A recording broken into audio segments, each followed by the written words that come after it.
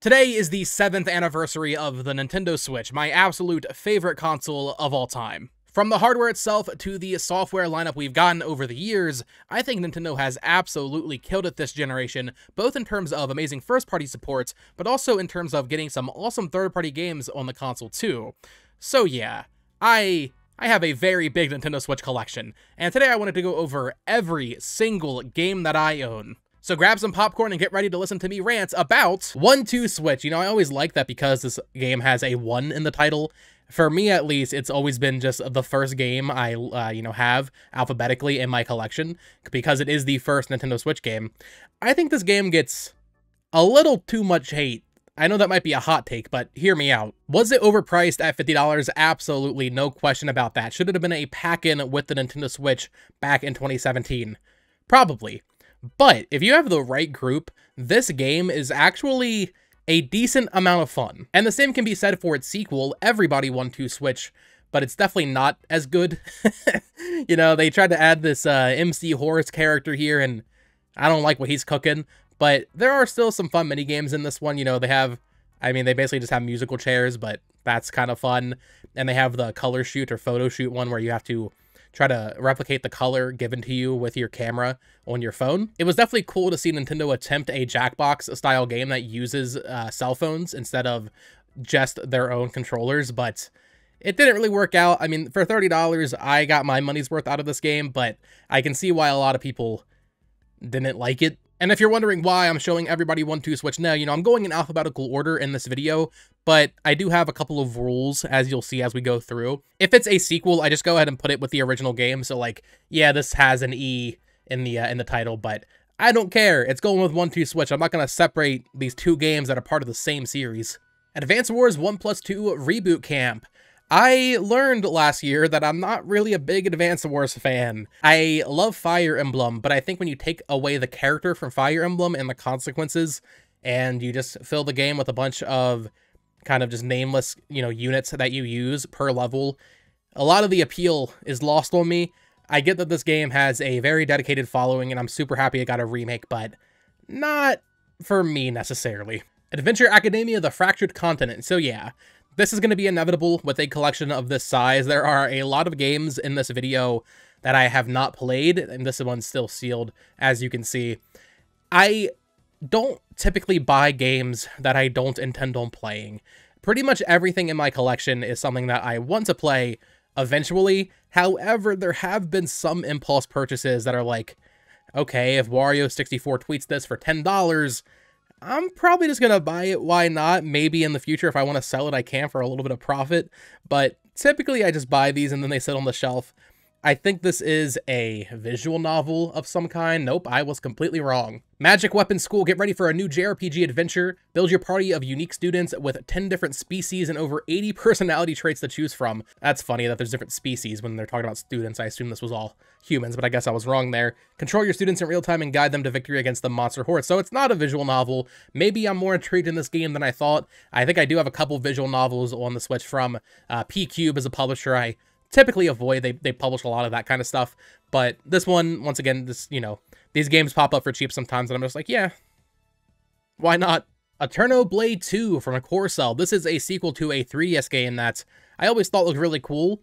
And the sequel came out on Switch, and I saw this for cheap on eBay one time, and I was like, you know what, that's something I'll definitely get to eventually. I don't know if they ever ported the first AeternoBlade to Switch, but it's just a really cool 2D hack and slash kind of game that I always thought looked super interesting. Here we have our first limited run release. You're going to see a lot of this logo down here in the bottom right in this video.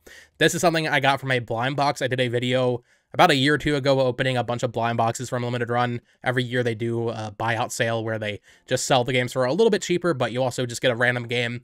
This was back when I didn't have that many Limited Run games, so I was like, you know what, I'll take the chance, see what I get. So we'll see a couple of games in here that I maybe wouldn't have bought necessarily. Although this one I did think looked kind of cool. You're basically like partying with the devil or something like that. I don't know exactly what the gameplay is actually like, but I definitely like the aesthetic of this game. AI, the Somnium Files, Nirvana Initiative, or I, the Somnium Files. I never actually knew how to pronounce the titles of these games. I'm missing the first one, so I haven't played too much of this. I started it, and then they were basically asking you questions at the start of the game, like, did you play the first game? And I was like, oh, I, I really should pl- probably play that first, right? But that game is very expensive, so I just haven't gotten around to buying it and then playing it. But I actually have the special edition for this game. I'll go over all my collector's editions at the end of the video. But this is a visual novel, I believe, from the creator of the Zero Escape series. I love 999 on the DS. Never played its sequels, but uh, this one always looks super interesting to me. And I wanted to pick up the sequel before it got pricey like the first game. I don't think that really ended up happening. I think this game's actually pretty cheap, but the first game is still very expensive. Alex Kidd in Miracle World Deluxe. I haven't played this one, but it's always cool to see Sega just bringing back random old IP like this. I mean, I, I, shouldn't say random. Alex Kidd is not a random IP. I mean, this was a very prominent game on the Master System. But uh, yeah, Alex Kidd in the Miracle World Deluxe, published by Merge Games, so Sega didn't do it themselves, but there are a couple games on the Switch that uh, Square Enix and Sega, and I think a few others, have just kind of outsourced to other publishers in a weird way. Like Panzer Dragoon is one that's I think Forever Entertainment. I, I, do have that one, so we'll look at that in a bit. But uh, yeah, there's a lot of games like that on Switch where the original major publisher, I guess, didn't want to deal with it, so they just give it to like a smaller, more uh, more indie sized publisher, which is just kind of weird, but still cool nonetheless. Alien Isolation, the collection. This is another limited run release. This came in not too long ago, so I haven't gotten a chance to play it. I'd always heard great things about Alien Isolation on the 360. I think it's like pretty much considered the uh, the team that made it. It's like their best game. So I was kind of always expecting a sequel to come out, and then that just never happened. But they ported it to Switch. I think it's a pretty good port. It has all the DLC, so definitely a cool one to have. Animal Crossing New Horizons. I kind of fell off this game faster than a lot of people, I think. I love New Leaf on the 3DS. It's one of my most played 3DS games. I maybe put 50 hours into New Horizons, you know. I was working retail at the time of when this game came out, so in general, life was a little hectic to say the least. I was working a lot of overtime during that, during that very trying time in the world.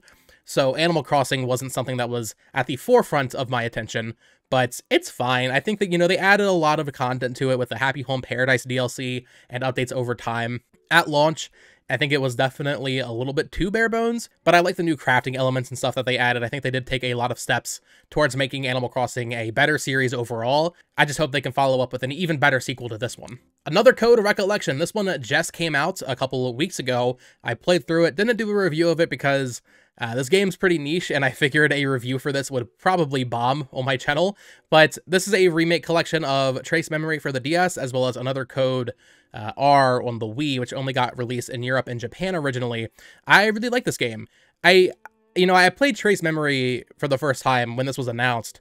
I think I prefer playing a visual novel on the DS if I can, because I don't know, I, maybe it's because I played 999 when I was a kid, but it kind of just feels like visual novels are at home on the DS. Even, you know, beyond 999, you know, there's Professor Layton and Ace Attorney. But they did a great job with this remake. You know, they gave it really nice visuals, great, you know, score. Uh, really like the characters it's a it's a good remake. If you have not played Trace Memory and you don't have a DS or something, I would definitely recommend checking out this this collection of both games. And I mean, yeah, if you're in America, this is the only way to play the second game without modding your Wii or Wii U or something. So definitely a cool game for Nintendo to bring back for sure.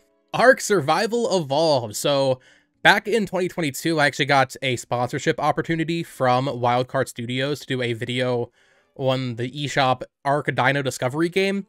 And at the time, I was like, oh, cool, this is my first sponsorship opportunity. I'm going to go out and buy Ark Survival Evolved on the Switch because I had always heard it's super bad. It was horrible, worse than I could have ever imagined. I think they did re-release the game, right? They they kind of fix a lot of it, but I wanted to play this original version of Ark Survival Evolved on the Nintendo Switch, and it is just horrible. You know, I was going through Nintendo's YouTube channel downloading trailers for this video, whenever there is a trailer that is live action for 50 seconds and then there's 10 seconds of gameplay at the end, that's how you know you have a stinker on your hands. ARMS. This is another one of those early 2017 Nintendo Switch first party games from Nintendo. I love this game. I I didn't play it too much when it first came out. Actually, you know, I, I of course I got it at release, but I, I think it was around the time that Dr. Coyle came out, which was, I think, the end of support for this game, essentially, in around December of 2017. That's when I really got into it. That's when I really started playing the party crashes, going for badges. I really like the characters of ARMS. I like the world. I like the musics. I like the gameplay. I know for some people it's a little shallow, but I I love this game, and I, I really hope we get a sequel. I think Min Men being in, in Smash Bros. is, at the very least, it gives me hope that we might get an ARMS sequel. The only issue is the developer makes Mario Kart, so why wouldn't they just work on Mario Kart? but yeah, I really like ARMS, and I hope we get a sequel one day. Ary and the Secret of Seasons. Yeah, this one I actually found at Goodwill Outlet, so I paid like 25, 30 cents for it. I have nothing to say about this, but we found it at Goodwill, and I, uh, I mean, I wasn't just gonna leave it. We actually found two copies of it. I have another one in the closet, but yeah, this is a random game from Modus. Join Ary on a grand adventure full of enemies, puzzles, and discovery. Maybe it's fun? I don't know. We've got a couple of Assassin's Creed collections here. So Assassin's Creed, the Ezio collection, as well as Assassin's Creed 3 Remastered, which includes Liberation, which is the Vita game. I don't have the Rebel collection. I still need to get that. Assassin's Creed is a series that, like, I like it, and I want to enjoy it more. I've only played through 2 all the way, and then I played a lot of Odyssey as well as mostly Origins, actually. Origins I played way more of than Odyssey, and I really liked Origins. Of course, at that point, that was when they were already like rebooting it and making it more RPG focused. It's one of those things where there's just so many games in the series at this point that it's just completely overwhelming. I started Brotherhood after I finished 2, like, I don't know, five years ago, and I could already tell like Brotherhood was a significant improvement over 2, but I just kind of fell off of it Maybe I'll go back to it eventually. I don't know if these Switch ports are the way to do so. Maybe maybe I should play it on PS4 instead. I remember, I think it was, I think it was 3 I remember seeing in a Nintendo Direct, and it just looked like it was chugging, man. So I'm not sure if I would ever play these on Switch necessarily. Astral Chain from Platinum Games. Now, this is one of my absolute favorite Nintendo Switch games. I adore this game. This was kind of a an eye-opening moment for me when it comes to Platinum games because at this point I had tried to play Bayonetta 1 on the Wii U back in like 2014 and I didn't really like it. But then Astral Chain came out and I was just immediately like, "Oh man, this is so good." Seeing this new IP from Nintendo and Platinum come out so strong in 2019, which is one of the Switch's best years, was just so refreshing. And then it kind of gave me that lens that I needed going into 2022 to play through Bayonetta 1 and 2 and really enjoy them more than I had ever before. And then Bayonetta 3, which I think rivals this game actually in some ways in terms of quality. But Astral Chain, if you have not played it, this is one of the best action games ever certainly one of the best action games on Switch. I highly recommend it. If you are a fan of what Platinum has done with Bayonetta, with Vanquish, with Nier Automata, definitely give Astral Chain a chance. Astria Ascending, I never saw anybody talking about this game really, but it kind of reminds me of what Vanillaware does. It's a 2D kind of hand-drawn looking JRPG. Never got a chance to play it, but it looked really cool. Astro Knight from Funstock, this was another one of those Wario 64 games where I think it was $10 on Amazon one day, and I was like, oh, this looks kind of cool. Has a very nice, like, black and white 2D art style. I like games like this, you know, there's no physicals of this on Switch, but like Box Boy I like that art style. uh, you know, I, I, like when indie games go for the style. I haven't played this one. It's a one-bit Metroidvania. Love Metroidvania, so this is something that, even though I bought it just because it was, you know, cheap on Amazon, it's actually something that I think does look pretty cool. Here we have the Atari 50, the anniversary celebration. I like going for these collections on Switch, even though I, I mean, this one's not even open.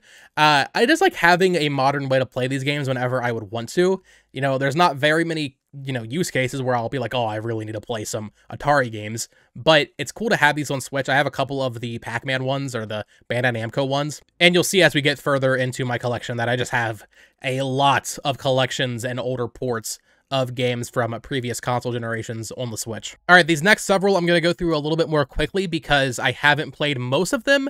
However, I'm very intrigued by this franchise, so I was going for a full set before they get super expensive because I do, you know, I don't do too much predictive buying on the Switch, but this and another series in particular, which we'll get to when we get to the L games, I have a feeling these might get kind of pricey. So we have the Atelier I think this is the Dusk trilogy here. This was a Play Asia release, so it's in English, but there's no ESRB down here. This has Atelier Ayesha Deluxe, Atelier Escha and Logy Deluxe, and Atelier Shallie Deluxe.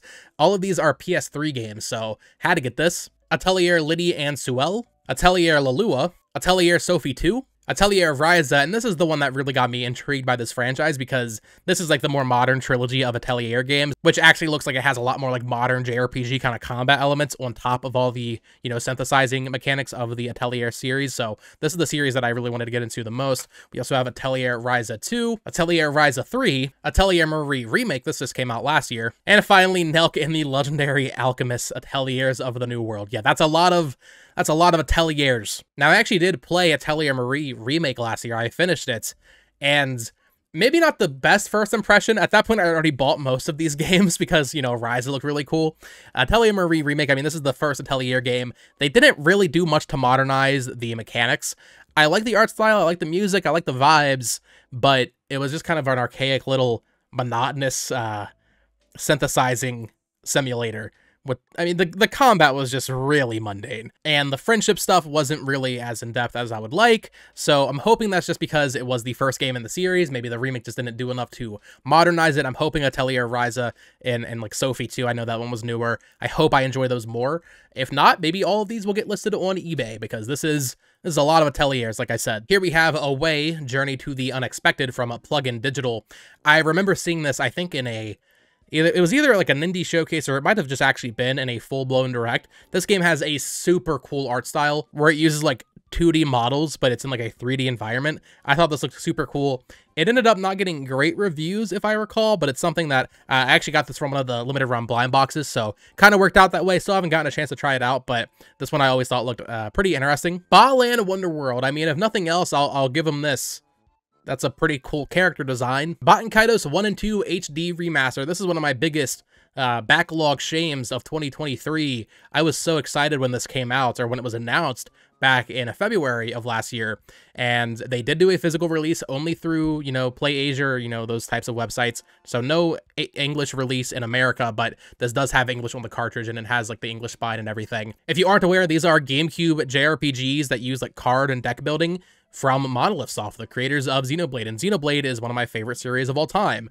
So I've always wanted to check this out. I love the art style. Um, I, you know, maybe I'm not the most keen on like deck building games, but I always wanted to give this a shot. I actually bought it digitally, so that's why this is still sealed. Played a little bit of it. It's one of those things where, and you know, we'll get to this a lot in this video, JRPGs are really long. So even if it's a game I really like or a game I'm really excited to try out, sometimes I just don't have the time to really sink my teeth into it. It's unfortunate, but I guess that's just kind of the way things go. But I'm hoping to eventually go back and at least play the first one. Like I have to at least play through and beat Baten Kaitos 1, hopefully this year. But then there's also like Xenogears and Xenosaga, which I want to play probably even more than Baten Kaitos but I'm also kind of waiting for those to get remade because I think at least Xenosaga will, so I, I don't freaking know anymore, man. Here we have a bunch of Bayonetta games on the Switch here. I have all of them physically. So Bayonetta 1 didn't get a physical release on the Nintendo Switch until 2022, right before Bayonetta 3 came out. Before that, it was only included as a download in Bayonetta 2. So I already had this game, but I thought it was really cool that they went back and actually gave it a physical release because at that point, I think it might have already gone back up in price, but there was like a a physical version in Japan, like the Climax Edition or something, that was just super expensive. So it was really nice to see them give America and Europe a physical release of this game by itself. And then, of course, yeah, I have the first print copy of Bayonetta 2, Bayonetta 3, and Bayonetta Origins Cereza and the Lost Demon. Now, I already talked about Platinum quite a bit with Astral Chain, but Bayonetta 3, I really like this game. Like, I got it early. If you remember back on the channel, I was making videos and giving my thoughts on it before it even came out. And I got a lot of scrutiny because it ended up being that a lot of people didn't like this game. They didn't like the story. I don't get it, man. I really do think that this is far and away the best Bayonetta game. In fact, Bayonetta 1 and 2, I appreciate those games. I think they're good, not great. Bayonetta 3, I think, is a fantastic game.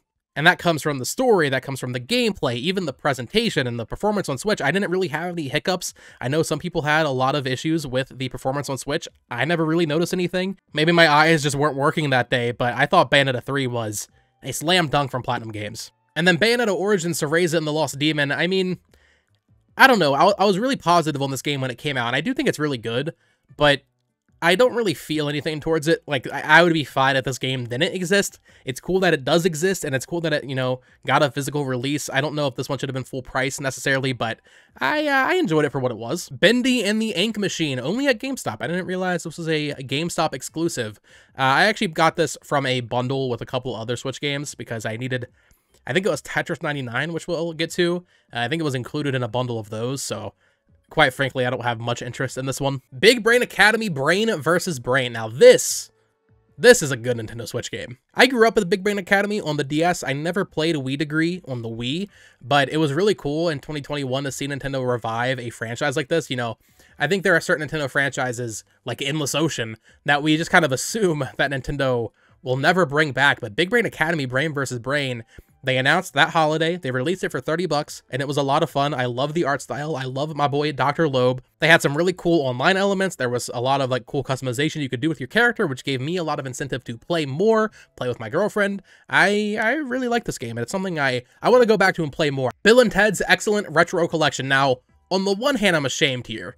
I bought this because of FOMO. So at the end of last year, Limited Run had to delist this game because their license expired, which frankly kind of sounds a little bit shady, I will not lie.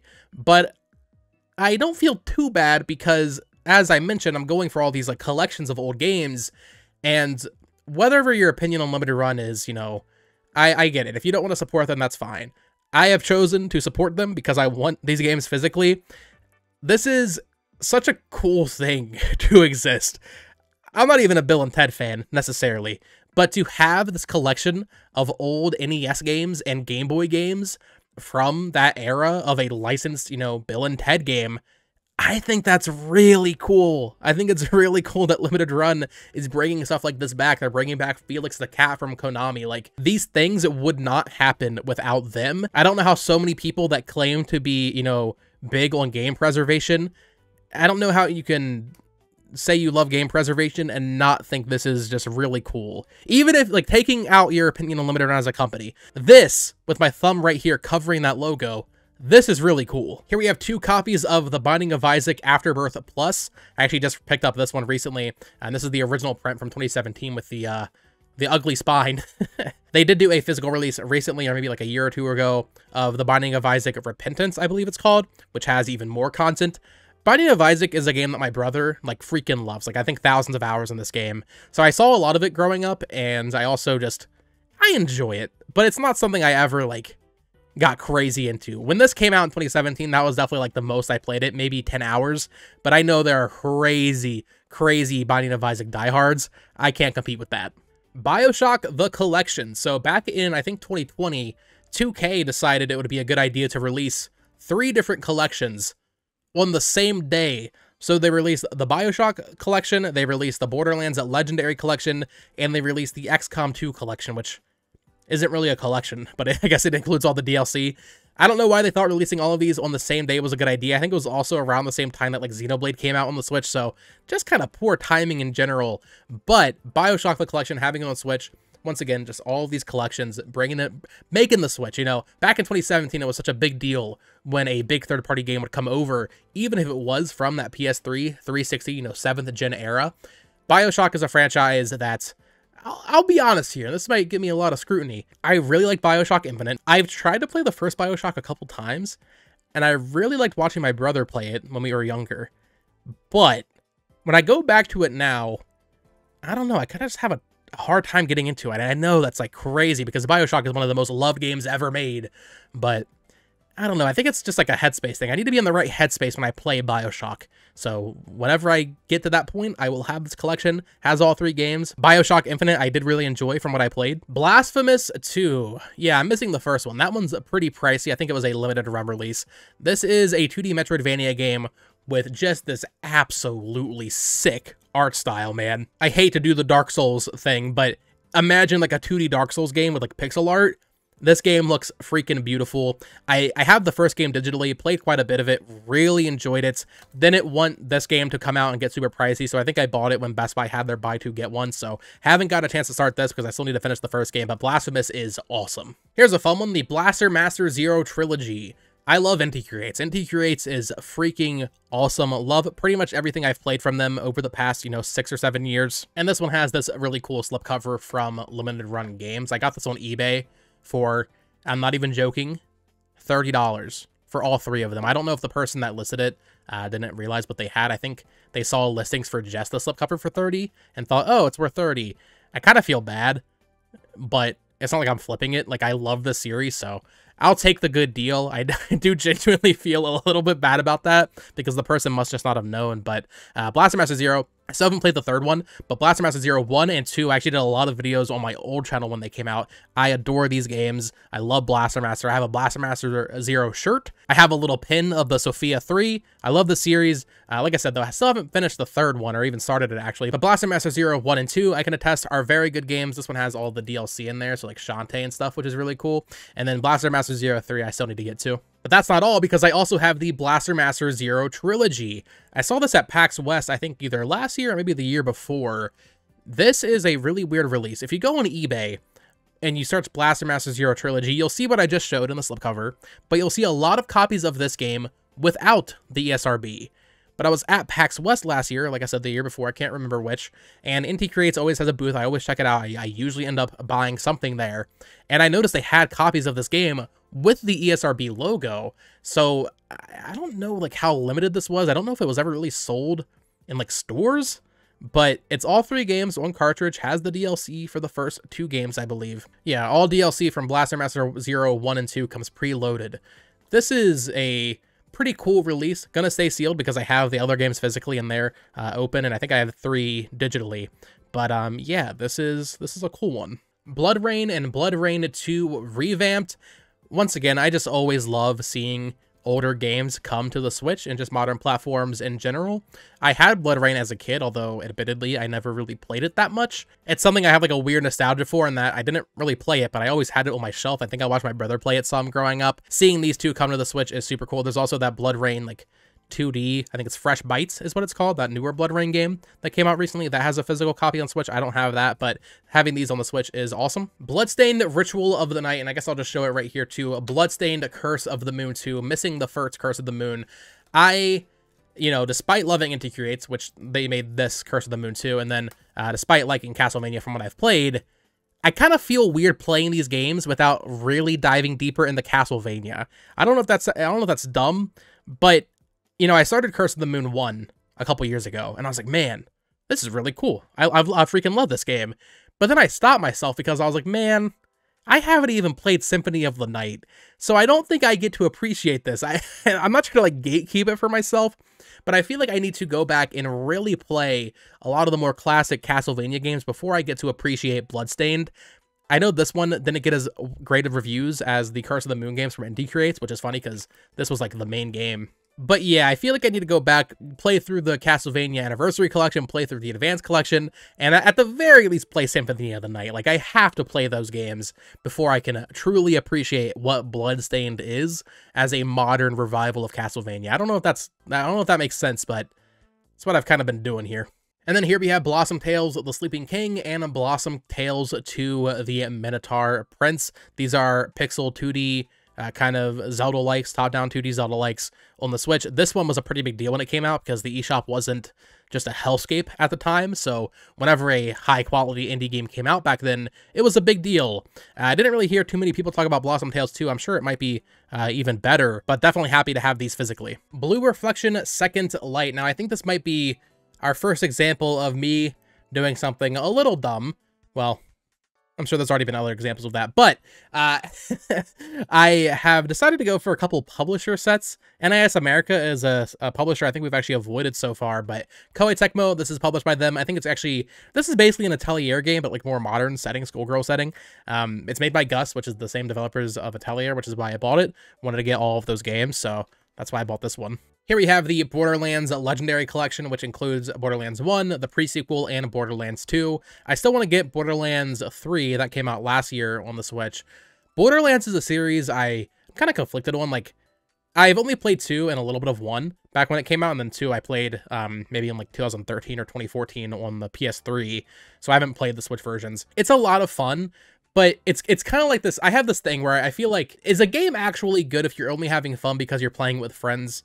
Does anybody else ever get that? Like, I don't know if Borderlands is actually like a really great game or if I just really enjoyed it because I was playing with friends because I know if I played it alone, I would not have that great of a time, but I mean, it's designed for multiplayer, so I don't know if that really is fair to the game. I'm not sure if I'm making sense here, but I don't know. Borderlands, if you have if you have a group of friends playing it with you, it's a lot of fun. Otherwise, though, eh, it's kind of boring. A Boy and His Blob. I remember seeing ads for this in Shonen Jump magazine. I used to get it monthly at a subscription for Shonen Jump here in America back in the day. I remember seeing ads for this game on the Wii, and when they finally brought it to the Switch, I was like, oh, I'm so excited to play that finally. Still haven't played it, but super cool that this is on Switch. I've heard that original game on the NES, or those original games, I think there's a couple of them. I've heard they aren't that great, but this new game on the Wii was a lot better. I think it's a new game, right? Like, this isn't this isn't really a remake. I, I sorry, I shouldn't say it was a remake. I think I might have. This is a new game, I'm pretty sure. But I always thought it looked really cool. Love the blob, of course. Bravely Default 2. Now, we just heard on Twitter recently that we might be getting some Bravely news this year. This is one I haven't gotten to, unfortunately, but Bravely Default as a series, and in general, the Square Enix Underline font series, you know, Octopath, all these games, they all interest me so greatly, but it is just one of those things where JRPGs take a lot of time. I think this game looks awesome, but I'm not going to play this without playing the first game, without playing Bravely Second, Probably not even without playing through Octopath, which we'll talk about when we get to it, which I have played some, but Bravely Default 2, still on the backlog. Cadence of Hyrule Crypt of the Necrodancer featuring The Legend of Zelda. This game is awesome. I, it was a really exciting time in 2018. I feel like, like I mentioned with, uh, with Astral Chain, like, the Switch was just in its stride, man. Just every announcement felt just so exciting. You know, we were getting those franchise staples like Animal Crossing and Luigi's Mansion, but then we were getting new stuff like Daemon X Machina, Astral Chain, and then a crazy indie crossover for The Legend of Zelda with Crypt of the Necrodancer, a game I had played and I enjoyed, which we'll talk about when we get to it, but uh, yeah, this was unexpected to say the least.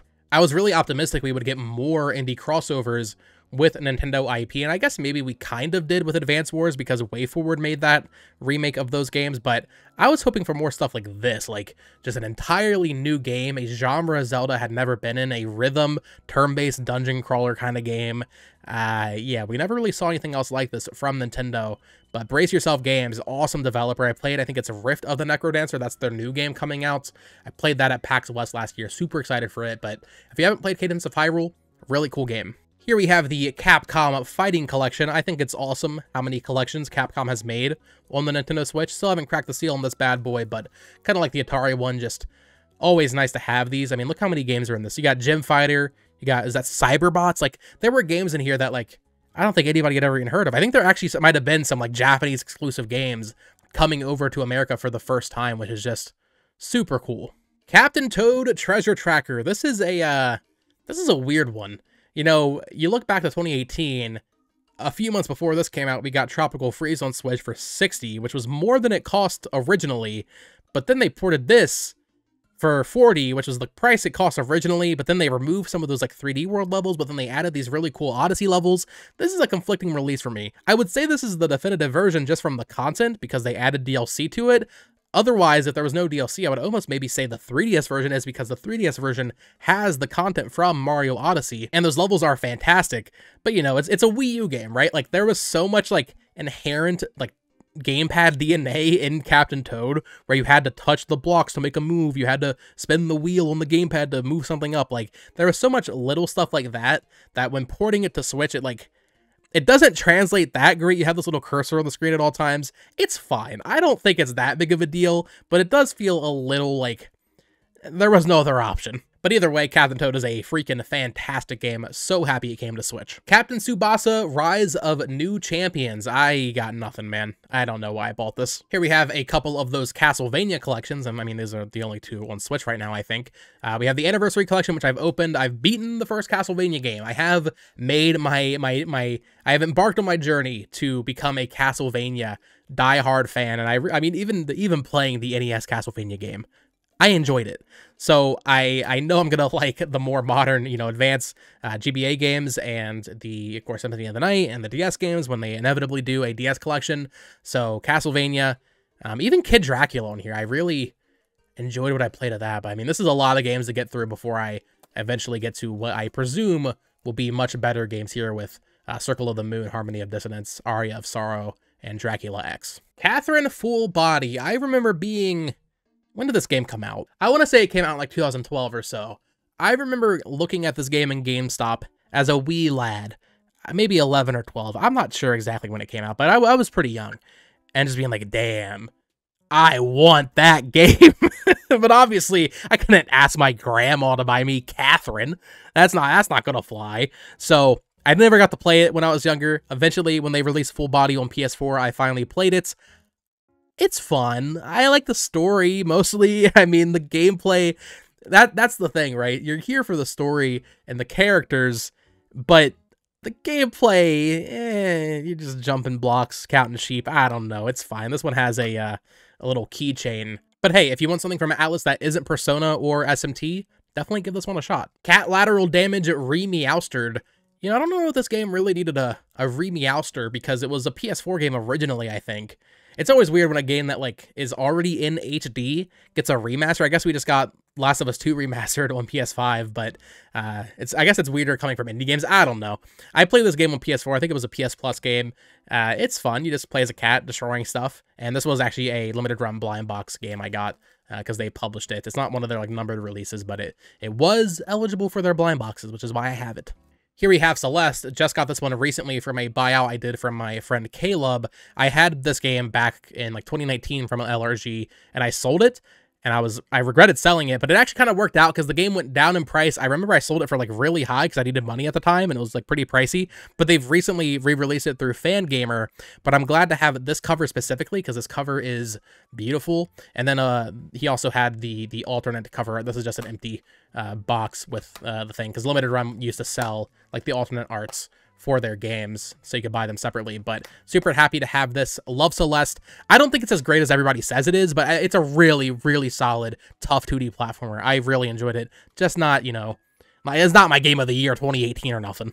Chaos Head Noah slash Chaos Child. This is a visual novel, I guess, kind of like PQube. Spike Chunsoft might be a, a publisher I should maybe stay away from. Eh. Anime game. Has a cool steelbook. It was cheap. Chicken Range from Fun Box Media. So I actually bought this because it came with one of those like Wii style attachments for the Joy-Con that make the Joy-Con look like a gun. I bought it because of that, because I wanted to do a funny stream back when new Pokemon Snap came out, when I was trying to, you know, do like some quirky stream content, and I was like, you know, taking pictures of the, the Pokemon, but with a gun, so it was like I was shooting the Pokemon. Uh, yeah, I, I maybe had three viewers for that stream, but yeah, this came with a little gun attachment, which is why I bought it. It's just one of those really cheap, kind of light gun looking duck hunt type of games. It's probably not very good. Chocobo GP just got this one last year. Uh, this is one of those Play Asia releases where it's in English, of course, but does not have the ESRB. Whenever I can avoid getting the little CERO rating down here, or like the Asian uh, little rating down here, I always do that. So sometimes it means paying more, as you'll see with a lot of the Final Fantasy stuff and Dragon Quest stuff, but it's worth it to me. I'm stupid, but hey, I like it. Uh, Chocobo GP, on the other hand, I do not like. this game this game blows, man. So it released a couple years back, and it was free to play, and there was so many horrendous microtransactions like just just some of the worst microtransactions I've ever seen in a video game. And then later they they released like a full version where you didn't have to do any of that stuff or pay any of that stuff, where you could unlock all the characters and costumes in the game just by playing. And that's when I finally, you know, jumped on board and, and started playing it. The game isn't very fun. I, you know, we'll get to a couple other uh, racing games here, like kart racers on the Switch, that I are good games, but this doesn't even compare. I, I and I know I shouldn't compare everything to Mario Kart, but man, uh, this one's not very good. Chrono Cross, the Radical Dreamers Edition, once again, just so cool that a game like this gets a physical release in 2022, I think is when this came out. That's awesome to me. Uh, haven't gotten a chance to play it, but, um, you know, hopefully they eventually port Chrono Trigger.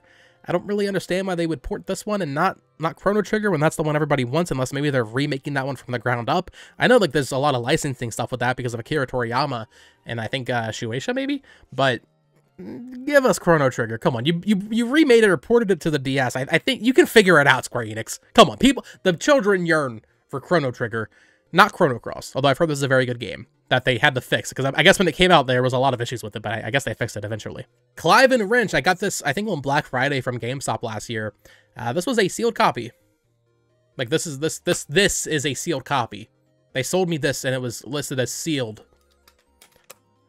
Love you, GameStop. Clubhouse Games 51 Worldwide Classics. Now this this is peak video gaming right here. I think it, once again, like with Big Brain Academy, similar vibes here. I think it is so cool that Nintendo will just be like, you know what? Let's bring back Clubhouse games. Now, it's not even that like noticeable that it's a, a successor to Clubhouse games on the DS because that was a lot of card games. And while this does have card games in it, it's a lot more like general tabletop board games like the little foosball and the chess and the uh, Mancala and stuff. But having full online on this, having the, you know, two-player games that you can play like this, as demonstrated on the box art, this was a lot of fun. I got a lot of time out of this game, and uh, yeah, I hope we get more stuff like this from Nintendo in the future. They freaking remade Wii Play Tanks, bro. That is awesome. Color X Malice. I, I said PQube earlier. I, I think I I think I mis misunderstood. I think I, I I misrepresented what PQube does. I think they do do a lot of visual novels. I was thinking of Aksys. Aksys is the publisher that does a lot of visual novels that I typically steer clear of. But this was ten dollars on Amazon, so why why why not? Why not? All right, so now we have a few mana games to go through. Collection of mana. Is it mana? Mana? I've always said mana, but sometimes I might like interchange them, mana, mana. Uh, this one came out back in 2019, super cool, it got a physical release. I played through Final Fantasy Adventure back then, and I started Secret of Mana. Um, Final Fantasy Adventure for a Game Boy game, uh, low, low key, probably one of the best Game Boy games I played. I really enjoyed my time with that game, and then Secret of Mana, I enjoyed what I played of that as well, but just never got the chance to finish it. And then Trials of Mana, this was really cool because it was the first time they ever localized the SNES game, which was kind of weird because at that same E3, they had announced the remake of Trials of Mana, which I also have, which we'll show in a second, but uh, super cool. This came out, I didn't realize until very recently, this never came to other platforms. Like, you cannot play Trials of Mana, the original version, on PS4 what what what are you doing, Square Enix? Bring bring it to everything. Come on. But yeah, on top of that, we also have Legend of Mana, which I played a little bit of, and uh, it's like more like a god game, kind of. Like you have to like plant your home base. I, I didn't really know what was going on, so I kind of stopped playing it. And then yeah, the remake of Trials of Mana. So uh, Mana, I mean, they have that new game coming out. What is it called? Echoes of Mana? Mana? That game looks freaking beautiful. I would love to at least get through Secret of Mana this year, maybe. But uh, yeah, Mana is a series that uh, I'm definitely interested in but haven't played too much of. Only that original Game Boy game. Colors Live, this was a weird one to see come back. So if you aren't aware, this was like a big deal on the 3DS eShop back in 2011. All the kids had Colors 3D because, you know, we didn't have Flipnote at the time, so we had to have some sort of drawing app on our 3DS, Colors 3D, filled that niche perfectly. You could do like layers and stuff. This came to Switch with a pressure point sensitive pin that I had to try out. In fact, it's actually on my desk, funnily enough. I don't know why it's sitting over here. But yeah, you plug it into the audio jack of all things, and it has like this little nub that uh, can sense pressure. So just a really cool, unique accessory for the Switch.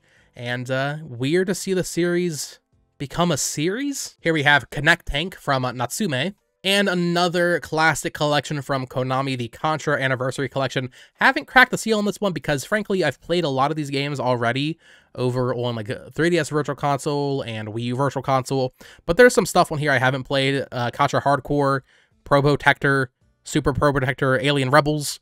I don't even know what, is it. What is, I don't know what's going on here. I'm not. I'm not. I'm not that familiar with Contra. I know I've played Super C and Contra 3. Those are the games I've played through on Virtual Console in the past. I haven't messed with a lot of these other ones, but uh, Contra's fine. I don't know. I'm not the biggest fan of like the run and gun genre, if you want to call it that. It's like it's not quite a beat 'em up, but it's you know using guns. I also don't like beat 'em ups, as we'll get to, but always love to see a nice collection of classic games. Here's another really recent one, Cooking Mama Cookstar. If you if you don't remember, back when this came out, there was there was like a whole crypto mining bit blockchain drama with this game where people thought it was like using your Switch to the mine Bitcoin or something. I think it actually that that might have ended up being true. I don't even remember, man. That was a weird time. I think it all got fixed. Like I don't think I don't think I'm at risk if I ever decide to play Cooking Mama Cookstar, but this is uh it's weird, man. That was a weird thing that happened. And then here we have the Crash Bandicoot Insane Trilogy, as well as Crash Team Racing Nitro Fueled. I don't have Crash 4 yet. I've heard that game's really good. Crash is a series that I, I grew up with, right? I played Crash Bandicoot 1 on the uh, PS1 when I was younger. I had uh, Crash, I had Crash Team Racing on PS2, as well as, oh god, there was another PS2 Crash game I had that was like a platform. I can't remember the name of it. But Crash is fine, you know? I don't think it's anything too special. Crash Team Racing, I think, is a, a much better game than like these platformers, and maybe Crash 4 will make me a, a, a fully fledged Crash fan.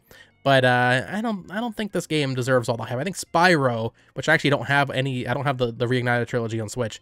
I think Spyro is much better than Crash Bandicoot in my opinion, but uh, that's just me. Crosscode, now this one got a lot of hype back when it came out, I think in like 2019, 2020 might be off base with that release date.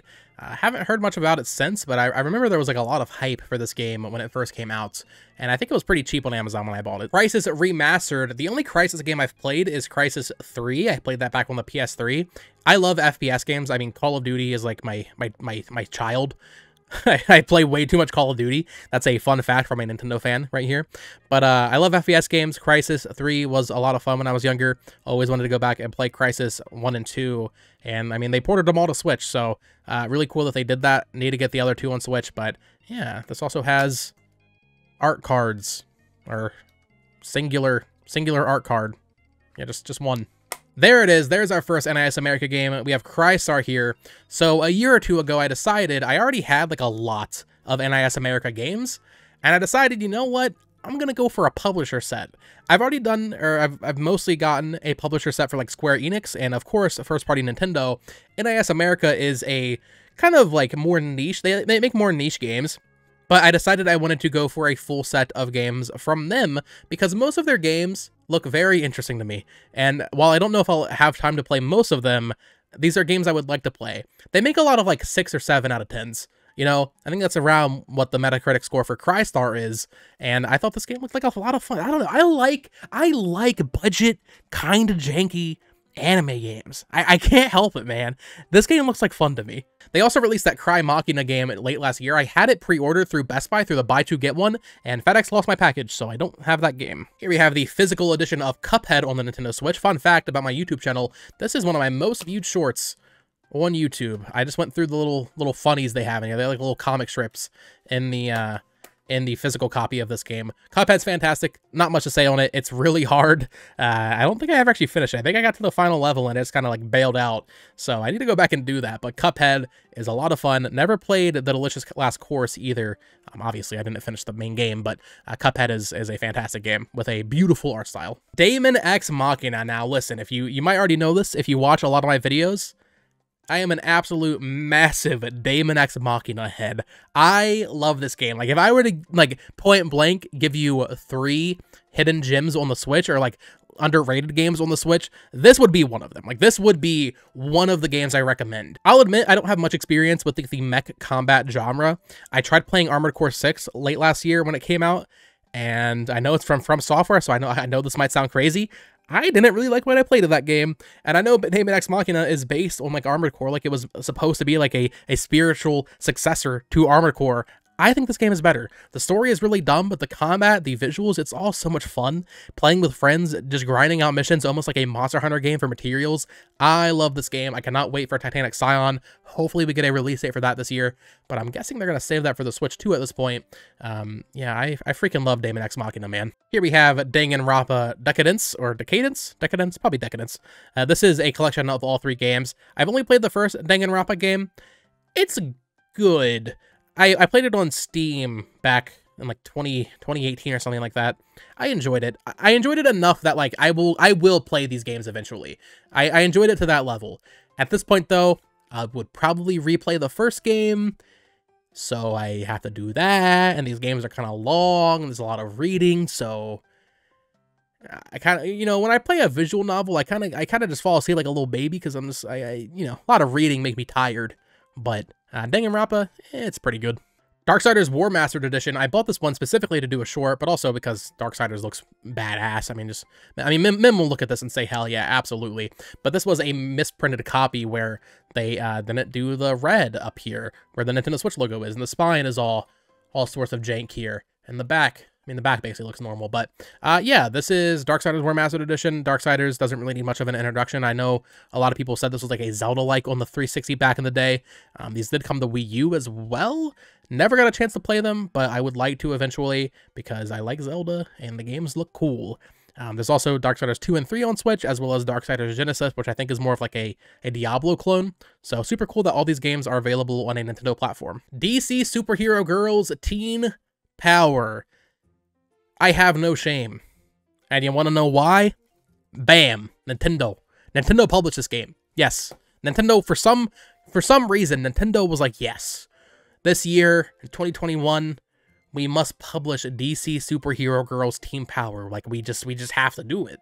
I don't know why they did it. I really don't know. It's not like there was a dearth of games in 2021. 2021 isn't my favorite year of the Switch, but there was plenty that came out. Yeah, I was going for a full set of Nintendo published games. This was one of the last games I needed, so I had to pick it up. Uh, I'm sure it's fine if you like DC Superhero Girls, but it's a game for kids, so I'm not really gonna I'm not to be a critic of this game. You know, I don't, I, don't, I don't think it's my place to say if this game is good or not. Here's a certified Wii classic, de Blob. Another game kind of like A Boy and His Blob, funnily enough, uh, that came out on the Wii that I always really wanted to play, and I just never could afford it as a kid, or I just never got around to buying it as a kid. So seeing it come to Switch was really exciting. The physical of this game and the second game are like weirdly, like not necessarily expensive, but they don't really pop up that often, and when they do, it's like European. So getting one with the ESRB is a little bit harder. Let me know in the comments below if you've played this on Switch. Is this a, a platform that you should play the Blob one because I know it was designed for the Wii, so would I be better off playing this on the Wii? It looks like it supports the Pro Controller, but uh, yeah, I don't know if this would be better to play on the Wii or if I should just play it on Switch. Probably just Switch for, you know, ease of convenience, but really cool that this came to Switch either way. Deadly Premonition, A Blessing in Disguise. This is a sequel to Deadly Premonition, of course. This is a game from, I believe, Swery is the developer's name. Deadly Premonition is like The Room, but for video games where people like they know it's not a good game, but they kind of just like really like it. I haven't gotten around to playing the first game, so of course I haven't played this, but I've always been very intrigued by the series. The fact that it is a series with multiple games is crazy.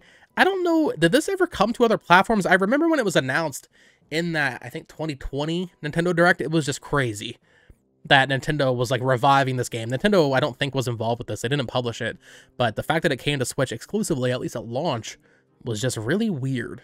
Still have some stickers on this one. We have a Diablo 3 Eternal Collection. This has that uh, that Ganondorf, I think it's transmog, is that what they call the the little, little, little armor sets in Diablo. Uh, Diablo is a series I was always super interested in, and I actually finally played Diablo 4. Uh, well, I, I, didn't really finally play it. I played it like before it even came out. I had like the early edition of Diablo 4 on my PS5, and I really enjoyed it. I don't know if I enjoyed enough to go back and play these older games because they also did Diablo 2 on Switch. I think it's only digital. But uh, I don't know. Diablo, it's a fun game. Maybe, I don't know if there's like a local co-op where I only need one one copy of the game. But this might be a fun game for me and my girlfriend to play through. She likes uh, Minecraft Dungeons, which I know is like baby's first Diablo game. So maybe this will be fun for us to play together or something. Um, I'm not sure how it runs on Switch. I'm not. I don't know. Maybe let me know in the comments below. Is Diablo 3 on Switch? Like, is that a good version of Diablo? Would you recommend? Is it worth it for the the Ganondorf skin? Here we have a bunch of Digimon games, kind of like the Atelier series, where haven't really gotten to these, but I know I will enjoy them when I do eventually get to them because I know I know it's not Pokemon. I get it, but I love Pokemon. So, given that, I feel like, you know, I like JRPGs, I like Pokemon. I'm probably going to like Digimon when I eventually play it. So we have Digimon Story Cyber Sleuth. This is the complete edition. I think this, is this two games? I thought this was two games. I guess I'm crazy. This isn't two games, is it? It's just Digimon Story Cyber Sleuth. As well as Digimon World Next Order. Now, I'm not too positive. Let me know if you know in the comments below. I think this was exclusive to Bandai Namco store because ESRB copies of this game are very expensive. Like, like very expensive. Like way more expensive than they should be. So when I saw it pop up for, I think like 30 or 40 one day, I was just like, you know what? I'm going to get this before it gets even more pricey. I know there's like a bundle that came with like a shirt or a hat or a keychain or something, but even just by itself, this this game is pretty pretty expensive. This is an older game that they ported to the Switch, I think just last year. And then we also have Digimon Survive. This game was delayed for so long, I feel like, but it eventually finally came out. It's a Digimon Tactics game, I think. Here's a certified banger, the DioField Chronicle. That's right. I like this game. You know, it was in that period in 2022 where Square Enix was just releasing like eight games a week for some reason, they kind of just sent it out to die. I wish they had give this game a more proper marketing push, given it some more room to breathe, maybe worked out some sort of exclusivity deal with Nintendo just to give it that more, not, not because I want it to be exclusive, but because typically when Square Enix works with Nintendo, first of all, the game ends up being a banger, which this is, but also I feel like it just gets way more attention in general. I mean, just look at what happened with Octopath 2. A game sold much worse than the first game, which I mean, yeah, it's going to happen with a sequel, but you get what I'm saying, right? When I feel like whenever Square Enix works exclusively with Nintendo, the game just gets way more attention. But this game has some really interesting gameplay mechanics where it's I'm not gonna say it's like Fire Emblem because it's not, but it's like it's like turn based, but like real time, and you have like all your units and you're moving them at the, and like real time. Very interesting gameplay. I'm not gonna sit here and say it's like a 10 out of 10 game, but people I think slept on this game. You can get it really cheap now. I paid full price for it. I don't regret doing that. But I think it's like a $20 game now. Uh, really cool game. But it definitely has a budget. Keep that in mind. Like when you're playing this game, you'll notice through the cutscenes and stuff. This game has budget written all over it. Disco Elysium is one that I've just gotten recommended a ton over the past couple of years. I don't really know much about it, but I figured if I get recommended it so much, I, I, probably should give it a shot at some point. So it got a physical, was pretty cheap on Amazon, I think. So I was like, you know what, I'll, I'll go ahead and buy that. Here we have a couple of Disgaea games. So we have Disgaea 1 Complete, Disgaea 4 Complete Plus. They had to they had to include the plus there, as well as Disgaea 6 Defiance of Destiny Unrelenting Edition. Now, funnily enough, the only Disgaea game I've actually played is Disgaea 5, which I don't have physically. I still need to get a copy of that and Disgaea 7 for my, my NIS America set. Uh, Disgaea is... I think it's like just enough in between that Fire Emblem tactics gameplay and that Advance Wars gameplay to keep me intrigued. There's so much going on in this game. When I first played Disgaea 5 back in 2017 when the Switch came out, I was just completely in over my head. Like I had no idea what was happening. So I had to watch like a lot of videos of like, how do I, what do I do? Because having a, a, tactics game where you have to like rent and buy units and like fuse units and stuff. I don't, I don't know if there's fusing. I can't really remember. I didn't finish Disgaea 5. I probably put like 20 hours in it, but having a game like this, I, I, I needed some some guidance and once I finally started learning it, learning the like jumping mechanics of like getting on top of other characters and like, you know, using them to propel yourself further, and then even playing Mario plus Rabbids and learning that that was kind of like taken from Disgaea a little bit. Uh, Disgaea, I, I have a lot of appreciation for the series. I don't know if I would ever go back and play some of these older ones like Disgaea 1 Complete. I really hope just for the sake of like my OCD, they do two and three as well, so you can have all of them on the Switch in a complete format. That feels like something that they should definitely do. But uh, Disgaea, pretty cool series. Just not something I've put that much time into. I would like to play more. Uh, I don't know how well reviewed these more modern ones were, 6 and 7, which just came out uh, late last year, 7 did. Not sure if those are well liked. I know they switched to 3D, which is kind of like a, I don't know. I don't know if I like the 3D graphics in these games, but Disney Illusion Island, this came out last summer, and I played through it with my girlfriend. Really enjoyed this game. I think this was a lot of fun. It is a very kid-friendly Metroidvania, baby's first Metroidvania, but if you're playing with a loved one or a friend or whatever that doesn't really play games that much, it is the perfect vibe. I mean, Mickey Mouse, you can't really go wrong with this art style. Has the art style of that, um, I don't know what the actual show was called, but that, that more modern Mickey Mouse show that has a lot of crazy clips on Twitter. Uh, this is made by the people that made that Battletoads remake for Xbox. They did a really good job. I kind of wish it wasn't so long. Like, it, I, I remember thinking, like, man, this is kind of getting long in the tooth, but we persevered, we pushed through it. The story's fun, you know, once again, just, just a kid-friendly Metroidvania. You really can't go wrong with this game if you get it for cheap. Doki Doki Literature Club Plus, this is a very recent pickup. I don't really know what to do with this game at this point, man. Like, I, I want to play through it, but I know, you know? Like, I know, I know, I know what this game is, which I just wish I had avoided that somehow and then played it back when it came out in like 2015 or whatever. But it's kind of hard to get into when I, I know what's going to happen, if that makes sense. Um, so yeah, eventually I'll get through it, but it's kind of like in a weird place for me now. Donkey Kong Country Tropical Freeze. I mean, this is, this game really needs no introduction. It has a new funky mode. I'm actually one of the people that think this game is a little overrated. I do really enjoy it, and upon a second playthrough, I definitely liked it a lot more than I did originally. Um, you know, back in 2014 when it came out on the Wii U, I was definitely one of those people that was like, oh my god, 2D platformers. And I love 2D platformers, but it wasn't really what I was looking for at the time, especially because I had just played uh, Country Returns 3D the year prior. So to get another 2D Donkey Kong so fast was just a little too much in my opinion. But you know, playing through it again on the Switch, I definitely enjoyed it more the second time through. Uh, this game has some incredible level design. I, I get it. The the freaking the the background like connects to the platform so it all looks like really organic. And I get that like from like a design perspective that's really cool. But I don't really think Donkey Kong controls that well, or at least he doesn't feel that good. I know it's not like a game you're supposed to run through like Mario necessarily, but yeah, it's a good game. It's a great game. It's a great game. This is a great 2D platformer.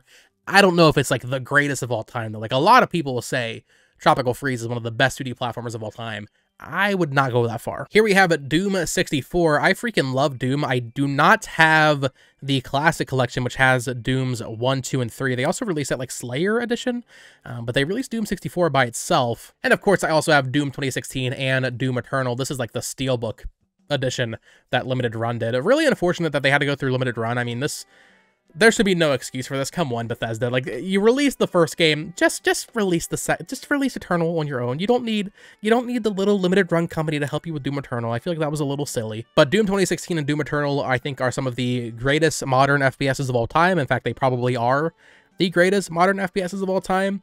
I know some people think Eternal was a step down from 2016, but I couldn't disagree more. I think Doom Eternal is better in every way. And I mean, I already freaking loved Doom 2016. Like, this is a fantastic game, but Doom Eternal, I think, just did everything much better. The action was more kinetic, the movement, the hook shot, like, there was so much improvement in Doom Eternal, in my opinion. I freaking love this game. Haven't played it on Switch. Not sure how the Switch version is, but uh, this was a lot of fun. I have played Doom 2016 on Switch. And maybe, you know, maybe that was like my 2017 rose tinted glasses going on with the Switch back then, but I thought it was a fine port. I can't imagine Eternal's much worse than that, but maybe in 2024, maybe don't play these versions. Here we have some uh, Double Dragon games. So we have Double Dragon and Kunio-kun Retro Brawler bundle. This has, wow, this has a lot of games in it, huh? I didn't even realize how many games this had. 18 games in this collection of River City and Double Dragon games. And then we also have Double Dragon Gaiden Rise of the Dragons. This one just came out last year, as well as Double Dragon Neon. Now, if you can't tell, if you can't tell by me owning all three of these, I don't really like beat 'em up games. Like, they're fine. I, I played Dra Double Dragon Neon. It, it's fine. It's a fun game. But and, you know, like Scott Pilgrim, which we'll talk about when I get to it, I think Scott Pilgrim's fun. But typically speaking, I don't like beat 'em up games that much. Like, whenever I play them, I just kind of get frustrated. I don't think the level design is ever really that good. Um, but, I don't know. There are a couple key instances where a beat 'em up game hits, and uh, Double Dragon Neon, it was fine. I haven't really played um, this one at all. And then even River City Ransom, actually, weirdly enough, like the original NES game, I played that a lot on my 3DS back in the day on Virtual Console, and I thought that was fun. Uh, Double Dragon, though, like these classic ones, I never I never enjoyed playing those, I'll, I'll admit. Um, and I haven't really played any of these Japanese-only River City games. I didn't know there were so many. Here we go again, another DS classic coming back for the Nintendo Switch, just like Big Brain Academy, just like Clubhouse Games. We have Dr. Kawashima's Brain Training for Nintendo Switch, and bam, look at that. It came with a stylus. Yeah, this one's really weird because it's one of the few Nintendo Switch games that Nintendo made that didn't get localized in America.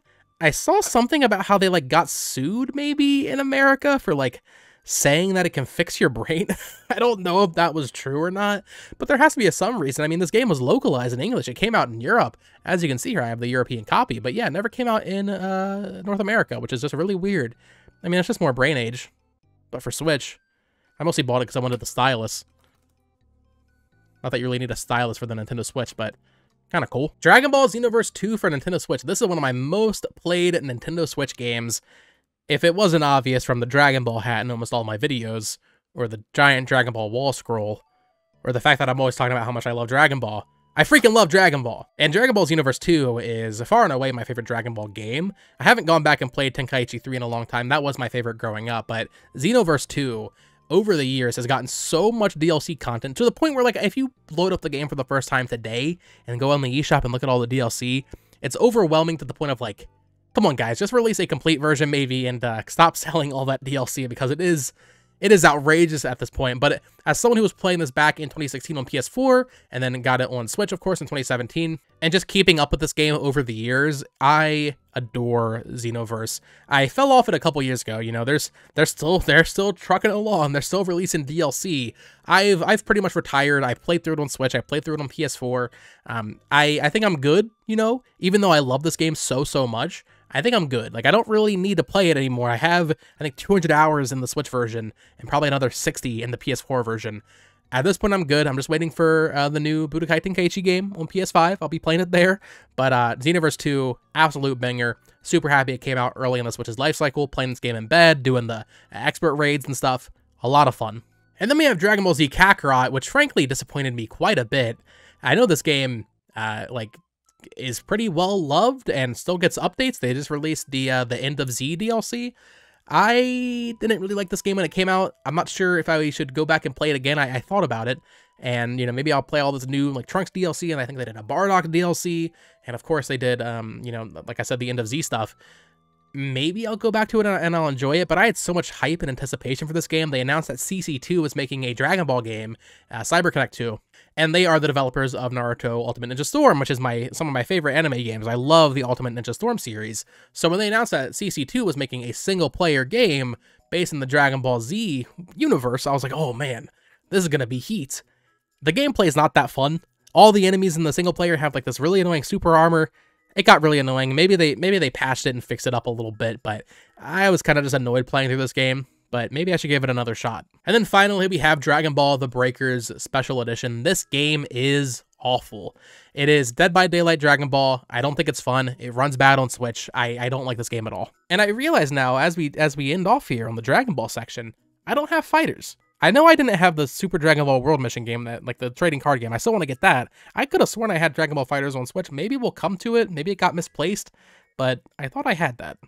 I definitely have it digitally on Switch at the very least then, because I, I, know I played a lot of fighters on Switch. That's okay though, because we have a lot of Dragon Quest to get through instead. Here is the triple pack of the first three games. These are ports of the mobile versions, I believe, and they don't really look that great in my opinion. I would prefer a Final Fantasy Pixel Remaster kind of situation on these if we could but still cool that they released and cool that they got a physical.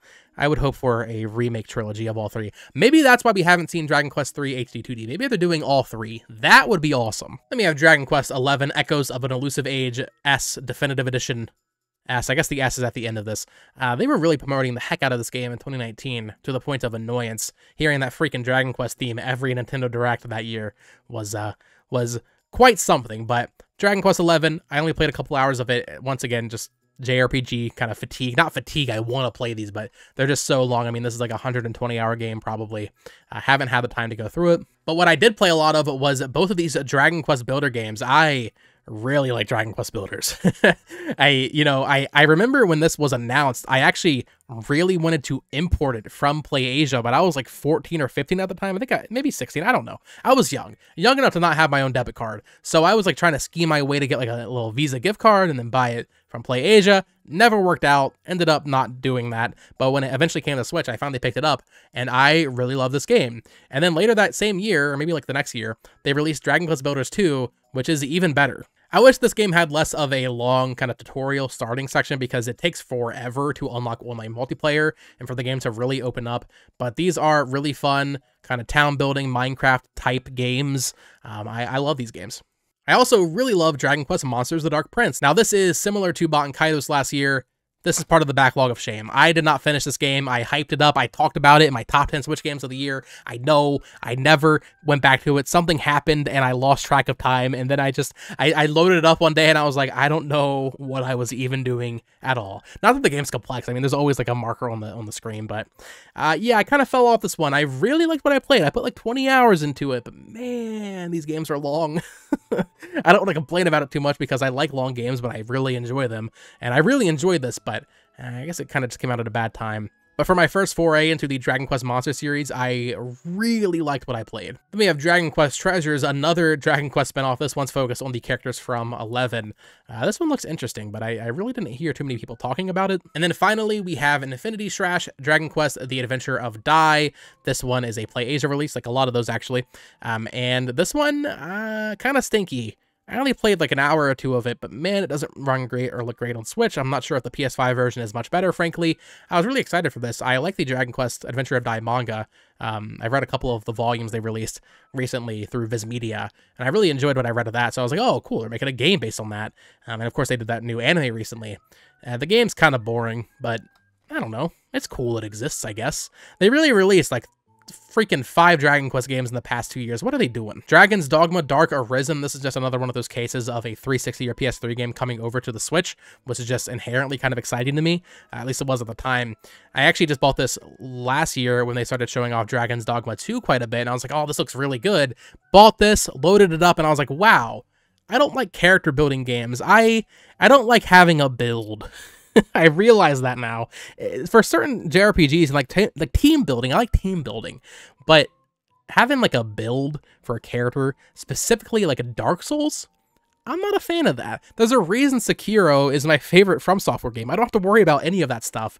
And Dragon's Dogma is all about building that character out, um, and like you know, stat allocation. I'm good with like, you know, simple oh, this armor does this, this armor does this, you know, get your hand warmers, get your leg warmers, those do different things. But uh, when you have to like, when you're doing all these different stats and stuff and you're like, you're fully on your own when it comes to what type of character you want to play, I get a little overwhelmed, I'll admit it. Dynasty Warriors 9 Empires. I love the Warriors games. We haven't seen any of them up to this point, I don't think, but I, I really like Warriors games. Uh, haven't played like an actual Dynasty Warriors game in a long time, but um, you know, I love the the anime tie-in ones I do. I love the Nintendo tie-in ones. I played a lot of I think Dynasty Warriors 5 Empires on 360 when I was younger. My brother had bought it and I, I really enjoyed that. So I've always wanted to go back and play like an actual Dynasty Warriors game again. But when they release so many of the anime tie-in ones, I kind of get my fill just through that. The End is Nigh. This is a cool one. This is from one half of the original team that made Super Meat Boy. Not as good as Super Meat Boy. Not even close. Um, as well as, I think, Tyler Glaiel. They're making that Mewgenics game now. Of course, Binding of Isaac creator as well. So, uh, cool. I like I like that guy. I like I like the developers. Uh, End, End is Nigh is a fun game nowhere near as good as Super Meat Boy, but it wasn't trying to be Super Meat Boy. It's just another type of uh, 2D platformer with a cute little little little guy down there. Ender Lilies Quietus of the Night. This game is really good so far. I actually just started it after they announced Ender Magnolia. I had had the physical copy for a while now, um, but yeah, I, I, I started it after that Nintendo Direct where they announced the sequel. Only a couple hours in, but this game is awesome. Really cool story and like lore going on. Really cool combat where you play as this little girl, but she has like these spirits defending her, um, and it's a Metroidvania, so pretty much checks every box and what makes a game interesting and fun to me. I'm really enjoying this one so far. Espgaluda 2. This is a shmup that limited run released. I have a couple of shmups from them. Shmups are a genre, or shoot 'em ups are a genre of games that like I don't really have that much experience in, so I kind of just started buying some of them because I was like, I want to, I want to learn more about this. I guess I should get the, uh, I think Konami has a like arcade collection of games that has a lot of shmups on it. These are more like bullet hell esque, I guess. Not not so casual. You know, you can't just jump into this without already being good. Maybe I'm not sure if I'm just talking on my ass right now, but this one popped up on limited run when I was making another order for something else at the time. So I was like, okay, I'll check out this eventually. Ever forward, I got swindled into buying this game at PAX West. not swindled. Uh, the game looks cool. I don't really know much about it, but uh, it was ten dollars at PAX West. They were like, hey, if you buy this, we'll get like a free steelbook, and I was like, okay, and, and then I bought it. Thanks, thanks PM Studios. Fashion Dreamer, this is the spiritual successor to Style Savvy from Syn Sophia. Really intrigued by the fact that Nintendo did not publish this game, but uh, it's more style savvy. You dress up girls and make them look pretty. It's style savvy. Here we have the two Fatal Frame games that came out on the Switch, Fatal Frame Mask of the Lunar Eclipse, as well as Fatal Frame Maiden of Blackwater. This is the Wii U one. Still, still need to get this on Wii U. Uh, definitely definitely one I'm still missing over there. Uh, always wanted to play these games. Super cool that they got releases, even if they weren't in uh, uh, North America. As you can see, neither of these have the ESRB, but uh, yeah, really cool to have these games on Switch. And once again, more more Koei Tecmo stuff for the uh, the Koei Tecmo set. Here we have a couple of Fate games. I am so out of my depth when it comes to Fate. These were recent pickups. VGP reprinted them. Fate Extella, the Umbral Star, I, I, had actually bought this game back in 2017, I think, maybe, yeah, maybe 2018, early 2018. This is a Warriors clone. Um, I bought it because there wasn't really much that coming out on the Switch at that time, and I was like, oh, I want to try some more uh, games I haven't really experienced before on the Switch. So I bought Fate Extella, the Umbral Star. It is it just, like I said, it kind of pretty much just a Warriors game, but but worse. Maybe it wasn't really my place to buy it, because if you're a fan of Fate, you're inherently going to already be attached to these characters and stuff, so maybe it wasn't really a game I should have bought at the time. And then this one was also just restocked Fate Extella Link. I think this is a different type of game. I'm not not too positive. And now we get to the Final Fantasy game. So as you can see here, I have two copies of the Final Fantasy Pixel Remaster. This one I'm not going to open it up. You can see it, this is the, this is the real copy. this is this is the special edition. I, I will show that when we get to all that stuff. But this is the special edition for Final Fantasy Pixel Remaster on the Switch. This one's still sealed. Like I said, not going to open it up. Don't need to bother with that. Uh, I did buy the uh, Play Asia uh, kind of world release they did here with no ESRB just to have a copy to play and put into my Switch. Uh, played through Final Fantasy 2, 1 and 2 for the first time last year. Really enjoyed 2. I, 2 gets so much hate online. I thought that game was awesome. Like, that's one of my favorite NES games now. And then I played like half of three, and then I kind of got lost, and then I stopped playing it, had that whole thing happen again, and then I went back to it, and I was like, I have no idea what I was doing. So I'll probably just have to restart three eventually. Maybe I'll just play the uh, the DS version, because I think I got the idea, right? I, I, think I played enough of three in this Pixel Remaster format, so maybe I'll just go play the, the DS remake. And then, yeah, I was playing through them in order. I know I need to get to four and six specifically, really just those SNES games. Those are the ones people always talk about, but I didn't want to skip the earlier games. Crisis Core Final Fantasy VII Reunion. Played this one on PS5, but a fantastic remake. They tried to like really temper expectations that it wasn't a remake. I guess because of the weird messaging of FF7 remake, which isn't really a remake, it's like a reimagining. This is more of a remake than a remaster because it uses most of the assets from FF7 remake. And I mean, it, just looks way better than the PSP version. They redid the voice acting and stuff too, which I think some people had some issue with, but this is my first time playing uh, Crisis Core, and I love this game. Then alongside FF7 Crisis Core, we have the FF7 Twin Pack with 7 and 8 remastered. Uh, I've played through 7, haven't never finished it, but I played it a lot as a kid. Never touched 8. So Final Fantasy, here's the thing, right? I am the I'm a JRPG guy, but I haven't played a lot of Final Fantasy, which is why I was playing through 1 and 2 last year, played a lot of 16, got super into 14. Like I'm trying to get back in and like really round myself out when it comes to Final Fantasy specifically over the past couple years. I played through 13, played through 15. Um so I played a lot at this point, but I haven't played a lot of the classics, so I haven't played 8. Still need to do that. And also, before we continue, just want to say, how cool is it that this this even has a physical release on the Switch at all, um, alongside Final Fantasy IX, which, once again, I haven't played. They did this weird thing here where you have to hold it like this to, to view the image. I don't know why they did that. Um, I don't think either of these have physical releases on PS4. I think 8 has a standalone one on PS4, but um, yeah, the Switch is the only place you can get 1 through 1 through 10 physically and then of course 12 is physical no 13 on switch yet but uh yeah this is this is awesome to me then we have final fantasy 10 and 10 2 uh never finished 10 but i, I really liked what i played of it. I played it on ps3 way back in the day. And then final fantasy 12 the zodiac age i started this one and i was i was into the vibes. I like the main character but yeah just never continued it. Let me get to some of the more weird spin-offs. I think I actually am going to put Chocobo GP in this section when I recategorize these on the shelf because it's a Final Fantasy game. But we have World of Final Fantasy Maxima. This one always looked super cute to me back when it came out on PS4, I think in 2016. I think it was it was announced when they announced 7 Remake, I think actually. Yeah, wasn't it? And um it's one of those games where I think at this point I could probably play it and like get it because I've played enough Final Fantasy now.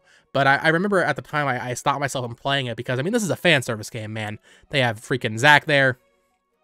I think that's uh, Firion from FF2. Like, there's, or maybe it's just the Warrior of Light. I can't, I'm not, I'm not too positive. But either way, this is a fan service game with a lot of characters from every game in the series. Probably shouldn't play it without playing some more uh, mainline games. Maybe I could do so now, but I'd rather allocate that time to playing through 8 or 9 finally. And here's one of my favorites from 2023, Theatrhythm Final Bar Line.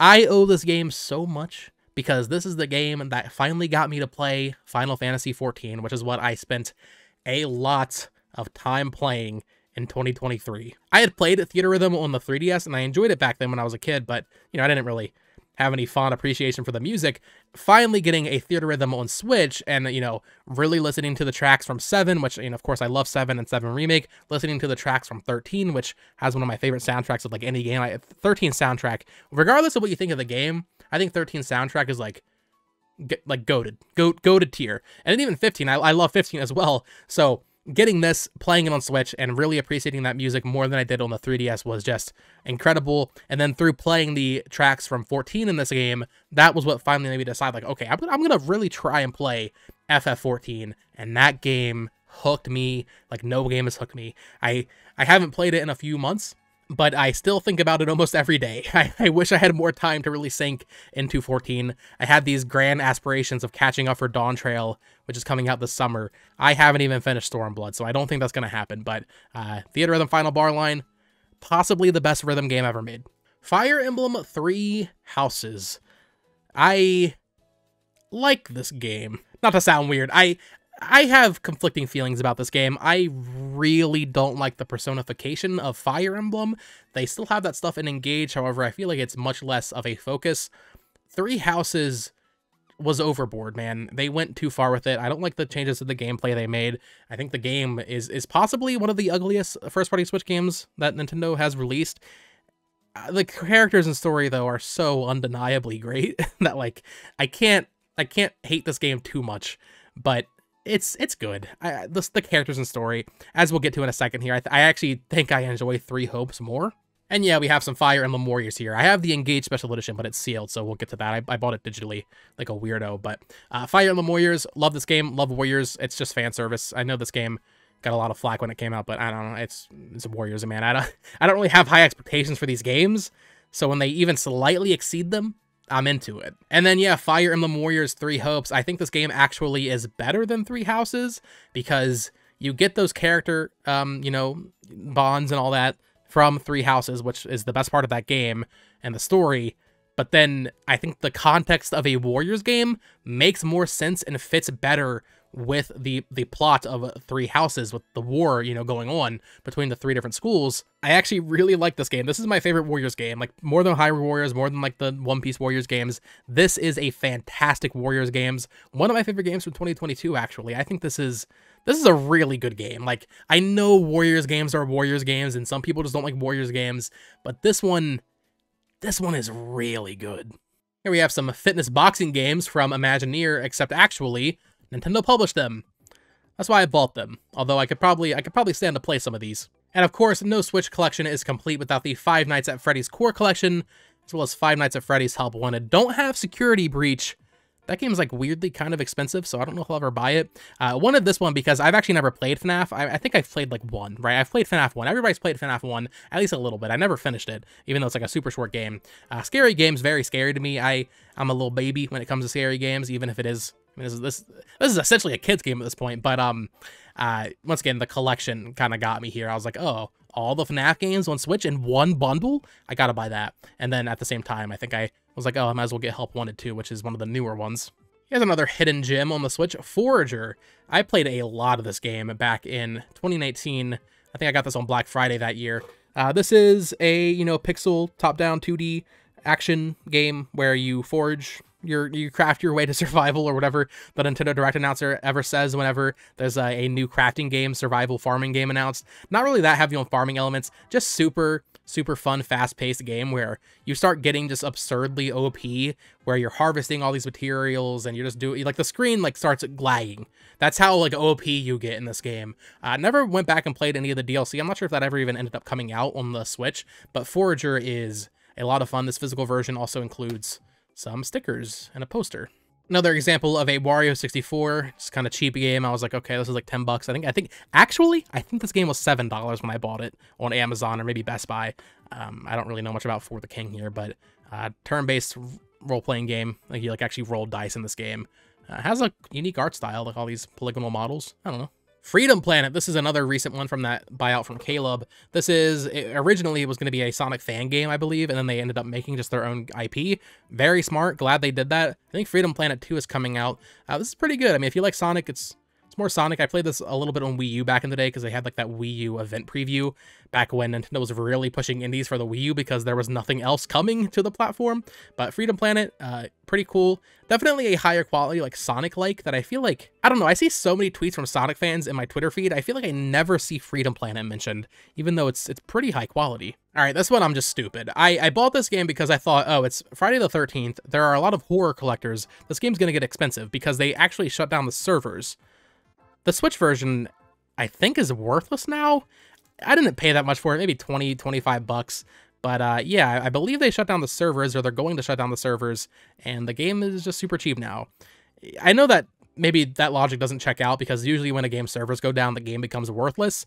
But specifically being Friday the 13th, specifically being a Switch game that would be going out of print, I was kind of that was some predictive buying that ended up not going too well for me. Um, I don't really like these Dead by Daylight type of games where one player has you know they play as uh, the the monster in this case Jason, and then there's like a squad of uh, you know high schoolers or whatever running around. It's it's the Dragon Ball the Breakers gameplay. I, I really don't like this type of game.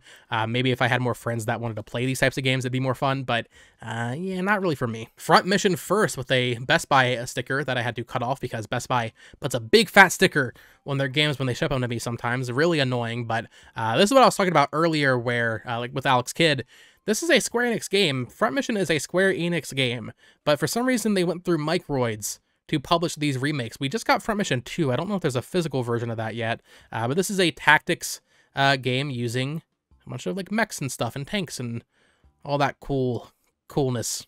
Here's one I always wanted to check out back in like those early Switch days, Fury Definitive Edition. I believe this is just like a, a just a boss rush game. Like this is just bosses. You are just fighting really cool, really awesomely designed bosses in this game. Always look super cool, super flashy. So I wanted to check it out eventually. Gal Guardians Demon Purge. Uh, this was an Inti Creates game. So um, once again, big big fan of Blaster Master and Azure Striker Gunvolt and stuff.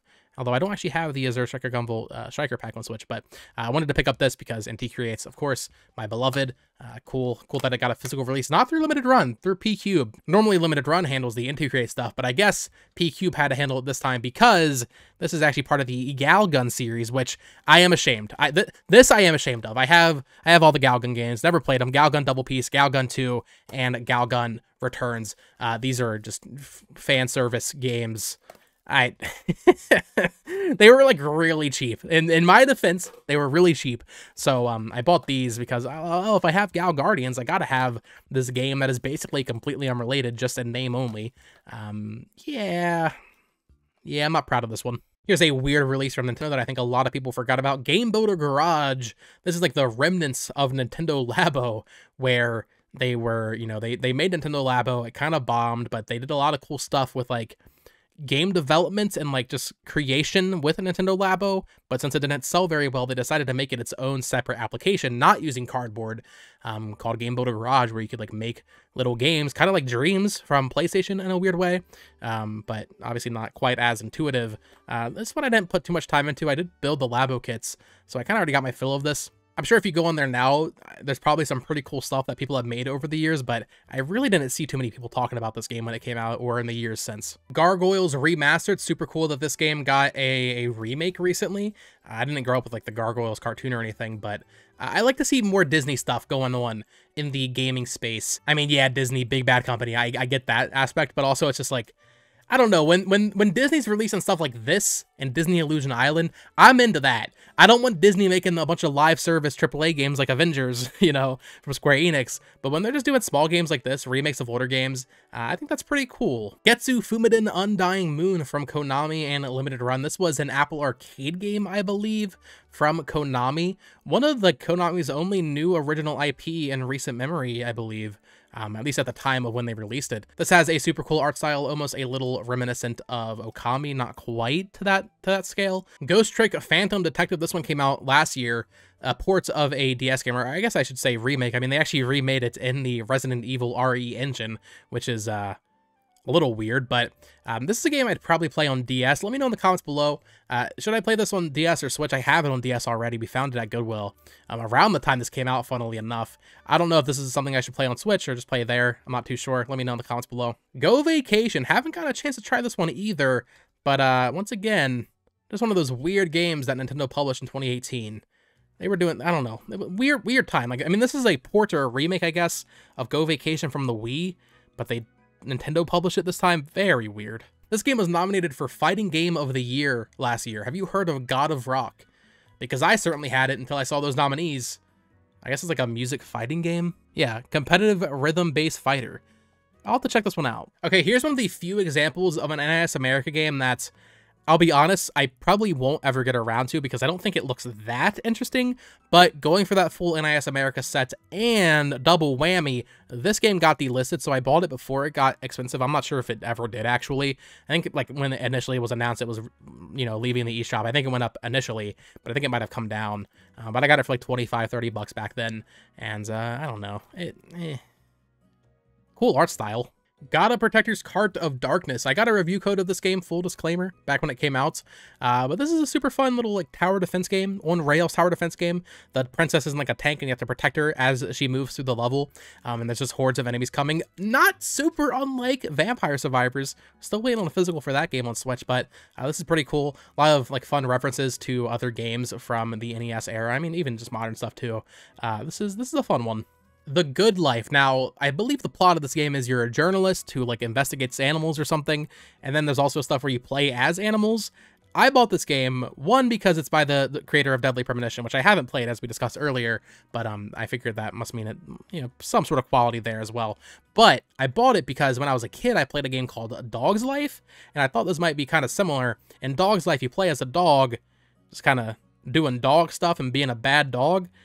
I figured this might be somewhat similar where you play as animals, just doing doing animal stuff. Grand Theft Auto the trilogy. So when I was a kid, I played a lot of San Andreas as well as GTA 4.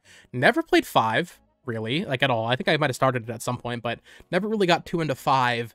And then never played 3 or Vice City. So San Andreas and, and 4 are my most played GTA games. But even then, it's not like I ever finished them. I, I was the kid that would freaking follow the road road laws. You know, I would, I would I would practice driving in GTA 4 on 360 back in the day. But happy to have this collection on Switch. I know when it came out, it was super bad. I think they fixed up a lot of the issues, although it still it still looks a little funky. I played a decent amount of GTA 3 on here, and I don't really like what they did with the graphics in this collection. But hey, it's cool to have them on Switch. I would prefer these games get a proper remake, I think. I think these games, like, GTA is such a, a prominent IP. I think Rockstar should at least pay a competent developer to port them, but really remake them. These games deserve full-on remakes, in my opinion, and they would make so much money doing that. But I guess, I mean, this sold a lot anyway, so I guess they didn't really need to. I don't know. Here we have a Grim Grimoire once more from NIS America. This is like a real-time strategy game. Looks super, super neat. Love the art style. I guess it's a remake. I'm not too familiar with this like series, if it's even a series. I mean, once more implies it's a remake, but I'm not familiar with it. Here we have two more games from my beloved Inti Creates, the Gunvolt Chronicles games, Luminous Avenger 9 and 9-2. Isn't 9, I mean, that's the Roman numeral for 9, but like, is it pronounced that way in the game? I'm not too sure. And then we have Azure Striker Gunvolt 3 with that as well from Inti Creates. Haven't played this one yet. Played the first two Gunvolt games.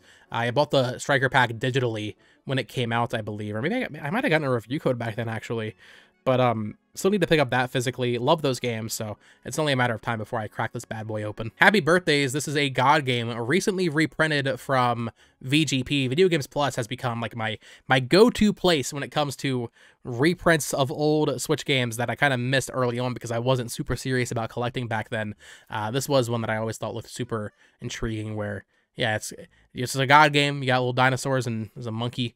Um, this one looks super cool. Might have to have a counter for how many times I say a game looks super cool in this video. Except I won't do that because that would take way too long to edit. Here's Harvestella. This game looks super cool. So yeah, here's Harvestella. This game looked really intriguing to me. I haven't gotten a chance to play it, but um, it got really good reviews.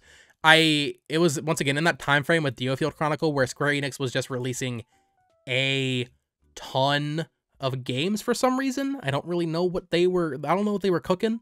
I mean, they were cooking good games, but man, they should have paced those out a little bit better because this game got good reviews, but I didn't hear anybody talking about it. It's a dungeon action RPG game, but it has those those life sim kind of crop farming elements that you would expect from a, a Stardew Valley or a, a Story of Seasons game, but mixed with the the RPG combats of a Square Enix game. So really weird release timing on this one. I think they could have had it breathe a little bit more if it wasn't released in the holiday. I feel like that would have been good for it. But either way, I hope to get to this one eventually. Has Been Heroes. This is a March 2017 banger right here from Frozenbyte, the developers of the Trine series. I played a lot of this game back then.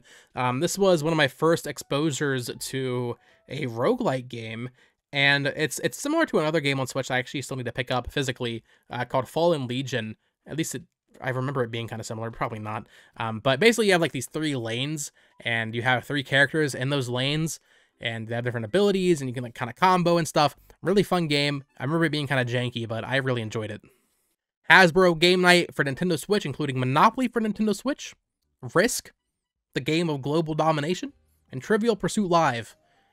I mean, it's just a board game pack. Can't really go wrong with this. Monopoly is always fun. I actually really like Risk. I don't think I've tried Trivial Pursuit on here yet. A Hat in Time. This was like one of those big deal retro revival 3D platformers back in like 2016, 2017. I think it was kickstarted. Was this kickstarted for Wii U? I feel like it might have been.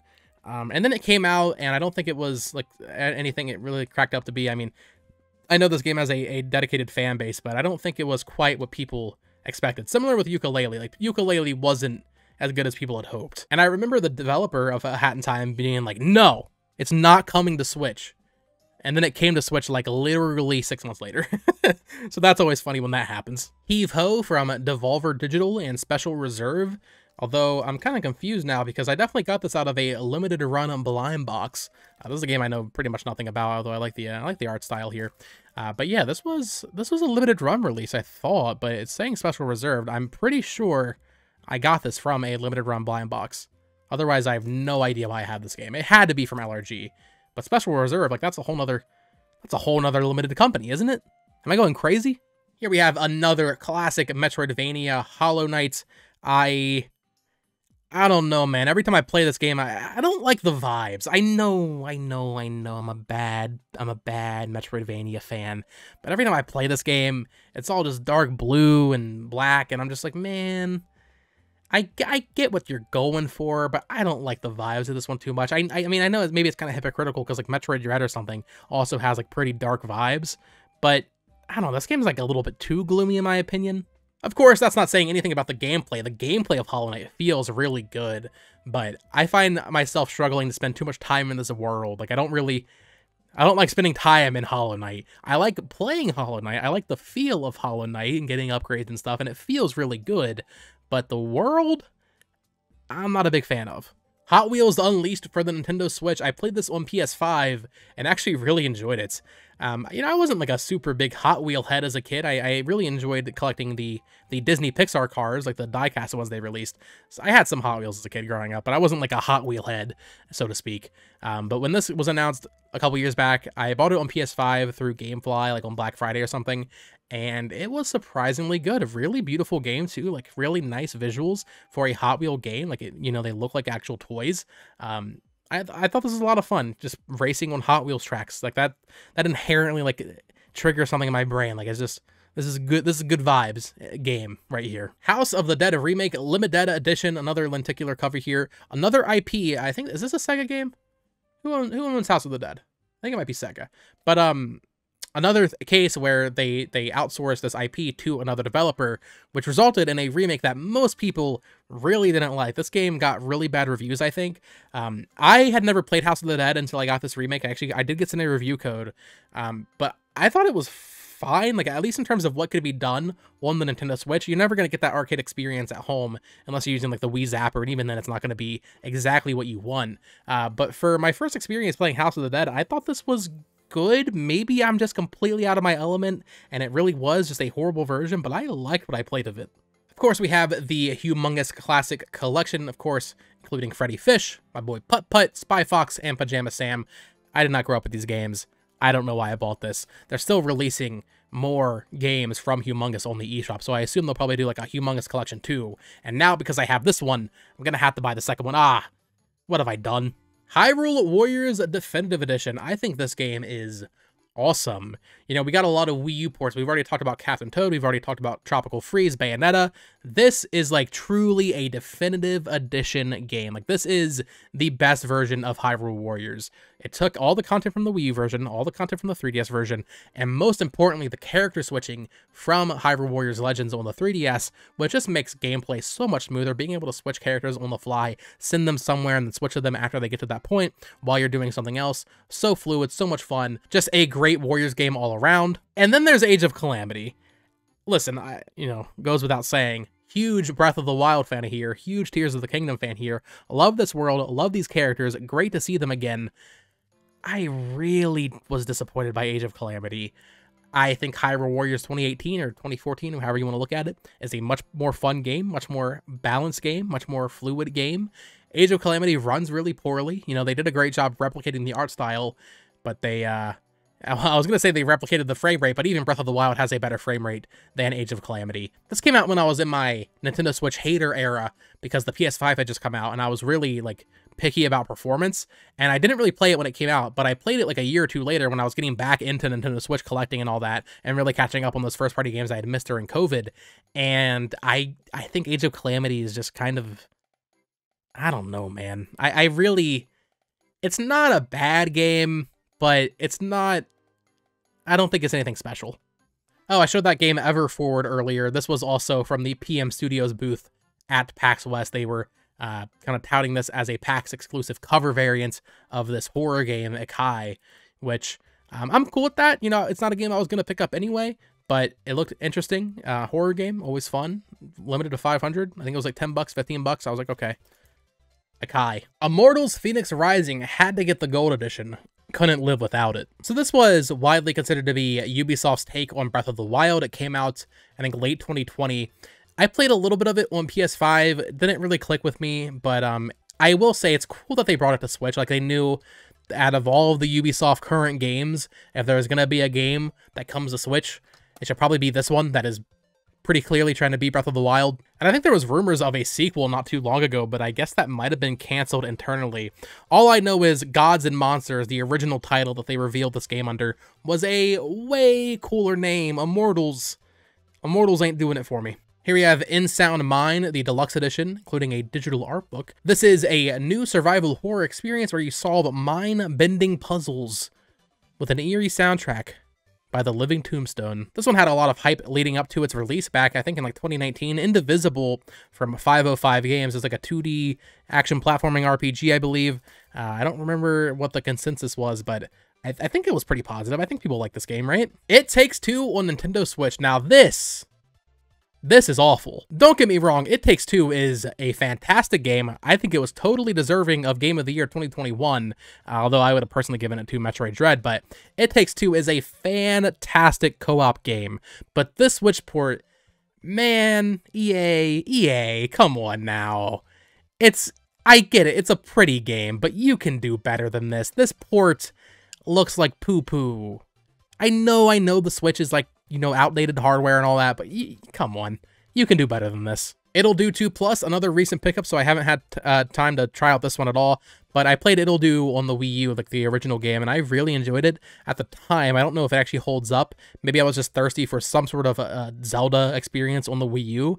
When Wind Waker wasn't, you know, satisfying that itch, there was no 2D Zelda games on Wii U that were new anyway. So at the time, Ittle Dew 1 really kind of satisfied my hunger for a Zelda game. Not sure if Ittle Dew 2 was good, not sure if the game ever was actually good, but um, this one does have a ton of little inserts and stuff, which is always nice. JoJo's Bizarre Adventure All-Star Battle R. I recently got into JoJo's like late last year, or maybe maybe it was the year before. Wow, it's been a long time. I haven't really been keeping up with manga recently. I need to really get on my game again. I used to be reading, you know, pretty much everything in Weekly Jump weekly as it was coming out. I'm not even caught up on One Piece right now. I know I'm I'm doing terrible, but I read through part 1 of JoJo's and I really enjoyed it. But I think you know, despite how much I actually really like the art style of the manga, I think I'm gonna, you know, reset and watch through the anime with my girlfriend. I think that'd be the better JoJo's experience. Um, and then of course there was this game, which is just a a port or a remake, I guess, of a PS3 JoJo's game. But then they also added more uh, season pass content, which I'm always cool with. Um, if it's a really good fighting game from the PS3 era and they bring it back and just do more DLC, I'm cool with that. So Jump Force came out a couple years ago, and it kind of got a lot of hate. Like there was a lot of hype for this game initially, despite the art style. It's like, oh, they're they're finally making a big budget uh, Shonen Jump crossover, as if they hadn't already done that. I don't know why Jump Force specifically had like a lot of hype behind it because they had already made J Star Victory Versus Plus or whatever. But either way, Jump Stars had a lot of hype behind it. It came out. I thought it was fine. I I played a lot of it on PS4. Um, I didn't finish it, but I did do all of the online trophies before the servers went down. But you know, the art style just god awful. I, I don't know why they keep trying to do this. I just just stop. It's not good. But what I find really egregious about the Switch version specifically, I believe this came out in August of 2021. I want to say. I'm not sure where the date would be on the back of here, but it came out quite a while after the uh, the PS4 and Xbox versions of Jump Force, they shut down the servers like not even a full year later. So like when they ported this to Switch and released it, they had to have already known the servers were shutting down. My theory is that there must be another Jump crossover game releasing because like the game sold very well. This game was not a bomb. Do not let the the critic score and like the consensus now uh, cloud your judgment. This game was very popular. It sold very very well. Enough to the point where I think they did two season passes for it. So I don't know why they shut down the servers. Once again, maybe they're just doing another game soon, but I think it's pretty pretty shady to release this on Switch and then shut down the servers not even a full year later. I really don't think that's okay. Here we have Katamari Damacy Reroll and We Heart Katamari Reroll plus Royal Reverie. Katamari is kind of similar to Monkey Ball for me in that I always thought the series looked really fun, and then I played it, and I wasn't really vibing with it all that much. Uh, I definitely have played more Monkey Ball to really make that statement, like feel a little bit more concrete than Katamari Damacy. I haven't finished reroll, so I got to do that. I think there's a co-op mode, so I think that'd be fun to play through uh, with a friend or something. But um, then it, I, the controls, man, the controls were really giving me a lot of tr trouble. Maybe I'm just dumb. Yes, I am. Uh, but the controls, I need to get used to the controls, and then I think I'll be fine with Katamari Damacy. But I love the idea of just rolling up a ton of little items until you become super big. Now, I don't have it on Switch, but Donut County, kind of like the inverse where you're putting stuff into a hole and the hole gets bigger and bigger. Uh, super, super big fan of that game, so definitely need to give these another shot soon. Killer Queen Black, this was, I, I, remember it was like a really big deal when it got announced for Switch in 2018 at E3. Just a super fun arcade game. Kingdom New Lands and Kingdom Majestic, some of my favorite indie games of all time. I remember I played and reviewed New Lands back in 2017 on the Switch, and I really enjoyed what I played of it, but quite frankly, I didn't really get that deep in it. You know, I wasn't really playing through several runs in a row of Kingdom New Lands, but when Kingdom 2 Crowns came out on the Switch later on, I downloaded that when I had like first moved out of my parents' house, and this game was like my therapy. I would come home from work and I was, you know, living on my own, and I was like, man, I need to play some Kingdom 2 Crowns. And I remember, I think it was my first weekend off after moving out from my house and, you know, living my own. My first weekend off, I think I played Kingdom 2 Crowns for 24 hours straight. Like I I I freaking no lifed Kingdom 2 Crowns. Such a fun RTS game for someone that doesn't play that many RTSs, at least not the traditional kind on PC, like Total War and stuff, and Age of Empires. Like, you know, I like Pikmin. That's not really what you think of when you think of an RTS. Kingdom is not what you think of when you think of an RTS either, but it is such a fun little management RTS game where you're you're just going left and right, gathering little resources, having your workers chop down trees and stuff. At nighttime, the greed come and they attack your base. Such a fun game. Cannot recommend it enough. Really love it. They did just release that Kingdom 80s game, which I, I feel like maybe they tried to get the Stranger Things license or something and then they couldn't do it. Um, kind of disappointing, quite frankly. They didn't really add enough to it, in my opinion. But Kingdom, once again, cannot recommend it enough. One of my favorite indie games of all time. Here we have some Kirby games. So we have Kirby Star Allies. I... When I played this in 2018, I was still on my Kirby hater era. At some point, something clicked with me, and I mean, I know what that point was. It was Forgotten Land, but at some point, uh, something clicked in me, and I became a Kirby enjoyer. So I went back and played Star Allies again, and I was like, huh, you know, this is still probably the worst modern Kirby game, but I enjoyed it. I enjoyed it on the second run through. That first run through though, back in 2018 when I was still in my Kirby Kirby hater era, I uh, I didn't really enjoy it. But playing through it again, I, I did enjoy it. And then when Forgotten Land came out in 2022, I mean, that was what really did it for me. That's when I truly like I finally got it. And I, I know that might sound weird because it's just a stupid little Kirby game. Like, there's 2D Kirby games. They're such basic games. What do you mean you didn't get it before? But there was something that clicked in me when I played Forgotten Land co-op with my girlfriend, and then I went back and played Triple Deluxe, I played Planet Robobot, and then, of course, just last year we got Return to Dreamland Deluxe. I love Kirby games. Like they're they're so much fun when you don't take it seriously. When you're not thinking like, oh, instead of getting this game this month, we're getting Kirby from Nintendo again. There's always all these Kirby games coming out instead of like, oh, not F Zero or whatever. When you just take it at face value and you, you just trying to let yourself enjoy Kirby, Kirby is like the most enjoyable Nintendo IP of all time. Return to Dreamland Deluxe was freaking incredible, and of course, so was Forgotten Land. I cannot wait to see what HAL does next in terms of a new 2D Kirby game, but also for that sequel to Forgotten Land. I know they're cooking it. They got to be cooking it. I cannot wait to see what they do with the next Kirby game. I know we'll probably get some random cooking spin-off or you know some random party game or something but but even those over the years I've learned to really enjoy. So yeah Kirby in the Switch era that this is when I became a bona fide Kirby fan and uh, I am so happy to be able to say that because there are so many Kirby games that I've gone back to and I have enjoyed in the years since. Feels good man. This one I could have sworn was an Inti Creates game the first time I saw it. We have a Kumaljou Remilia Scarlet Symphony. I just butchered that first word there. Uh, this is a Castlevania style game. It is a Touhou game. Um, I'm not too familiar with the Touhou project. I know it's like some fan sourced games, but then they just keep making a bunch of them. I think it started as like a shmup, but then there's just a ton of stuff. But this is a really good looking um, kind of 2D Castlevania game, and I, I thought it looked really cool, so I bought it. Labyrinth of Refrain, as well as Labyrinth of Galleria from NIS America. This one recently got a reprint through VGP, so happy to have it. Uh, these are more akin to like an Etrian Odyssey, I believe, from NIS America, but um, of course, going for that NIS America set, had to get these. The Last Worker, this is another one of those Wario 64 pickups. I don't, I, I know, I, I'll be honest. I know literally nothing about this game, so let's learn about it. The Last Worker is an immersive narrative adventure centered around a lone worker's last stand in an increasingly automated world.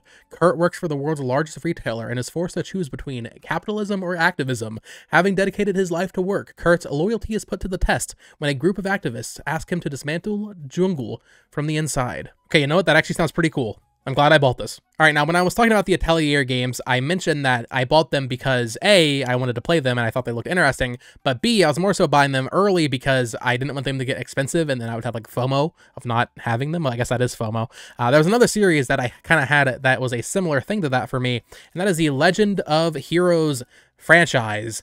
I am waiting. I am not going to start with Trails of Cold Steel 3. I refuse. They ported 1 and 2 to Switch in Japan, but because it was a different publisher, we haven't gotten those games in America. But even beyond that, I'm not really going to start with Cold Steel either. I know people say you can kind of start anywhere. I want to start with Sky. Xenoblade is my favorite franchise, or at least one of my favorite franchises, as I mentioned earlier. And I have been recommended Legend of Heroes so much. Like, I know, I know I'm going to like the series, but I'm waiting for more remakes and ports of the first games so I can start from the beginning and really go through all of them. And hey, I have plenty of time. I, I can wait. I, I am fine with waiting to play all these games because, frankly, it's going to take me a, hundred years to get through them all anyway because there are so many. Um, so I've been buying them as they come out in the hopes that one day they bring those older games to Switch. If not, I guess eventually I'll break down and play them on PSP, or I think they're on Steam. You know, if it really comes to it. But I, I, I have a feeling they'll come to Switch eventually. So we have Legend of Heroes: Trails of Cold Steel 3. We have Trails of Cold Steel 4, Legend of Heroes Trails from Zero. I think people said in my comments one time that I could start here, but Eh, I want to start with Sky. Legend of Heroes Trails to Azure, Legend of Heroes Trails into Reverie, and Legend of Nayuta Boundless Trails. So yeah, that's that's a lot of Legend of Heroes games, and I haven't even started a single one, but I I know I'm going to like the series when I get to it eventually, just waiting for those older games to come over. But now we get to talk about another legendary series here, The Legend of Zelda Breath of the Wild. I actually have two copies of it. This one came with the um, the Explorer's Guide edition, so it doesn't have the ESRB. So I have two copies of this. Actually, I have three copies of this, but we'll, we'll get to that one later. Breath of the Wild, I'm not sure how much there is that needs to be said that hasn't already been said about this game. What a monumental moment for the Legend of Zelda series. As someone who grew up with Ocarina of Time and, you know, I was playing Zelda 1 and Zelda 2 and A Link to the Past as a kid and Minish Cap, as someone who appreciates those older games, I mean, Wind Waker is probably still my favorite Zelda game. Breath of the Wild is so freaking good, dude. Such a breath of fresh air, pun intended. Like I I replayed it last year before Tears of the Kingdom came out, and it still held up. You know, there's never going to be that experience like playing it for the first time, but playing it again after all those years, after forgetting some of the shrines and kind of the world layout, it it really holds up. It's not just that first time experience that makes it special. It is a special game no matter when you play it, how often you play it. It is just a really, really great game. And then you have Tears of the Kingdom, which for some reason people just absolutely hate. I've been pretty vocal about this, but I don't really get the idea that you can not like Tears of the Kingdom, but like Breath of the Wild. You can like Breath of the Wild more from like a personal, more subjective perspective because that first experience, you know, that hype leading up to the Switch and actually getting it after all those years, that was a big moment. And Tears of the Kingdom is more of the same, but in, in my opinion, it's more of the same, just better in every way. The dungeons are better, the world map's better, the, the music's better, the bosses are better, the abilities are better. Like every aspect of this game, in my opinion, is better than Breath of the Wild. So while it maybe didn't have the impact that Breath of the Wild had, it's just a better game. I freaking adore Tears of the Kingdom. I also really love Link's Awakening. This was a remake that I wasn't really expecting back in 2019, and having got this, I would have expected more 2D remakes of Zelda games on the Switch, but that just has not happened. So I hope we get the Oracle games or Minish Cap or something in the near future, but Link's Awakening remake, an absolute gem back in 2019. Once again, that 2019 momentum with Astral Chain and Fire Emblem and Daemon X Machina and all that. Like Link's Awakening, released on the same day as the Switch Lights. Um, just a really great remake. I know there were some performance issues, but it was really only that one area for me, in like the swamp. Um, but otherwise, I think I played through this twice. Like I, I really enjoyed this game. Did not like the uh, the Dampé stuff where you have to like build your little dungeon. Did not enjoy that at all. I don't think they needed to add that, but really great game. And then finally, we have The Legend of Zelda Skyward Sword HD. Now, Skyward Sword has a lot of sentimental value to me because it was one of the first games I had ever pre-ordered uh, back when I was younger. I, I think the, fir- the first game I ever pre-ordered was Pokemon Black. Uh, Skyward Sword would have been the second. And I, I remember when GameStop release day, I think it was like November 11th, 2011 or something like that. I remember picking up that Wiimote bundle with the gold Wiimotes. At some point I sold that because I'm a big I'm a big dummy and I really regret doing that. But Skyward Sword was the first major Zelda game I got on release on my own and it was just such a magical time. I never finished it because I was young. I mean, I would have been 11 when this game came out originally. So I never finished it, even though I really enjoyed it because I think I got stuck doing some of the um the teardrop stuff. I can't remember what they call it, but like you know when you have to go through an area and you have to like get all the little little gems while you're running from the the scary guards. I can't remember what that entire section's called. I'm sorry, but um I think I got stuck doing that when I was a kid. So having this HD version and finally getting to roll credits for the first time on Skyward Sword was just an awesome time.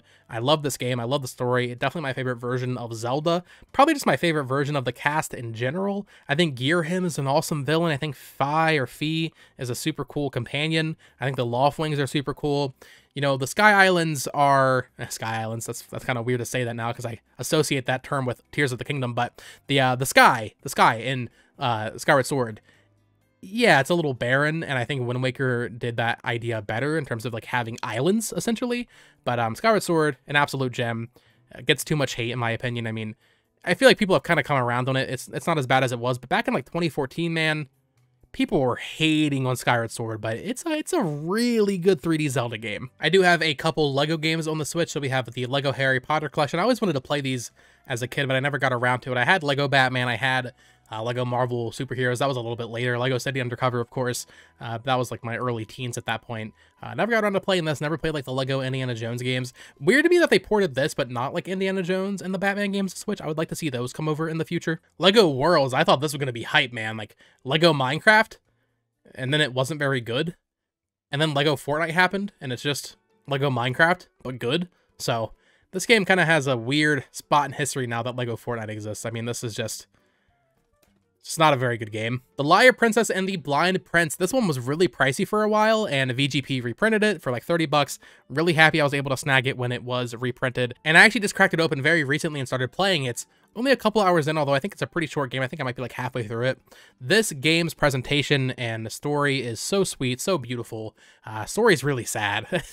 and, you know, if you if you don't want a sad story, man, maybe maybe not for you, but really touching story. I would love to see this adapted into an anime or something because the art style and you know the, the story, like I said, is so great, but the gameplay, the gameplay is not very good. It's it kind of feels like a flash game almost.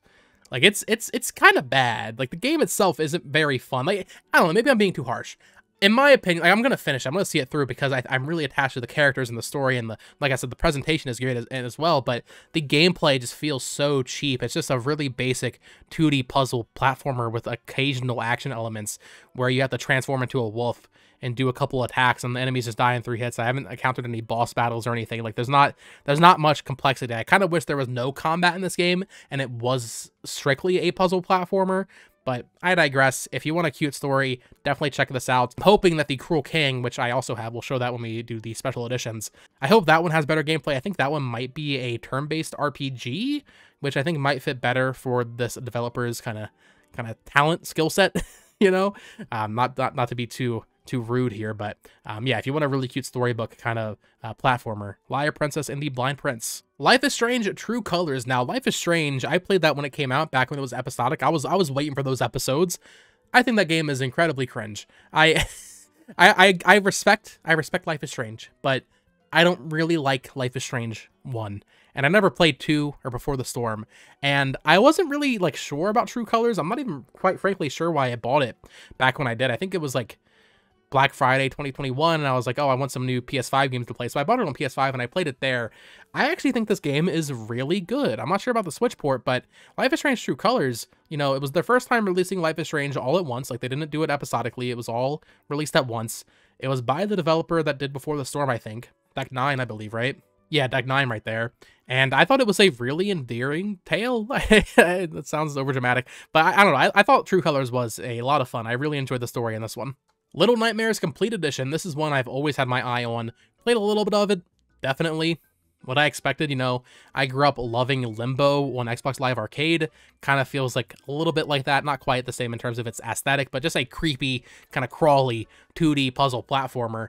Um, definitely lived up to the hype from what I played. Need to finish it, do the little uh, DLC, and then play Little Nightmares 2 because Little Nightmares 3 is coming out very soon. This game also had like the weird Pacu mask, the Pac-Man amiibo support on Switch. Why'd they do that? Alright, now this was exciting. Live Alive. This was a remake of a Super Famicom game that had never gotten localized in North America. This came out back in 2022 from Square Enix. They remade it in the HD 2D art style from Octopath, and I thought it was okay. I think this game is fine. I I really like the idea of having all these different stories. I think it's eight characters in this game, right? I really like the idea of having eight stories that kind of interconnect. Kind of sounds like Octopath. Octopath doesn't do it quite right either, in my opinion.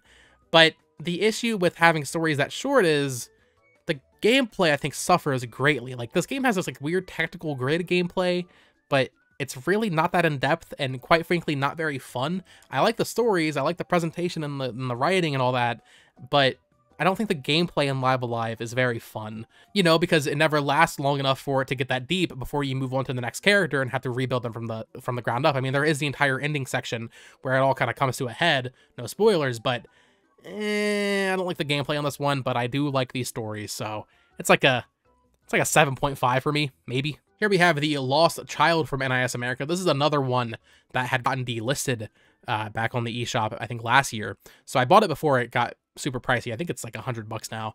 Um, this is their their SMT game, right? This is their Shin Megami Tensei, if you will. I believe is what it is. I remember seeing this one, I think, on the Vita, I want to say, back in those days, and I thought it looked super interesting there, so I always wanted to play it, but who knows if I'll ever make the time for it. Luigi's Mansion 3. Man, this was an exciting game. Now, if you aren't aware, Luigi's Mansion 1 is my favorite game of all time, at least from like the nostalgic perspective. I'm not sure if it's like oh, it's my favorite game of all time because I think it's the greatest game ever made. No, I don't think Luigi's Mansion 1 is the greatest game ever made. But I really love that game. I, I have a very special place in my heart for the original Luigi's Mansion game. And Dark Moon on the 3DS, I think, is not very good. I really don't like Luigi's Mansion 2 that much. So when LM3 was announced, I was very excited because I wanted an HD Luigi's Mansion game, but I was also very scared because I, I mean, we knew immediately that it was being made by Next Level, who had made Dark Moon, and I didn't really trust them with Luigi's Mansion, but, you know, I'll take this, like, middle ground we got, where they added more unique kind of boss ghosts on each floor of the hotel, but also still have, like, the, the more lighter atmosphere, we'll say, of Dark Moon in this game, it's not quite what I want, but I still think this is a really great Switch game. One of the best for sure. One of the best looking Switch games from Nintendo itself, absolutely. I just hope we uh, eventually one day get a Luigi's Mansion game that is more like the original. I know that'll probably never happen. If we can get a remake of that on Switch in HD or something, that'd be great for me too. I, I, I would be happy at that point. You can make however many Luigi's Mansion games that are like Dark Moon as you want. Just give me a full remake of LM1 where you don't mess up the, the dust particles. Please, please, Nintendo. But yeah, Luigi's Mansion 3 is great. I don't want to discredit it at all. I just, I'm just a grumpy old man and I want Luigi's Mansion 1 again. Mario Kart 8 Deluxe. Mario Kart 8 Deluxe plus downloadable content, Mario Kart 8 Deluxe Booster Course Pass featuring the Mario Kart 8 Deluxe Booster Course Pass for the Mario Kart 8 Deluxe game. Uh, yeah.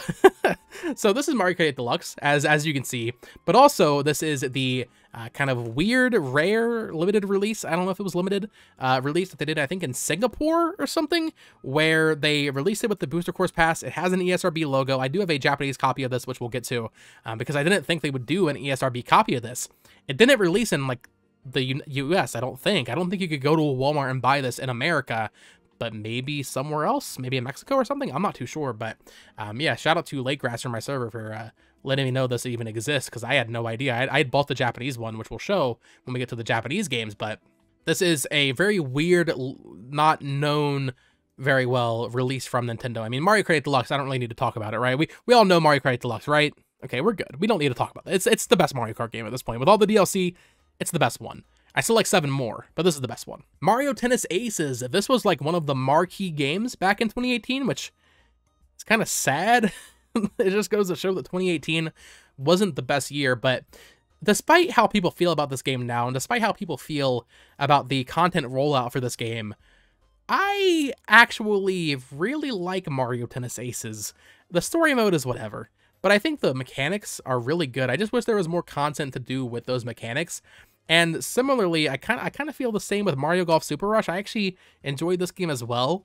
I guess what I learned about myself during the Switch generation, as we get as we will get to when we talk about Nintendo Switch Sports, I kind of like sports games a lot. Not like Madden or FIFA, but when Nintendo has their spin on a sports game, I'm kind of into it. I definitely like Tennis Aces more than Super Rush, but even Super Rush, despite its horrible story mode, I I had a good time with it. Like it's a it's like a 6.57 out of 10, but like I enjoyed that that 6.57 out of 10 more than I would other 6.5 out of 10s. Like, I don't know, I don't know if that makes sense, but I I enjoyed my time with it. And then Tennis Aces, I think, is actually a genuinely pretty good Mario Tennis game. Um, although I don't have the uh, I, have never played Power Tennis on the on the GameCube, so I, I don't know. Maybe it actually got way worse, but uh, it's certainly a major step up from Ultra Smash. And then Mario Strikers Battle League. This game is just bad. I mean, is it is it bad? Is it just lacking content? I'm not really sure. Uh, frankly, I didn't play it that much because there wasn't much to do with it. If you're not playing online, you're just kind of wasting time in this game, and I didn't really want to play it online. Uh, yeah, this game desperately needed some story mode content or something to keep me engaged and it didn't have that, so I kind of just fell off it pretty quick. Here we have the newest release for this video at the time of recording, Mario vs. Donkey Kong. Already played through it, still have to do the uh, the expert levels, but uh, this is my first time playing this this version of this game, or well, this version, yeah, obviously. But this is my first time playing Mario vs. Donkey Kong. I never played it on the original Game Boy Advance. Um, I've played Tipping Stars, I played the 3DS eShop Mario and Donkey Kong game, and I enjoyed those games, but this is a completely different style of game, and I really enjoyed it. I don't know if I necessarily like it more than what we've gotten in in future installments. I in fact I think I actually don't. I think I prefer the Lemming style, which I know might be crazy to some people, but I think they can coexist. I think this can coexist with Tipping Stars. I know that might sound crazy, but I enjoyed it. I enjoyed it for sure. I, I hope we get, you know, more sequels like this. I wouldn't be surprised if we get a sequel to this that is in the same gameplay style.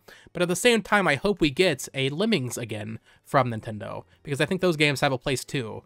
I know there was a lot of them in a pretty quick time frame. Like there, you know, there wasn't much time to breathe in between all of those Mario versus DK games we got on the 3DS and Wii U and even on the DS. But um, I hope we get more of those too. Mario and Sonic at the Olympic Games. I think these games are not too good. Mario plus Rabbids Kingdom Battle, as well as Mario plus Rabbids Sparks of Hope, kind of talk about these together. So I, I played and actually 100%ed Kingdom Battle. I did all the DK Adventure DLC. Freaking love that game. Sparks of Hope, I played it like maybe 10 or 15 hours of and just kind of fell off. Didn't finish it. It's probably a better game, right? Like, I think Sparks of Hope is probably a better Mario plus Rabbids game, but the context of 2017, I guess this is kind of like the Tears of the Kingdom argument. The context of Mario plus Rabbids in 2017 with the release of the Switch and just how hype it was that we were getting this like new weird Mario spinoff, like it was a different time and I really enjoyed it back then. Sparks of Hope kind of came out at a pretty bad time where Bayonetta was coming out and Scarlet and Violet were coming out and Splatoon 3 came out. Like, it was kind of sandwiched in between all of these other games where, as Mario Plus Rabbids in August 2017, like, there was nothing else around it except for Pokkén Tournament Deluxe which is another Wii U port. So um, Sparks of Hope, I think, is probably a better game, but Mario plus Rabbids Kingdom Battle definitely hit better for me. Marvel Ultimate Alliance 3 The Black Order. This is one of the weirdest games Nintendo has chosen to revive and publish for the Nintendo Switch. I really enjoy this game. I never played the original Ultimate Alliance games on 360 or I guess on PS2 as well, right? Um, I never played those, but I enjoyed this. I know it's kind of like that, you know, stinky Switch performance, and frankly, this game probably should have been on everything, but I guess it wouldn't have existed if not for Nintendo to begin with, so eh. But um, I enjoyed it as a, you know, this was when I was really getting into the MCU, or at least I was already caught up at this point, right? Like I caught up before Infinity War, which was 2018, but um, I guess this was like peak MCU right after Endgame, which is crazy to think that Endgame was almost five years ago. But um, yeah, this is a fun online multiplayer co-op, uh, kind of just Marvel beat 'em up game. It's fun. I like it. All right, here we have a whole lot of Mega Man. So Mega Man Legacy Collection 1 and 2, just picked this up as well as a couple of these other collections. I love classic Mega Man. I've only beaten like the first four, played a lot of 5 and 6, but never finished them. And then 7 through 10, I just have not touched at all. So I definitely need to do that. But Mega Man 2 and 3, I adore those games. I, I really, really love 2 in particular. Then I also recently picked up the Mega Man X Legacy Collection 1 and 2. Uh, Mega Man X, I need to give another shot because I remember playing it when I was younger and thinking, wow, I, I, I hear so much hype for this game, and I'm playing it, and I see it's higher quality than the classic NES Mega Man games, but I'm not enjoying it as much. Uh, maybe that's just me, but I kind of I kind of really just like classic NES Mega Man. Maybe I need to give these another shot, like I said, but uh, of course had to get this for the collection. Then we also have the Mega Man Zero slash ZX Legacy Collection. Haven't tried any of these games, but I believe Inti Creates made them, so I'll probably like them. Then we have Mega Man 11. This game came out, did pretty well, and then they just didn't make Mega Man 12. like I feel like I feel like that should have happened by now. Maybe it's maybe it's cooking, but I think the uh, the Mega Man like main producer guy, he well not not Keiji Inafune, but the main person behind Mega Man 11, I'm pretty sure he left Capcom because uh, Keiji Inafune was already gone at that point. But maybe we'll get Mega Man 12 one day. This game sold well. I think they said if it sold well, they would make another one. So I don't know what's going on with that. And then finally, the Mega Man Battle Network Legacy Collection. Always wanted to try out these games. Um, there's so many games in this collection. I mean, this is all of them, right? Except for like the Star Force games, which are technically a different series. I mean, this is a lot of Battle Network to play. So uh, definitely a lot to chew on. Another legacy collection of sorts, the Metal Gear Solid Master Collection Volume 1. Just cracked this open the other day to start playing the original Metal Gear uh, on NES, and uh, I mean it's an NES game. Uh, it didn't have the, the you know super high expectations for it, but I mean it's Metal Gear, it's fine. And I also loaded up a little bit of Metal Gear Solid. Really great voice acting. I, I I really get what people mean when they say like, wow, Metal Gear Solid was like their first realization that video games can be more than just 2D platformers that are pretty basic and don't have much story. Um, need to play through more of it, but um, yeah, someone who didn't grow up with these games, happy to have this and eventually play through all of them. Although I'll probably just play one and two and then play the remake of three that's coming out. And then from there, I mean, I imagine they'll probably do a, a based on volume one here, I imagine they'll do a collection two that includes, uh, you know, Guns of the Patriots and uh, Peace Walker and all that. So I'll be waiting for that. Metroid Dread. This is one of my most hated games in my collection. It's one of my favorite Switch games. Like, Metroid Dread is fantastic. It's my favorite Metroid game. I love, love, love Metroid Dread. But I bought the special edition of this game, and it only came with the Steelbook. In my opinion, if you're going to sell a special edition, you should include the Steelbook, if you're going to include that, and the regular case. I think the steelbook should be an extra thing, not the main thing when it doesn't have any text on the spine. I hate this. It's such a sore thumb on my shelf. But Metroid Dread, you know, regardless of the the special edition uh, steelbook case here, Metroid Dread is my favorite Metroid game ever. Right next to Fusion, I think this game is incredible. Cannot recommend it enough if you like 2D Metroidvanias. It is it is top tier. MercurySteam absolutely cooked with this one. And then we have Metroid Prime Remastered, which undeniably is a fantastic remaster. However, I have tried to play Metroid Prime my entire life. Back when I was like seven years old on the Wii, I remember trying to play Metroid Prime 3. My brother had it. Then I, I had Metroid Prime 1 and 2 on GameCube, tried to play them, didn't really like it. And I have tried it on and off throughout the years because it's always considered, you know, one of the best Nintendo games. I think it is right up there with Tears of the Kingdom and Mario 64 and Ocarina of Time as like the highest reviewed Nintendo game I don't get it. I don't get it. I this is a good game. Like I think this is like a solid 7.5 out of 10. I think Metroid Prime is is good, not great. It's it's it's fine. The remaster that Retro did for this game is really good. They did a great job bringing this game to the Switch and making it look really good. It's one of the best looking Switch games. There's so much wrong with this game. It feels slow, the shooting's not fun, the combat's not fun. The bosses are pretty good, but the backtracking is too much. I don't know, man. I guess I had different expectations of what a 3D Metroid would be because I played all the 2D Metroids first, and especially MercurySteam's 2D Metroid games, those games are designed to be played fast. Like they want you to play those games fast. But even even Super Metroid, you play pretty fast, right? Or at least I always have. I played these games pretty quickly. Metroid Prime is just so slow, and I guess that's fine. It's just a different type of game, but I don't think it's for me. And I mean that's fine. I, will happily support these games so we get more Metroid, but 2D Metroid, that is my jam. I will I will stay in my lane and I'll play 2 and 3 when they get ported eventually and I'll play 4 of course. And I think 4 with more modern sensibilities will probably be something I really enjoy. And I know saying that I just have like a hit list on me now. Like people are going to come at me in the comments, but I've made my thoughts on Metroid Prime very clear. I don't want to hate on it too much. I think it is a good game. It's just not it's not all it's cracked up to be. Here we have another Inti Creates banger, Mighty Gunvolt Burst. You know, the first time I played this back in 2017, I wasn't super into it, but I came back to it a couple years later, and um, there's a lot of cool aspects of this game. You have to, like, customize your character with, like, different, like, chips or something, and I don't know, there's a lot of different playable characters. It's just another kind of 2D Mega Man game.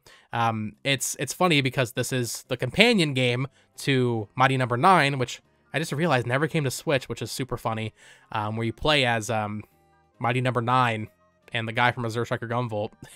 but I guess Inti Creates really is the company that people go to when they need a companion game because they made this for Mighty Number no. 9. They made uh, Curse of the Moon for Bloodstained. Like, they make these smaller games that actually end up being better than the main game. That's kind of funny to think about. Miitopia, now this is one I really wanted to play on the 3DS, but at that point, the 3DS was like already old and stinky, and like the Switch was new in 2017 when this came out in America, so never played it on 3DS, or I think I might have played the demo or something, but uh, waited for the Switch release, and I mean, I wasn't expecting a Switch release, but it kind of just happened that way, and I really like this game. It's not Tomodachi Life. It is no Tomodachi Life. Let's make that very clear. This is not a replacement for Tomodachi Life, but it kind of scratched that itch. It's a lot of fun just putting your friends and family and stuff into a me RPG and have them say heinous things, um, and also like celebrities and other video game characters and stuff. Like, there's a lot of fun to be had in Miitopia. The gameplay itself, not the greatest. I mean, it's a pretty basic uh, RPG. I think I was using auto battle for a lot of it because the game's like, I mean, it's not like a hard game or anything. You can kind of just breeze through it. But for what it is, I'm glad they brought this to the Switch. They added that super awesome like Mii Maker to the game where you can like really go crazy with the designs of your Mii's in this game. And uh, yeah, I'm glad they brought this to Switch. We got Minecraft on Nintendo Switch.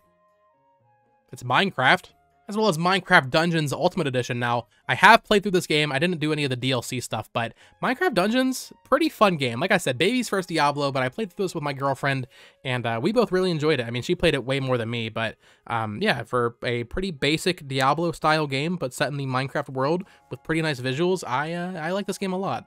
And then we have Minecraft Legends, which, in my opinion, just... Why? I don't think Minecraft needed an RTS. I played a little bit of it, didn't run well on Switch at all, turned it off, didn't really look back. And I will say right now, because I'm sure I'll get comments being like, wow, you have such a big collection, what else are you trying to get?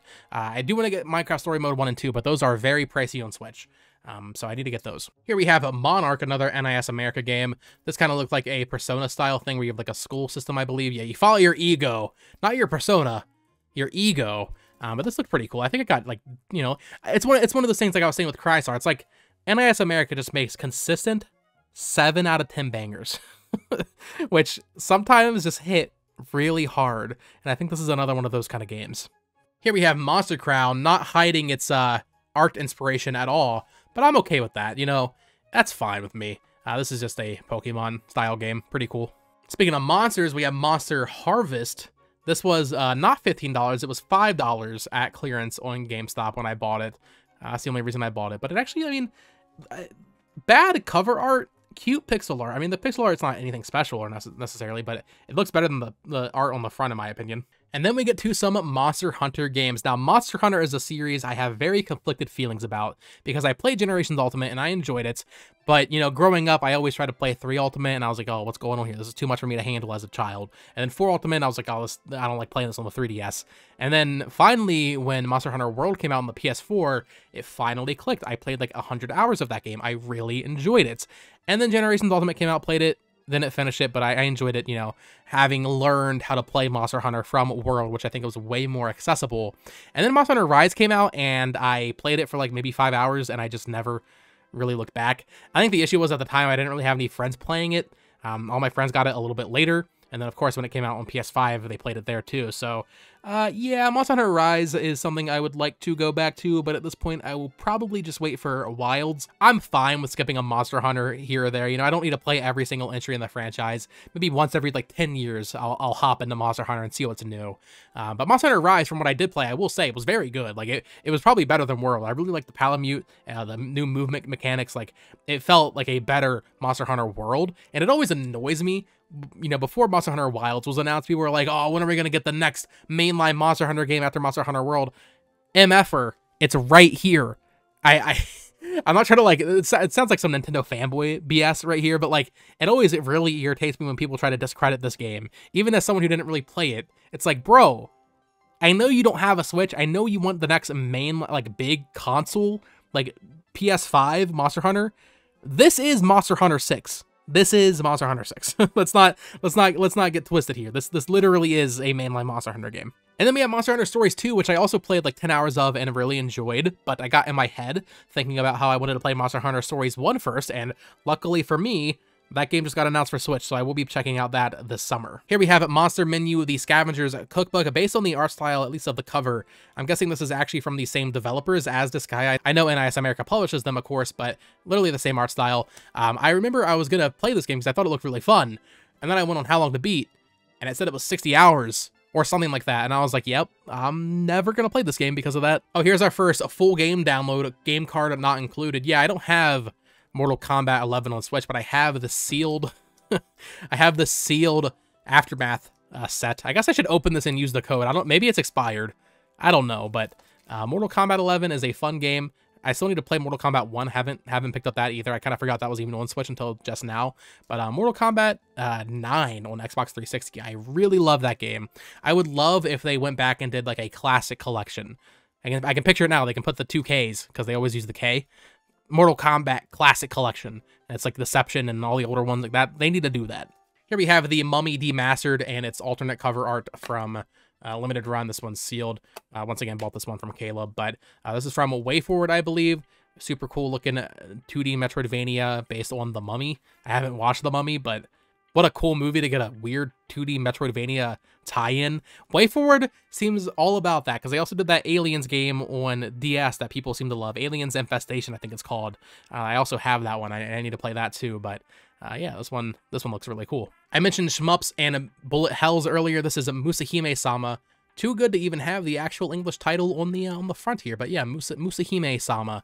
Another another bullet hell game here. I bought this at PAX West last year. Thought it looked super neat. Here we have the Mutant Mudds collection. They've released this with a couple different cover arts, I believe.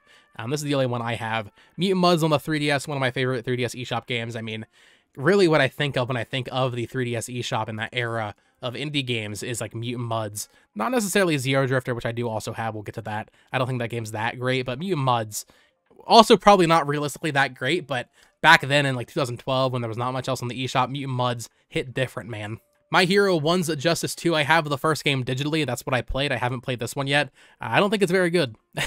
I also don't think My Hero Academia is that good. I, I mean, I'm caught up on it. It's it's fine. I, I don't want to be too harsh on My Hero here for any My Hero fans watching this video.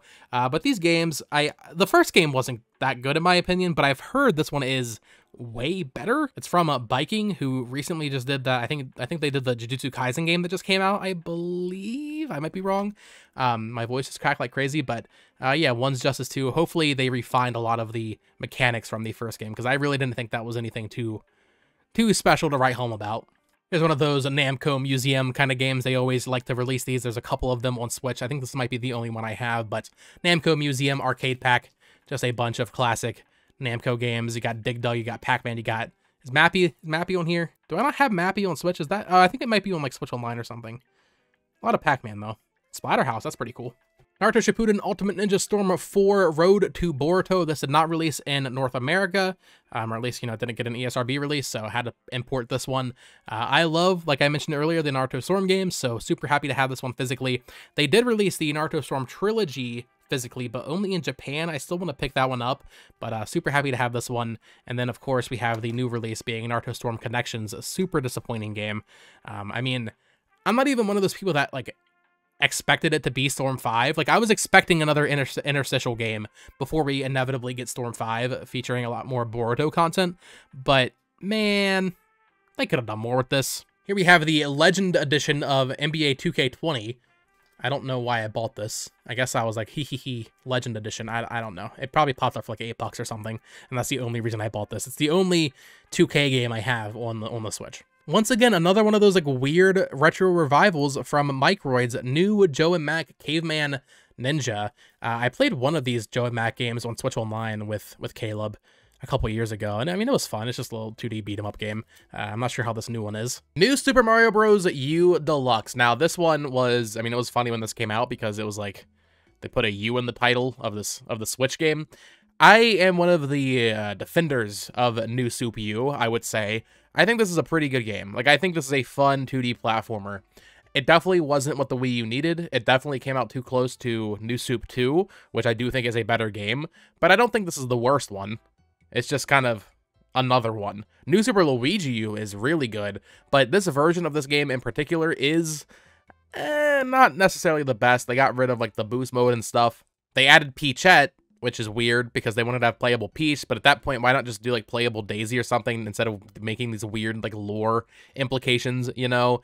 And then they also made it so, yeah, one player has to play as Nabbit, who is invincible essentially. So if you're playing with four players, one player is, you know, essentially just invincible, which makes it less fun for them. It's, uh, I mean, you know, it's not the greatest port. In fact, I would say this is one of the weaker ones that they did it from the Wii U to the Switch, but it gets the job done. I'm glad they brought it over once again. I mean, I think most most Wii U games should come over, even if the port is a little jank. Um, but eh, it's pretty good. New Tales from the Borderlands. I need to put this with B, I think. I'm going to put this with the uh, the rest of the Borderlands games now that I have that Legendary Collection. I played Tales from the Borderlands back when it came out, and it's fine. You know, it's a, it's a fun game. But I bought this, and I was like, oh, I'm, I'm going to get back into the Borderlands universe. They got that movie coming out now. I mean, that was unrelated because that was announced later, but they got that movie coming out now. Maybe I'll get back into it. I don't know if I have the interest anymore. I, I mean, this game kind of came and went. It really just like snuck up. They announced it like two months before it came out, and then it came out, and I don't think really, I don't think really anybody cared about this game, which is weird because Tales from the Borderlands was like one of the premier Telltale games back in the day. Like that was one of the highest reviewed, and then this came out and no one cared. Ni no Kuni 2 Revenant Kingdom. I still want to get the first game on Switch, which is the only one I've played. I enjoyed what I played of it on the PS3 back in the day. Uh, I've heard the sequel isn't as good, but still it's something where uh, Level 5, Bandai Namco, it's Ni no Kuni, which is a series I know I've played and enjoyed, at least to some extent. I'm going to pick these up on Switch. Nickelodeon All-Star Brawl Ultimate Edition. I actually got the Platinum Trophy for this game over on PlayStation 5.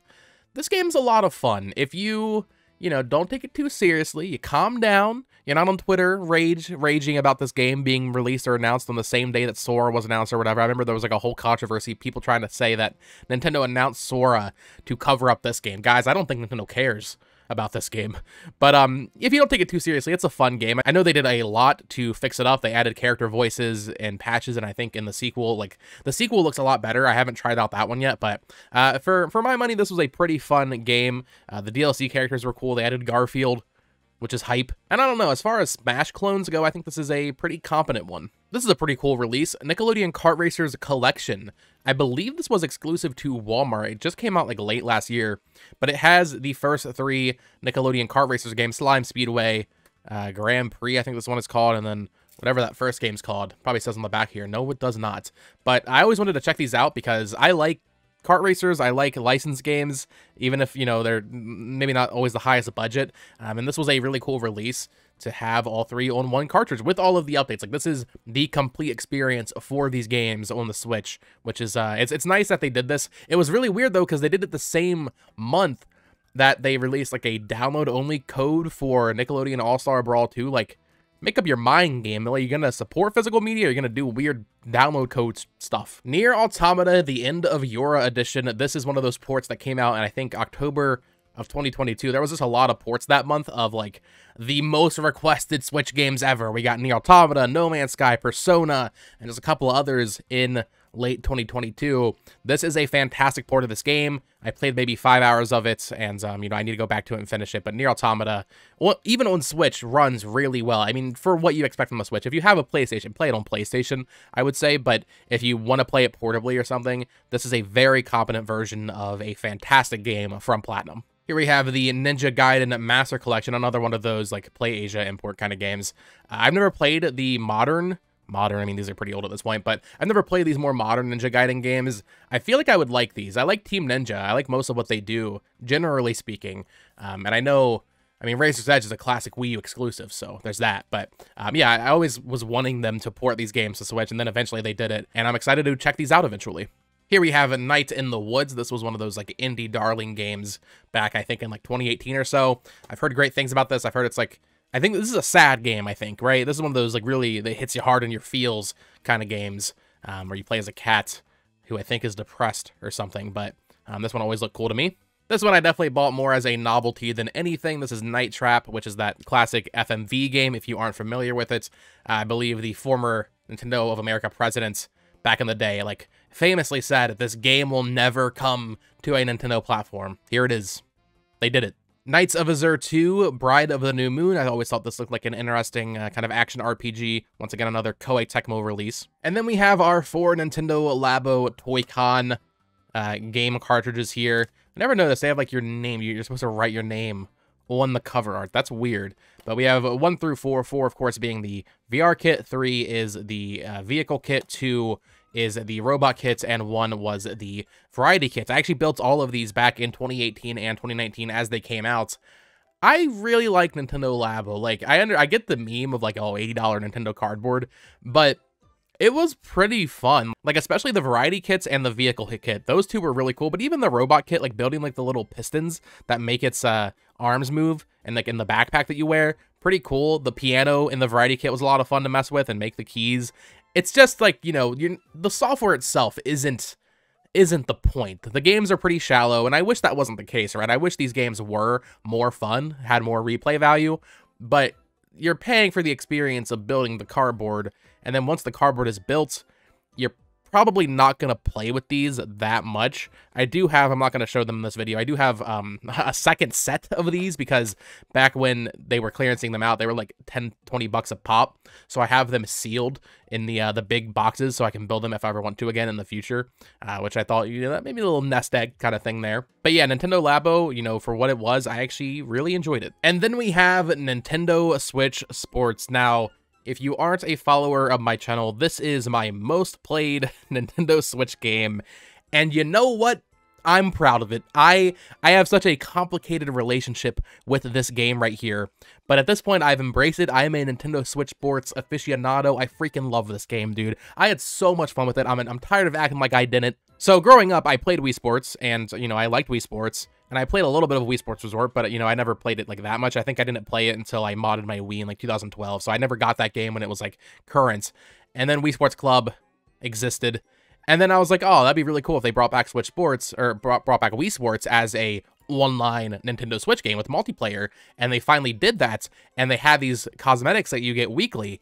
And something clicked in me in those first couple of weeks of this game coming out. I remember I streamed it, getting the cosmetics every week, Eventually, I developed a deep FOMO of not wanting to miss a single cosmetic in this game, so I played it every single week for a full year. They, they supported it weekly with new content for a full year. At launch, this game was bare bones, and a lot of the stuff that they offered as weekly cosmetics certainly should have been just in the base game.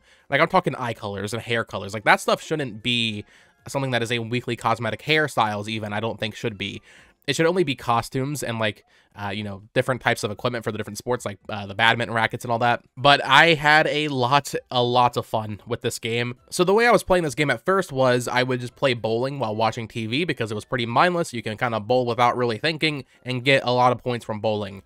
So I pretty much spent maybe 120 hours playing bowling, but then right before content support for this game ended, they actually added gold cosmetics for each sport, meaning I had to get, I think it was A rank or maybe, maybe it was S rank. I think it might have just been S rank straight up. You had to get S rank in each sport to get that gold cosmetic. And I was like, well, I'm not going to chicken out of getting every cosmetic in this game, which made me really deeply learn and appreciate every sport. Um, volleyball, which, you know, at first I hated, I ended up really enjoying, even though you're so reliant on your teammate in that mode, which is really dumb. Golf, which I've never, ever been good at a golf game. I persevered and I ended up getting like, you know, like hole in ones, uh, birdies, that kind of thing. I'm so glad they added those gold cosmetics at the end because it made me have a deeper appreciation and understanding of Switch Sports. I really hope they come back with a sequel, a Switch Sports Resort that is even better because I, I see the complaints with this game. I understand why people don't like it. If you don't like it because of the Sportsmates, I think that's kind of silly. I think they are better than Miis. But uh, yeah, I, I, definitely think there should be more content in the next one. Here we have No Man's Sky. This was a very late port to the Switch. Actually, it came out around the same time as NieR Automata. This is one of those games I was talking about there. Uh, this is another pretty impressive port. Like, they were doing pretty good with third-party games that month on the Switch. Um, I mean, yeah, it came, what, eight years after No Man's Sky originally released, or no, six years. I think it came out in 2016. So yeah, six years after No Man's Sky originally came out on the PS4. And, you know, we waited and we got a better version because No Man's Sky was uh, not complete when it released, but they've added so much. Hello Games has done a lot to make this game what they advertised back in 2015 and 2016. And this is a pretty competent port on the Switch, has that full multiplayer, has a ton of all the different like modes and like the base building and then you can do I mean it has everything, right? I think they've continued to update this version of the game with the others, I believe. Um, but even still, like I mean this was this was a really good port of this game in my opinion. Here we have some No More Heroes games. So we have No More Heroes 1. I believe this is the Best Buy variant. No More Heroes 2, another Best Buy variant. No More Heroes 3, and then Travis Strikes Again, No More Heroes. Now, the only two I've played are No More Heroes and Travis Strikes Again. Travis Strikes Again was my first No More Heroes game. Probably not the best place to start because I don't think this game is all that great, honestly. I kind of have like a, another, you know, another kind of Switch Sports situation here. I kind of have a, a, deeper appreciation of this game now that I've gone back and played through an actual No More Heroes game. Like, I, I get what uh, Suda51 was going for with this, but I think if it had released after No More Heroes 3, maybe that would have been received a little bit better. But yeah, No More Heroes I played for the first time when it came to Switch, and I freaking, I love this game. I still haven't played 2 or 3, um, and I've heard those are, you know, maybe hit or miss, kind of maybe not better necessarily, maybe not worse necessarily than the first game, but I really like No More Heroes. I love the characters, I love the world and the gameplay, so I'm really excited to eventually get to 2 and then 3. 3 had some incredible trailers. I remember that Game Awards 2019 trailer for this game where it's like animated and I I got really excited because I thought they were, Nintendo was announcing some crazy new like alien IP, but then it was just No More Heroes, which is really cool. Like it's a great trailer for this game, but um yeah, I, I think about that trailer pretty often. They had they did they they cooked with, with that animation. Octopath Traveler. Now, this is one I played the prologue demo for back when that came out, I think in 2017. So that's pretty much my the extent of my experience with Octopath. I've loaded it up a couple times. I think I started with um, what's his name, Olberic, and then in the prologue demo I played as uh, Primrose, I believe her name is.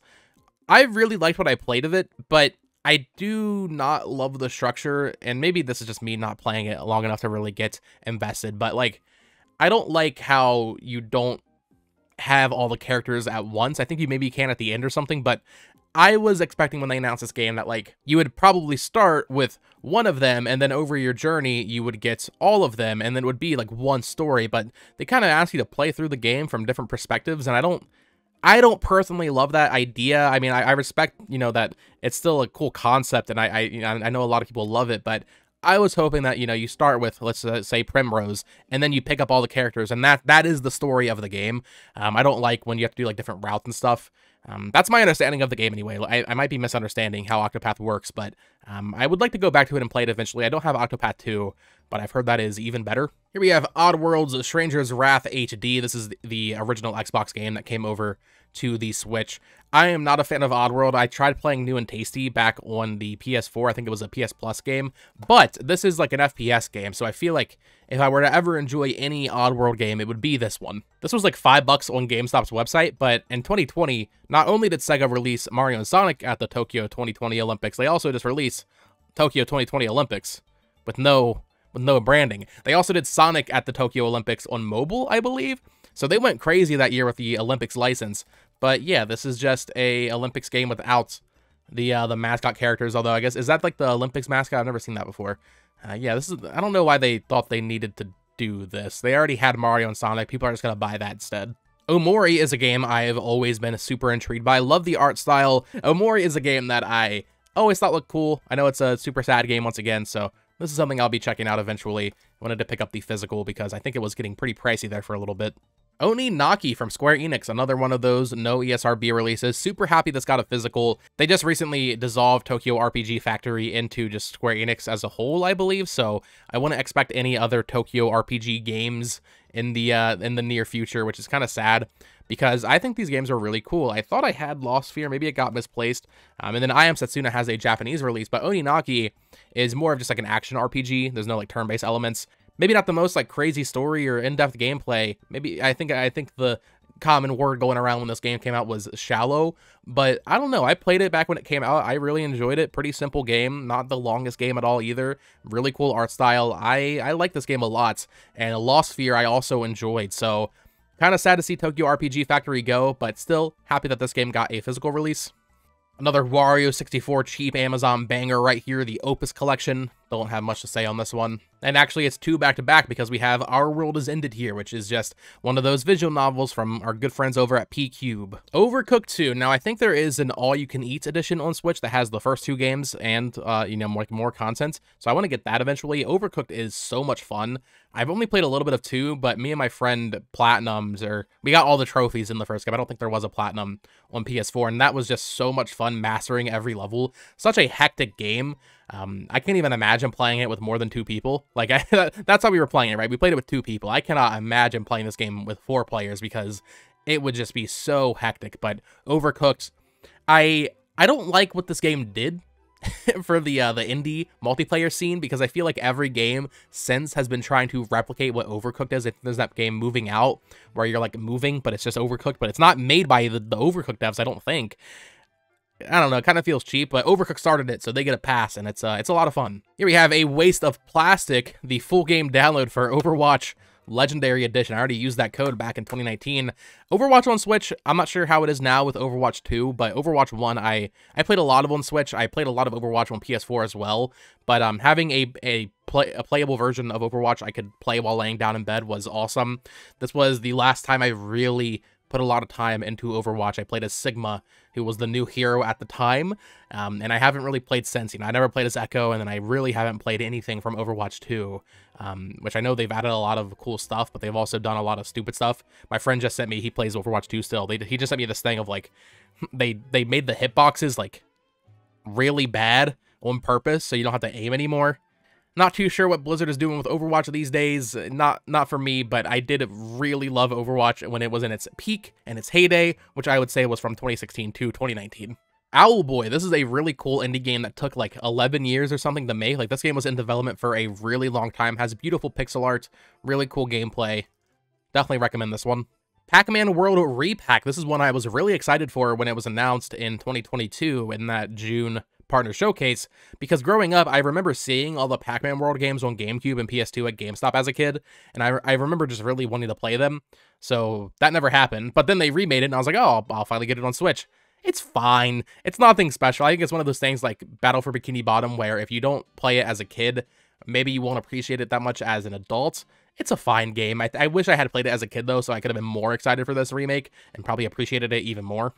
Panzer Dragoon here from Forever Entertainment, another one of those like Sega IP, I believe that uh, Forever Entertainment did have the reverse or alternate cover, I should say, with some cards in here from Limited Run. Uh, Panzer Dragoon's fine.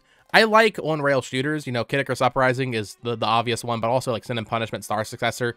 Panzer Dragoon is not as good as either of those games, but it's still a fun game. Paper Mario The Origami King. Now, unfortunately, this is another one of those first-party Nintendo games that are on the backlog of shame. There are very few on Switch that I haven't beaten, but this is one of them. I played it for a couple hours. You know, the writing, the world, all that, all of that stuff is great. Intelligent Systems doesn't really miss, in my opinion, when it comes to that, uh, which I know is like a hot take because I, I, am saying I'm saying Color Splash is a good game. That's what I'm saying here. Um, but Origami King's battle system, not a fan of that. Really did not like what I played of the battle system in this game.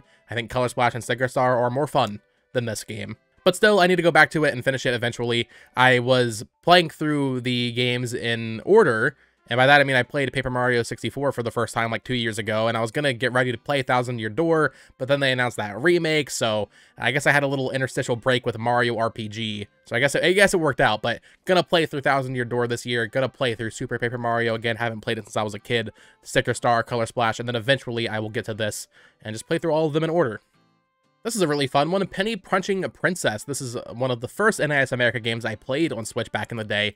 Just a little beat 'em up game where you run around, brawling foes and money falls out of them. You're just going for you're going for money. You, she just wants money. That's all she wants. I like this one a lot. Persona 5 Royal actually have a sealed copy of the Steelbook edition, but also just a regular copy of this game. Once again, that October 2022 time frame, just a fantastic port on the Switch. I think they did a great job. I mean, it'd be kind of hard to mess this up. Persona 5 is a PS3 game. People seem to forget that. But um, yeah, they did a great job with this. Persona 5, you know, I, I voiced my, my disdain for Three Houses and its social stuff and like the monastery and running around doing like the, the learning and all that. Um, so I guess I'm not the biggest Persona fan. You know, I haven't finished Persona 5, but when you're actually in the dungeons and you're you're doing the turn-based combat, it's fantastic. Like I love it. But when you're doing like the school life stuff, that's that's where you kind of lose me. So maybe I need to give it another shot. I've played it. I think I probably put 20 hours into this um or so. It's definitely a game that I want to finish, even if I end up not like loving it all the way through. I want to, you know, be able to say I finished Persona 5 Royal, the most popular Persona game, but uh it'll probably be a while before that happens. Here we have the Pikmin series, so Pikmin 1 and 2 HD, or I guess they didn't actually call it HD, it's just Pikmin 1 plus 2, Pikmin 3 Deluxe, and Pikmin 4. All of these games, absolute bangers, except for this one. Pikmin 1 didn't really age that well in my opinion. I, uh, I beat it for the first time last year before this came out. I played it on Wii. But I had played it growing up. I just kind of sucked at it. I sucked at time management, so never finished it back in the day. But I uh, finished it last year for the first time, as well as 2 for the first time, even though I played, once again, both of them growing up. And 2, I think, is a vastly, vastly superior game than Pikmin 1. These ports on Switch are kind of unfortunate because they had to remove the uh, like the fun branding that they had into like the Duracell batteries and stuff. So that's unfortunate, but I guess it makes sense. Pikmin 3, another fantastic one from the Wii U. This might be another case like New Soup U where maybe the Wii U version is definitive. Uh, this one did have some new content, I believe, like a little side story. I don't think I ever played that. But um, hey, Pikmin 3 is if you like Pikmin 1 gameplay, Pikmin 3 is the ultimate version of that. If you like Pikmin 2 gameplay with the caves and stuff, Pikmin 4 is the ultimate version of that. And I do think Pikmin 4 is the best Pikmin game. Um, this game completely blew me away. Like, I didn't think it would be as good as it was, but they exceeded every expectation. I love this game. It looks beautiful. Really love the gameplay. I like the more casual approach to Pikmin style gameplay where you kind of can just take your time for the most part. You know, they still have some timed elements, but for the most part, you can kind of just sit back and relax and play Pikmin 4. And I really love this game. And if you don't like it, all I can say is Dandori issue. There it is, Pio Faded Memories. I know you're all waiting for my thoughts on this one. Another one of those Aksys visual novels that I bought because it was cheap. Pixark, now this is more my speed, you know. I have Ark on Switch, which didn't run well at all. It was a very bad port. But Pixark, man, I love, I like me a basic looking visual survival game like Minecraft, like Lego Fortnite, like Lego Worlds, even though Lego Worlds isn't very good. Pixark is just another one of those, except you can ride dinosaurs. I like it. Pocky and Rocky Retry. Now, this one was so cool to see Natsume bring back because it's one of like the most expensive SNES games, I believe. So seeing this get a modern port to consoles, or really, I guess it's a remake, right? Uh, seeing this come back was super cool. And with that, we are finally in the Pokemon zone. So Pokemon Let's Go Pikachu and Pokemon Let's Go Eevee. I have a complicated relationship with this game as well. When it first came out, I was so negative on it. You know, I'm recording this actually, funnily enough, before Pokemon Day. And despite how negative I was on this game when it came out, I am begging and pleading that tomorrow's Black and White remake ends up being this. This will age poorly because it's going to go up after, but I'm really hoping the Black and White remake looks more like this than Brilliant Diamond and Shining Pearl because I don't like those games, as we'll talk about. But let's go Pikachu and Eevee. Now that we have Sword and Shield, now that we have more Pokemon games on Switch, I can look back and I think, you know, this is probably the best looking Pokemon game on Switch, in my opinion. I think these games have a really nice art style. And while I didn't like the uh, the catching mechanics they added from Pokemon Go, you know, I think it's really dumb that you can play in handheld mode and use buttons to throw the Pokeball, but you can't use a Pro Controller. Like, stuff like that is just really irritating. But if you want a more modern way to play through the original Pokemon games, these are pretty good. Pokemon Sword and Shield, these came out back in 2019, and once again, kind of complicated feelings. You know, I think this game, it kind of feels like a stopgap between what we had on 3DS with Sun and Moon and then Scarlet and Violet, which Scarlet and Violet in of itself also kind of feels like a stopgap for what we might get in the future, but Sword and Shield really does because of the raids and the wild area. Like, the wild area was just a beta test. We were beta testing with the wild area, but the raids were really cool. I think that is one of the best things they've added to the Pokemon franchise since PSS back on X and Y. So raids are awesome, but the story here isn't that great. You know, I can't off the top of my head think of any like banger Pokemon designs from Sword and Shield. The region itself, Galar, like I think there there are moments in this game that look really good for a Pokemon game when you're just on like the individual routes, but then you go to the wild area and it just looks like an absolute mess. Pokemon just pop out of nowhere like uh, Sword and Shield are good. I, I, know there was a really big competitive resurgence with this game, and I believe that, but Dynamaxing and Gigantamax as a casual player I didn't really think was that interesting. They're fine games. But of course, no Pokemon Switch collection is complete without the Pokemon Sword plus Pokemon Sword Expansion Pass and the Pokemon Shield plus Pokemon Shield Expansion Pass versions. Yeah, they just released these with all the DLC on the cartridge with uh, different inside arts of the uh, the Isle of Armor and the Crown Tundra. Only played through the Isle of Armor on these. I never played through the Crown Tundra, which I heard was a much better DLC. But um, that's the issue with DLC and Pokemon games for me. By the time that the DLC comes out, I kind of like I'm already checked out a little bit. You know, I'm not going to go back and remember my team comp and all that for the single player. So it's hard to make myself go back to these, as we'll see with uh, Scarlet and Violet. Pokemon Brilliant Diamond and Shining Pearl. These are the only Pokemon games I could not force myself to finish. I I love Pokemon. I would say it's my favorite franchise overall. I like I I love Pokemon. I've played every single Pokemon game to completion multiple times, like all of them. These are the only games I just, I couldn't do it, man. I maybe they patched it and fixed it some, but the game does not run very well. It looks very bad. They remade Diamond and Pearl, which already weren't my favorite Pokemon games, you know. They needed to remake Platinum because this game has all the slowdown and stuff from Diamond and Pearl. Like, I really don't like these remakes, and I don't necessarily know if I should blame ILCA. This was the first time that the Pokemon Company and Game Freak let another developer handle a mainline Pokemon game, and I don't know if it's their fault. I don't know if it's their fault or if Game Freak and Pokemon Company, once again, like, maybe they put them, like, on some weird constraints. I'm not too sure. But as I'm recording this before Pokemon Day 2024, all I can say is if ILCA is making Black and White remakes, which are my favorite Pokemon games, I just hope they had enough time to do it justice. But it's okay because two months later, we got the best Pokemon game on Switch, Pokemon Legends Arceus. This is far and away my favorite Pokemon game we have gotten since X and Y. I think Legends Arceus is a fantastic step in the right direction for the Pokemon franchise as a single player casual Pokemon fan. Not, not casual Pokemon fan, but like I don't do competitive battling. If you do like competitive online battling and stuff and like trading, then yeah, maybe Legends Arceus isn't what you want from Pokemon.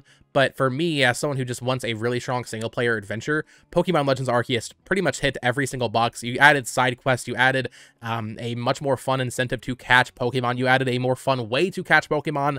It's all way more seamless, like the battle transitions, the catching transitions. Like this game is so freaking good. Like, it's one of my favorite Switch games. Pokemon Legends Arceus is fantastic. Even despite the performance issues and the fact that the game is kind of ugly, although I would say it's it looks better than Scarlet and Violet and Sword and Shield in my opinion. You know, despite all that, this is this is a really fun game. And then we have Scarlet and Violet, which are important to me because this was when my YouTube channel like really kind of took off in a way. Scarlet and Violet did a lot for the growth of my YouTube channel, and I I don't think they're bad games. I think these are I think these are good Pokemon games. I'll say it. But they're not finished. They didn't finish the game. It's I understand like the you don't want to hear people complaining about the games you like, and Scarlet and Violet are, are some of those games. Like if you don't have someone in your ear telling you how broken they are, Scarlet and Violet are fun games. But at a certain point, I just couldn't handle it anymore, and I had to stop playing. Like for me, the post game of a Pokemon game is shiny hunting, and I don't think shiny hunting in this game is fun when the game is so broken that Pokemon spawn literally two feet in front of you. They don't make any kind of sparkle sound or anything. Like, I don't think shiny hunting in this game is fun, which is one of my favorite activities to do after I finish a Pokemon story. And just in general, the technical issues with this game are unbelievable. Like, it is unbelievable the state this game shipped in. It's also funny because I, I remember when I was uploading videos of this game before it even came out, people were like, just wait for the day one patch, dude. And I was like, guys, there isn't one. People just would not believe me. And then, of course, there was no day one patch that fixed all of these issues. And over a year later, they still have not fixed the issues with this game. But if you look past all of the performance stuff, I do think Scarlet and Violet is a a good Pokemon game. I like the idea of having the the three different like main stories that you do in this game. I like Area Zero. It's really cool. I think this generation had a lot of awesome Pokemon designs. I think this is the best set of box art legendaries we've had since X and Y. Like they did a lot right with Scarlet and Violet. It was just all hindered by the performance, man. It's so sad. And of course, I also picked up the Pokemon Scarlet and Violet DLC versions here. What's annoying about these releases is it only has the first part of the DLC, so it doesn't have the Indigo Disc. I can't remember what the first part is called. The Teal Mask. It has the Teal Mask on the cartridge, but uh, you have to download to get the Indigo Disc. I've heard the Indigo Disc is fantastic, but as I was saying with Sword and Shield, Pokemon DLC, kind of hard for me to get back into. I did try loading up the Teal Mask, and I was just flabbergasted at how bad the game ran. Like I, I couldn't believe it when I loaded it back up, and I just, I just had to turn it off. I, I normally performance and stuff doesn't bother me that much, but I think Scarlet and Violet are like unbelievably bad when it comes to performance, and I just, I couldn't do it. But we're not done talking about Pokemon just yet because we have some uh, spin-offs to go over. Pokkén Tournament Deluxe. I really like Pokemon. I played it a lot on Wii U. I played it even more on Switch. I actually completed all like the they had like these bingo boards you have to complete or like challenge boards, kind of like something that you would see in Smash Brothers. But I completed all of those. I don't think I got all the titles because there was a lot of like online ones where you have to play as a certain character for like a thousand matches. But uh, Pokken Tournament Deluxe, I really like this game. I'm not great at fighting games, but you know, seeing all my favorite Pokemon, or at least some of my favorite Pokemon, some weird choices in this game, like Chandelure. I mean, I like Chandelure, but uh, seeing all the, all these Pokemon in like this more realistic HD art style was really nice and refreshing in 2016, and I'm glad they brought it over to Switch. As I've been saying, I I'm pretty much okay with every single Wii U game getting ported over at this point, so I'm glad this one did come over. Pokemon Mystery Dungeon Rescue Team Deluxe. Now, the only Mystery Dungeon game I've really played I've, oh, I've really played two, but I, the only one I finished is Gates to Infinity, and I love Gates to Infinity. I think that's a fantastic game with an awesome story. I played that when I was 12, though. And then I played Super Mystery Dungeon when I was 15 or 16, and I thought that game was also pretty good, but I, I never finished it. I tried playing this, and I don't know if I've just outgrown the Mystery Dungeon gameplay, but I was playing this game, man, and I was like, man, this is just kind of boring. I don't know. I, I, really like the art style, like this storybook art style they went for with this remake of the original Mystery Dungeon games, but I don't know if it's for me anymore. New Pokemon Snap also kind of a disappointment for me. I know a lot of people love this game, so that might sound crazy, but uh, this game, you know, like the, the gameplay is great. It's a, it's a Pokemon Snap. It's another Pokemon Snap game. That's awesome. It looks beautiful. It's one of the best looking Switch games. They did this thing in the campaign where you have to replay areas over and over because I guess they were self-conscious about charging $60 for a game you can beat in a couple hours. Guys, I don't care. You're bogging down the experience by making me replay levels over again. Oh, it's nighttime now. Oh, it's daytime now. Oh, just play it again for the sake of playing it again. I get having some sort of replay value there is necessary, but new Pokemon Snap, I uh, I think they just overcompensated when it came to padding it out. And then finally, for the Pokemon collection, we have Detective Pikachu Returns. Uh, I've tried to play the first one on 3DS a couple times, and every time I play it, it's just a snooze fest. I don't know if I'll ever get to this one, but uh, it, it is certainly one of the games of all time, isn't it? Here we have a Postal Redux. I believe this was a, a limited run blind box kind of game, so not much to say on it. Postal's an interesting franchise. Uh, I know like the more modern ones, those were like the, the PC only, adult only games where you can pee. There's a button that makes you pee in the game. I don't think this is one of those those types of games though. Prince of Persia: The Lost Crown. This one just came out back in January, and I played maybe eight hours of it. I didn't finish it. I kind of fell off of it it's really good, but I don't think it's quite as good as people were saying. Like, I don't think this is a Game of the Year nominee by any stretch of the imagination. It it's clear the inspiration they took from MercurySteam specifically when designing this game in terms of like the speed and the movement of your character from you know Metroid Dread. It's it's clear what they they took from Metroid Dread here. MercurySteam's Metroidvania design. They do some cool stuff with the map where you can like remember locations to come back to.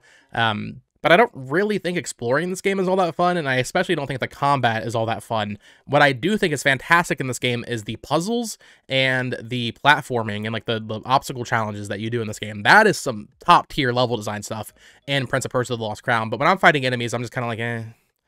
I mean, it's fun, I guess, but I don't know. I, I really like the platforming and stuff. I, I hope if they ever do another one, which they probably won't because this game didn't sell very well, I hope they focus more on that in the sequel. But um, either way, it's it's it's a good game. It's definitely a good game, and I recommend it if you like Metroidvanias. Most people have liked it more than I seem to like it, I think, so I'm probably just a weirdo here. Most people seem to think this is one of the best Metroidvanias ever, so if you would like Metroidvanias, definitely check it out. Another NIS America game here, Process of Elimination. I think this came out last year. I believe this is a tactics game from them, so pretty cool. Here we have Quake and Quake 2. As I was talking about earlier, I love Doom. Quake is essentially just Doom in a different in a different font. So I, of course, enjoy Quake as well. Rabbids Party of Legends. This game just kind of came out and no one talked about it. Ubisoft didn't promote it at all. I think it like came out in China at first or something, and then it eventually got localized like years later.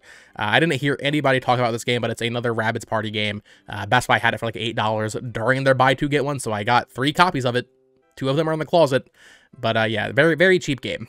Rainbow Billy: The Curse of the Leviathan. This was a GameStop sale item from Skybound Games. Looks cute. Rayman Legends Definitive Edition. It was kind of weird when they were promoting this game as like one of the main Switch games in 2017. And it just kind of came out. Not really many people cared about it because it was an old game.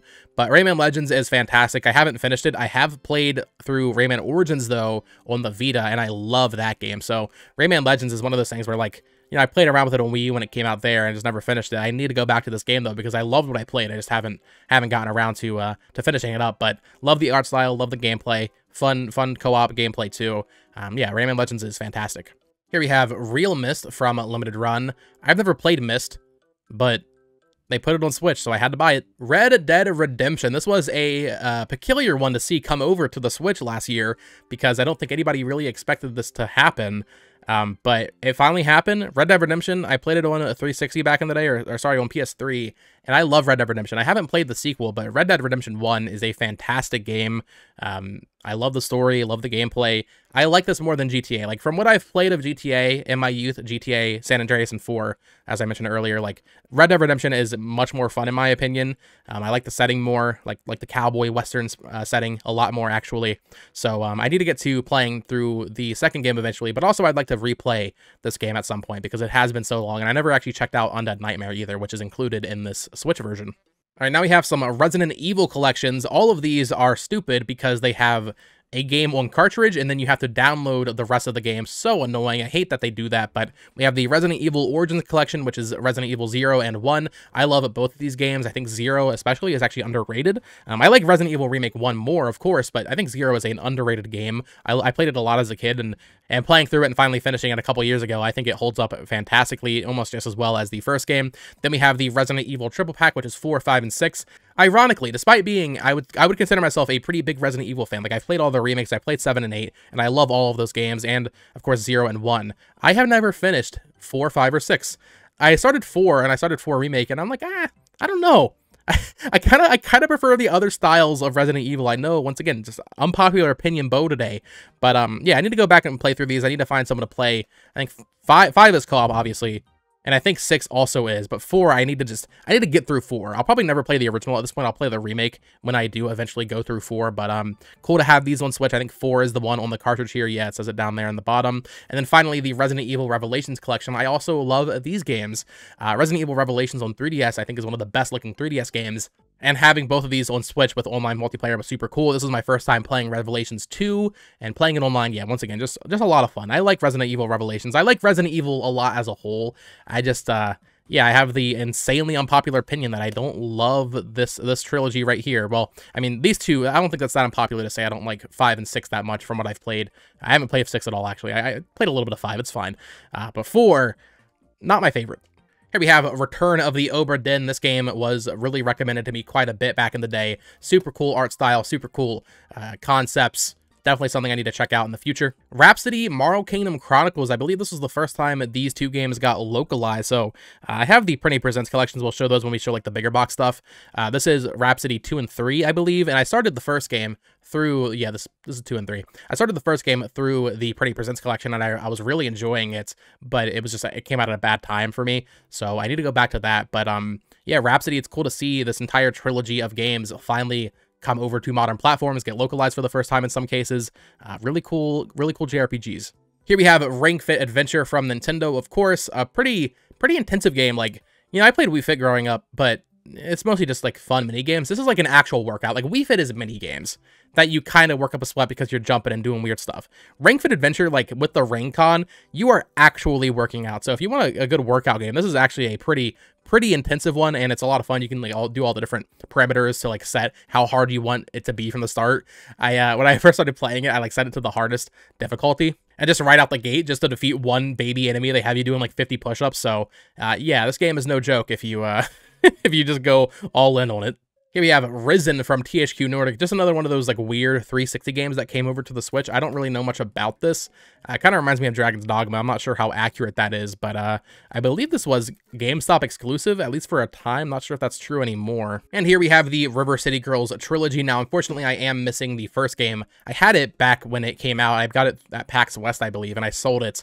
Um, but I have River City Girls 2 and River City Girls 0. I talked about it earlier. I'm not a huge fan of beat 'em ups, but I think River City Girls is fun enough. I played through the first game. I never played 0 or 2 though.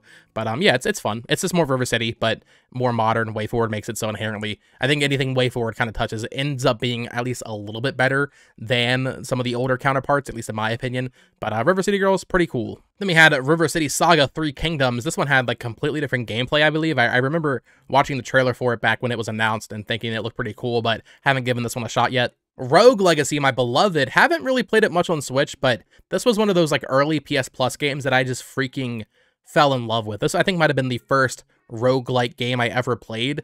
I love Rogue Legacy. Haven't gotten a chance to try out the sequel, but Rogue Legacy one of the first roguelikes I really fell in love with, and I just, I really like this game a lot. Kind of has this whole thing with like your family history, so when you die, you inherit traits from your your ancestors, and it kind of just keeps going indefinitely until eventually you get lucky enough with your your birth your birth rights basically, and um, you get a good run in. Um, Rogue Legacy is a lot of fun. Rune Factory 4 Special, this is a weird one to see come over from the 3DS. They also recently did Rune Factory 3 from the DS. I remember when they announced this in the direct, they're like, Rune Factory 4 is completely remastered on Switch. And it's just like, I don't know, man. this game's kind of ugly. But I, I, played Rune Factory 4 on 3DS. I enjoyed what I played of it. It's it's really the only Rune Factory experience I have. And um, this was like 10 bucks on Amazon. So I was like, yeah, I'll, if I ever want to play Rune Factory again, I'll probably start with this because I remember playing it back in the day. Um, and having it on Switch is cool, even if they didn't really touch up the visuals that much. Here we have RWBY Arrowfell. This is another one of those games from the Caleb buyout that I have been mentioning throughout this video. Uh, RWBY is something I have no knowledge of. All I know is Rooster Teeth makes it. That's that's the only thing I know about RWBY. But this was made by WayForward. It looks kind of interesting. Saga Frontier Remastered. Saga is a Square Enix franchise that I just have no, like, knowledge of really. Like i'm pretty out of the out of my depth when it comes to saga. There are a couple other games that have physical releases on switch like romancing saga minstrel song and i think romancing saga 2 and 3 also as well have physical releases on the switch. Um, but i picked up this one. This is a ps1 game they remastered. You know i've i've mentioned you know mana. I played through final fantasy adventure. I played through some of the dragon quest spin-offs and stuff but I've never played a Saga game, so that's something I definitely want to do so I can kind of check off, like, hey, at least I've played one of these games. Maybe I'll try out that new Saga Emerald Beyond game coming out. I think, I think that comes out in April, maybe? It looks pretty good. Saints Row the Third, the full package. This is a weird release. I think it was exclusive to Volition's online store, but it's in this purple slipcover, which I think is just really weird. I saw it pop up on eBay and I was like, oh, that's kind of weird. And I couldn't really find anything about it. It has exclusive box art here for this version of the game, and it even comes with uh, I think one of them got lost, but it comes with little nubs for your for your Joy-Con stick. Samba de Amigo Party Central. I thought this game was going to be so much fun, and then I played it, and I was like, wow, this is not fun at all. Maybe it'd be more fun on the Wii with the Wiimote and all that, but uh, Samba de Amigo, not for me, I guess. Save Me Mr. Tako. This is a really cute one. I only played a little bit of it, but basically you start out, you're doing like this octopus invasion, taking taking revenge on all the humans, but then he decides to save this uh, this lady here. Um, really cute game. Has like a Game Boy art style, which you know some people would you know take it or leave it, I guess. But I think it's cool. I, I like when games go and really commit to an art style like that and a, a setting like that. And uh, it's a pretty fun little 2D platformer game. Sayonara Wild Hearts is kind of similar to the uh, the Disco Elysium game I showed earlier, where I've just had it recommended a ton over the years, but I don't really know much about it. I know there's like a lot of music and like uh, music vibes in this game, but that's really all I know, to be honest. Scott Pilgrim versus the World, the game complete edition from Limited Run. I'm so glad that this finally got ported to modern consoles so it can be preserved. It had been delisted from the Xbox Live Arcade years ago, but Limited Run did the work with Ubisoft and uh, the parent company, whoever owns uh, Universal. Yeah, the, yeah, yeah, Universal. They had to work it out with Universal, but uh, seeing them work out the deal so that Scott Pilgrim could come back is super cool. This is one of the few beat 'em up games that I really love. I love Scott Pilgrim, the movie. Uh, I haven't watched that new anime yet, but uh, this is a really fun beat 'em up game. Got the Scribblenauts Mega Pack here. Uh, I grew up playing Unlimited. I, I remember, like, I think I pirated Unlimited on my PC back in the day or something, like when I was like 12 when I first learned how to do anything on the internet. Um, and then, of course, I got it on Wii U later on when it came out there, or when I got my Wii U, I should say. And I like Scribblenauts. Scribblenauts is fun. Uh, I don't think I've really messed with DC Unmasked because I don't I'm not really a DC guy. I like Marvel more than anything, and even that I'm not like super like into anymore.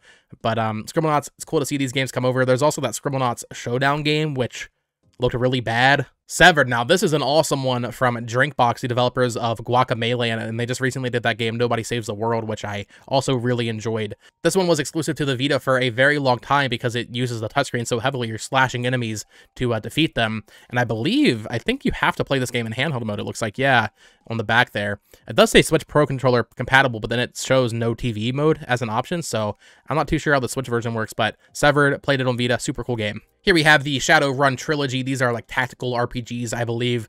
Kind of bought this on a whim. That was when I was really in my like, oh, all these old games coming over to Switch phase. I gotta get all these weird collections of old random stuff. So um, picked up Shadowrun trilogy because of that. Then we have a couple of Shantae games here. I do have more of these, which we'll get to when we get to the big box stuff. But we have Half Genie Hero Ultimate Edition, as well as Shantae and the Seven Sirens. Uh, Shantae is a series I I enjoy. Like I've, I've played a little bit of every Shantae game, right? Like I've played a Game Boy Color Shantae, I've played Risky's Revenge, I've played Half Genie Hero some. I don't think I've ever touched Seven Sirens, but Shantae is a series that I enjoy. I just need to actually sit down and play through them all to the end someday. We have some Shin Megami Tensei love. We have a SMT3 Nocturne HD remaster as well as SMT5. Uh, I played like 10 hours of Nocturne and I kind of fell off of it. I feel bad about that because SMT4, I've said this before, is like one of my favorite 3DS games ever. Um, so I really wanted to actually sit through and play this game, but I kind of just fell off of it. Um, and then SMT5, I never even started, which I guess was kind of a blessing in disguise because it's getting essentially a new version with even more content on a platform that will probably run way better. So I will probably be playing this on PS5 when it does come out over there. But also I might pick up Vengeance on Switch. Maybe if I see reviews and they're like, yeah, they fixed all the performance of the Switch version, maybe I'll get it on Switch, SMT5 Vengeance. But uh, yeah, SMT5 is a, uh, it looks it looks awesome, man. I'm so excited to finally play it. Hopefully I actually do it this year. Shining Resonance Refrain, I always thought this game looked pretty cool. Civilization 6, I bought this one for my girlfriend because she likes, you know, like these kinds of like town building games or like, you know, you know, these kind of like tactical, uh, really in-depth games. She's she's into these. Um, she's had issue playing it on Switch though. You know, this is definitely like a PC type of game, so unfortunate that it doesn't work too well on the Switch, but it's cool that it came over at all, I guess. Skull Island Rise of Kong. I had to see what all the hype was about with this game. If you aren't aware, this is one of the worst reviewed games of all time. Uh, some just incredible cutscenes in this game. I had to check it out.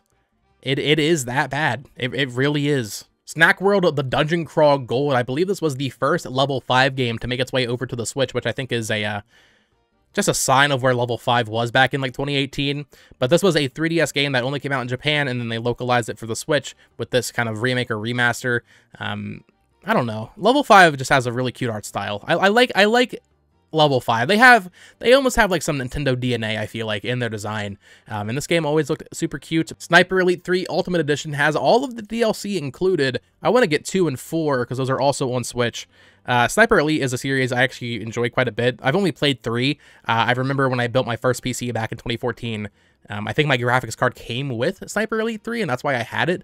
But I remember thinking that game just looked absolutely freaking beautiful, man. Like, that was my graphical showcase for my new PC at the time, running a, uh, I think it was like a Maybe it was a 1060. I don't even think it would have been that though. I'm not sure what my PC was running at the time. But uh, Sniper Elite is a fun series. This is the series known for like having the super close-up shots of like the sniper bullet going through and destroying their their draw and stuff. Uh, I like Sniper Elite. Snipperclips Cut It Out Together Plus. This is one of the best Switch games. So sad that we never got more from this team with Nintendo's uh, kind of cooperation because I think this is one of the best like eShop games Nintendo has ever released. Of course, it later got a physical release with this DLC, but Snipperclips is just a ton of fun single player, multiplayer, like no matter how you play it, I think this game is just an absolute gem. Really cute art style, really great music, really great mechanics, really just a unique game. Like I can't really think of any other games that are like this. Um, sad that we didn't get more of it. We have some Sonic games. There will be more of these later, I believe, in the big box section. But Sonic Forces, I I'm not a huge Sonic fan. That's no that, that should be no surprise. I think Sonic Forces is like I think it's fine. I don't think it's as bad as people say. I would say Sonic Forces is about equal to most Sonic games that I played. Colors is my favorite Sonic game. I played that back on the Wii as a kid, and I really like that game. But I would say Sonic Forces is like equal to Lost World and Heroes and uh, 06, obviously. I haven't really played Adventure, but uh, Forces... I, I like Forces more than when I played of Sonic Frontiers, I'll, I'll tell you that much. And then we have Sonic Mania, which was, I think, my breaking point when it came to Sonic, where I realized I don't like 2D Sonic. I, I respect this game so much. I love the art style, the music. I just don't like 2D Sonic gameplay. I've, I've, I have accepted that. It's just not for me. Despite that, I mean, I had to buy Sonic Superstars. Haven't had a chance to try this one yet, but I kind of like the idea of a multiplayer Sonic game. I've heard from a couple of friends that this game is god-awful, but I'll reserve judgment. So I'm very stubborn. Like, I, just said I, I've accepted that 2D Sonic isn't for me, but, like, I want to like Sonic, man. There's so many Sonic games. I want to be a huge Sonic head, but the games just aren't very good, in my opinion, and I keep trying. I'm very stubborn about it. Soldam Drop Connect Erase. This is one of those earlier Switch games that I, I think I got a code for maybe back on the eShop when it came out in 2017. Just a pretty basic kind of puzzle game. Not quite unlike Puyo Puyo, I believe.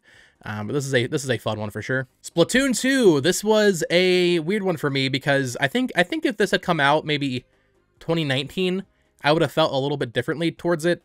I was really excited when they announced this, though, because Splatoon was one of my favorite Wii U games, if not my favorite Wii U game. So to have a version of it on this new exciting Nintendo console was very, very exciting. And then I played it for like a month, and then I just fell off of it, and I never, I never went back. I played Octo Expansion, of course, which is fantastic, but Splatoon 2, I I just think they should have taken a little bit more time. I think they were a little too eager to rush out a sequel, which I guess makes sense. It probably was the right decision, but I think the game itself kind of hurt because of that. You know, I think the maps in the first game were better. I think the kind of game flow was better in the first game. I don't, I'm not sure if that makes sense. Um, but the single player in this game was pretty good, and then Octo Expansion, of course, was absolutely fantastic. Still the best DLC they've done. I just finished up Side Order, which we'll talk about in a second, but I think Octo Expansion is better. And then Splatoon 3 pretty much fixes all my issues I had with Splatoon 2. I mean, this this is the best Splatoon game. I will always have that special fond spot in my heart for Splatoon 1, but Splatoon 3 mechanically and visually and just in terms of content is the best Splatoon game. There's no questioning it. Even though I think Octo Expansion is better than Side Order, Side Order offers something so unique to Splatoon that is just really cool. My only issue with this game, my only gripe is the way they rolled out content. I don't know why Nintendo thought it would be fun to like try out something new here where they instead of doing like the weekly updates like they did for the first two games, they ended up pretty much only updating this game every like three months with new content, like substantial new content. They will they would add two maps at a time instead of doing like one map every three weeks or something. Like I, I think the the content rollout for Splatoon 3 was an absolute disaster, um, which completely killed my momentum and interest in this game. I played it every day for like four months, and then I just I just stopped because there wasn't enough new content being added frequently for me. SpongeBob SquarePants Krusty Cook-Off Extra Krusty Edition. This is one my girlfriend wanted. She loves mobile games, you know. Bless her heart. So had to get this. this is a, this is this is a SpongeBob mobile game that came to Switch for some reason. I I I kind of I I'm kind of cool with that though. Like the fact that this got a physical release on Switch with no microtransactions, that's kind of cool, right? Star Ocean, the second story R, I am so mad at myself for not playing more of this game and not making the time for it last year because I started it, probably played maybe five hours. This game is freaking beautiful. I think this looks better than the HD 2D games that Square Enix releases. It has like this, it's like 3D environments within 2D sprites. This game looks beautiful. The voice acting is incredible. The story is really engaging from what I played. The gameplay is really cool, although it was taking a little bit, uh, you know, of getting used to for me because it's like real time, but it's like encounters. It was weird. I, I need to learn the gameplay more. I've also started playing the first Departure, uh, the first Star Ocean game, which got remade. That's on the eShop. I started playing that, and this is just far and away such a better remake than that. I'll probably just go back to this and skip the first game, honestly. But yeah, Star Ocean Second Story R. I mean, this was from what I from what I played, and I don't want to you know rank it too heavily because I haven't finished it. This is one of the best JRPGs that released last year, and I think it's kind of a, a shame it wasn't nominated for anything at the Game Awards. At least I don't think it was. I, I might be wrong. Here we have a bunch of Star Wars games. I'm not like a huge Star Wars fan, I would say, but I enjoy Star Wars games. I, in fact, I think I like Star Wars games more than I like Star Wars itself. and I think it's really cool how a lot of these older ones have gotten like standalone physical releases through limited run. So we have Star Wars Episode 1 Racer, we have Star Wars Jedi Knight Jedi Academy. This is the one I'm like the least familiar with. We have Star Wars KOTOR 2, the Sith Lords. We have Star Wars Republic Commando. Uh, my friend keeps telling me to play this game. I guess it's like a COD campaign, essentially. So this is definitely one I need to check out. And Star Wars The Force Unleashed, which is a lot of fun. This is a remake or port of the Wii game, though. It's not the 360 version, which is really weird. But um, either way, I'm really happy that they keep bringing these Star Wars games to Switch, and I am so, so excited for that Battlefront collection. I will be buying that day one to play online with friends because Battlefront is is a banger. Starlink Battle for Atlas. This is that Ubisoft Toys to Life game that they tried to release in 2018 with like that Star Fox content. I have the Arwing like set up on my shelf because it looks cool, but yeah, I don't know why Ubisoft thought it was a good idea to release a Toys to Life game in 2018. Like, that was after everybody else had already dropped out. Disney Infinity was no more. Skylanders was no more. But here's Ubisoft coming along like, oh, let's let's do another Toys to Life game. Like, no, Ubisoft. Sit down. Story of Seasons Friends of Mineral Town. This is a remake of the GBA game. I think it has the content from both Friends of Mineral Town and more Friends of Mineral Town. Correct me if I'm wrong. Um, I like Story of Seasons, or as it was back then, Harvest Moon. I'm waiting on Story of Seasons Magical Melody, though. That is what I need to see remade. Magical Melody was one of my favorite GameCube games as a kid, and I really hope they remake that one next. They already did A Wonderful Life. I don't have that one, but I'm hoping we get Magical Melody soon, because that is that is one of my favorite farming games of all time A couple of Street Fighter releases here. We have the Street Fighter 30th Anniversary Collection as well as Ultra Street Fighter 2, the Final Challengers. Was always funny how they promoted and, you know, really pushed this version of Street Fighter 2 because it had evil, evil Ryu and Violent Ken. I can't believe they called it Violent Ken. And they had that, that weird first-person 3D Hadoken mode That was really lame. And then like a year or two later, we got the 30th anniversary collection, which just has every version of Street Fighter 2, basically, I think. That was really dumb. Streets of Rage 4, I've heard, is a fantastic beat 'em up, like one of the best, but I haven't gotten around to it. And here's the prized possession in my Switch collection, my two copies of Super Bomberman R.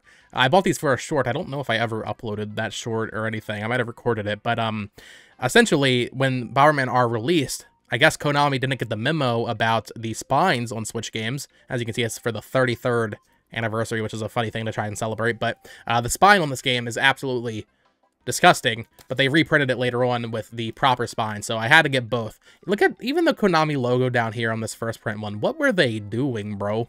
And here we have another block of a Mario games, Super Mario Maker 2. Uh, really great game, but similar to Splatoon 3, I don't think they did the uh, content rollout of this game too too well. I feel like actually they should have learned their lesson from this with Splatoon 3, but Mario Maker 1 was just a constant zeitgeist thing. Maybe it was just because the Wii U was failing, but there was always something to talk about. There was always a new Mii uh, costume or amiibo costume to go through and get. There was always new levels being added by Nintendo. And with Mario Maker 2, we only got a couple content updates spread out over the course of like 18 months. I don't know, man. It just didn't do it for me. I, maybe maybe it just comes down to the Wii U gamepad. Like I didn't really enjoy making levels in this game with the Pro controller. The Wii U gamepad was made for Mario Maker. Like out of every Wii U game, Mario Maker like makes the most sense on that console. When you take away the Wii U gamepad, it's not as intuitive in my opinion.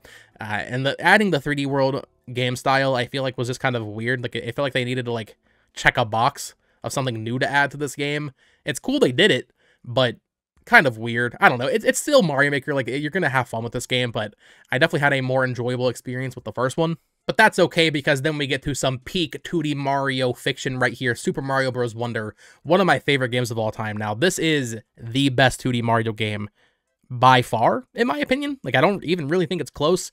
I'm a Mario World kid. I love Mario World a lot more than 3. I know that's eh, I'd say that's like a 50-50 opinion, right? People are always split on Mario World versus Mario 3. I love Mario World though, and like I said earlier with New Soup U, I enjoy the uh, the New Soup series, but Mario Wonder is just such a breath of fresh air. So many fun and unique ideas crammed into every level. Every level of this game just feels like a, a trip, man. I think I might have said this in my review, but it feels like a 2D Mario game designed with the sensibilities of a 3D Mario game where everything has to be perfect it, it feels like that. Like that's how high quality this is. I think this could stand next to some of the 3D Marios in terms of creativity and level design and just mechanics. Like this game is so freaking good. The online multiplayer was incredible in this game too as well. I know some people kind of slept on that. Maybe you didn't enjoy having the ghosts running around, but I think that added such a nice sense of community when playing this game, playing like the little hide and seek levels where you have to like figure out where all the uh the keys are. Mario Wonder, an absolute goaded game. I hope we don't have to wait until,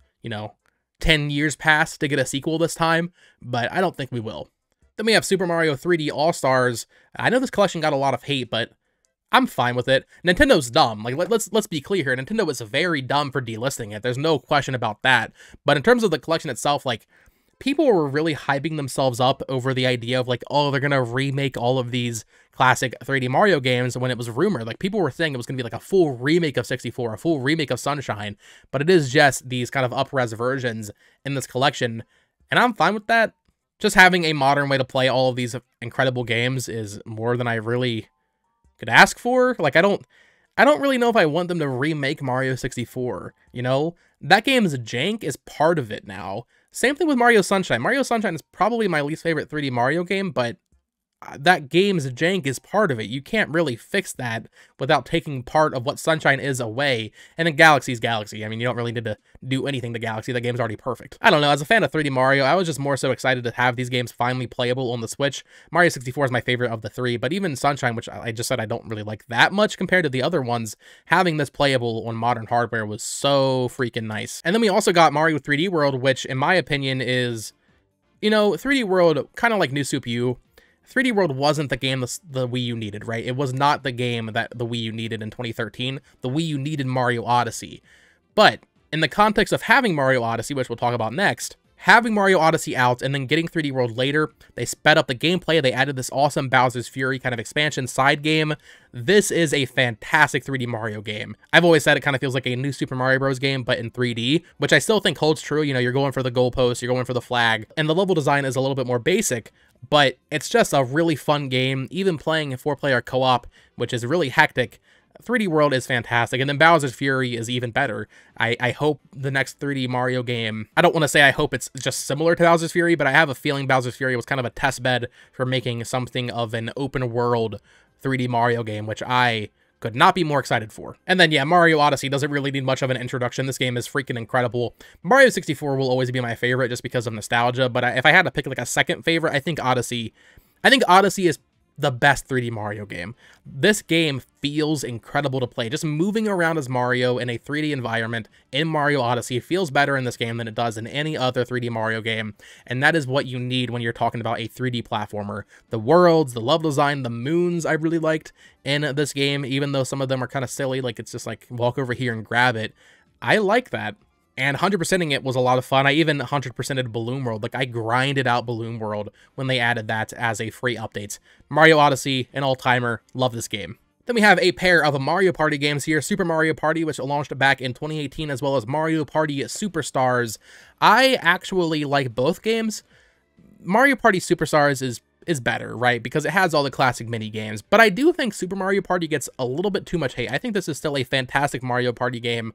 Um, if you want something a little bit different, you know, it uses the Joy-Con in more unique ways, go for this one. But Mario Party Superstars, I mean, it's undeniable. It has the old boards, it has all the old mini games. It's nice to have two different flavors of Mario Party on the Switch, in my opinion. And for NDcube, before making this, to make Super Mario Party and kind of have a, a little bit of a return to form for the franchise was just really nice to see after Mario Party 9 and 10 and all of those Mario Party games on the 3DS. Like, Mario Party was kind of not great there for like a full decade, but with Super Mario Party, that felt like the true revival of the franchise, and then we later got Mario Party Superstars, which was also just fantastic. I love both these games. Super Mario RPG, now this, this is a great game. Listen, I'll be honest, for a long time there, I was a, a, not, not a sticker star defender, but like a defender of like the more modern Paper Marios in general, because I I didn't fully get it. I was like, these games are fine. Like, I don't know. I, I didn't really see that much of an issue with them. But after playing Paper Mario 64 and after playing Mario RPG, and you know, I played Thousand Door as a kid, but I guess I just forgotten a lot of what made that game so special. Um, after playing 64 and after playing Mario RPG, I, I get it now. Uh, I do think Geno is overrated. Mallow Mallow is the GOAT, but this game's a lot of fun. Pretty basic RPG mechanics, but really fun writing and really cool art style as well. Super Monkey Ball Banana Blitz HD, it was kind of weird to see Sega remake the one that people don't like first, right? This is the Wii one that people specifically didn't like. So they remade this first, and then they did Banana Mania later, which I have like the, the bigger version of. Kind of weird to see them do this one first, though. Super Smash Bros. Ultimate, a game that needs no introduction like Odyssey. I mean, this is one of the best Switch games. It is the best Smash Brawl's. game. I don't want to hear no arguments, oh, Bros better, oh, Melee's better. No. No, this is the best Smash Bros. game. World of Light maybe is a little weak, I guess, and I, I you know, I, I like having spirits because it just allowed them to add a ludicrous amounts of of crossover content. But trophies I do prefer. But the core gameplay of Smash Bros. Ultimate is so good and so refined. The DLC characters that we got while I don't really care about some of them, like Terry from Fatal Fury, we got Banjo Kazooie in this game, man. We got Sora, we got Pyra and Mythra. Like, there are so many awesome DLC characters in this game. Even the newcomers in the base game, Inkling, Simon Belmont. Like, this game, this is just a fantastic Smash Bros. game all around. Super Epic The Entertainment War. This was a uh, a limited run blind box game, so not something I would ever buy. It's a furry game, I don't know. Sushi Striker, The Way of Sushido. This is that weird first-party Nintendo game that was on the 3DS, and then before it came out, they actually said, "Hey, it's actually coming to Switch too." It's a uh, it's a pretty fun puzzle game. You just like link the tiles of sushi to uh, throw the plates back at the enemy. Way too long though. Like this game should have been an eShop game in my opinion, like 20 bucks maybe, and it lasts like five hours. But instead, they tried to make this super long sushi puzzle game, and I don't think it really worked out in the end. I wish they had just made a shorter, smaller eShop experience. But um, it's a fun game. I like the puzzle mechanics. I, I would say play it on 3DS, though, with the touchscreen over there. I think that makes a little bit more sense for this kind of game. Sword Art Online Fatal Bullet Complete Edition. I've always been very intrigued by the SAO games. I, you know, I haven't watched SAO since I was very young when Season 1 came out and was new and hype and everybody was talking about it. And I enjoyed Season 1 for what it was. I started Season 2 and I was like, oh, this is this is like some weird, weird. I don't, I, I don't know if I like Sword Online anymore, man. But um, the games I always thought looked kind of fun, even if they are more budget, as we've discussed in this video. Like I kind of like the the seven out of ten, the six out of ten anime game, and um, I always thought the Sword Art Online games looked kind of cool. So I picked up a Fatal Bullet here. Haven't got a chance to play it yet, but uh, I think it was Hollow like Reincarnation. There was there was a Vita game that I thought looked so much fun and then I, I saw the reviews and it was like not very good apparently, but I still want to give these a shot someday. Taiko no Tatsujin Rhythm Festival. Whenever I'm at an arcade, I always like to play on the Taiko machine. A lot of fun, really fun rhythm game. Uh, this one has like a subscription service and a ton of paid DLC.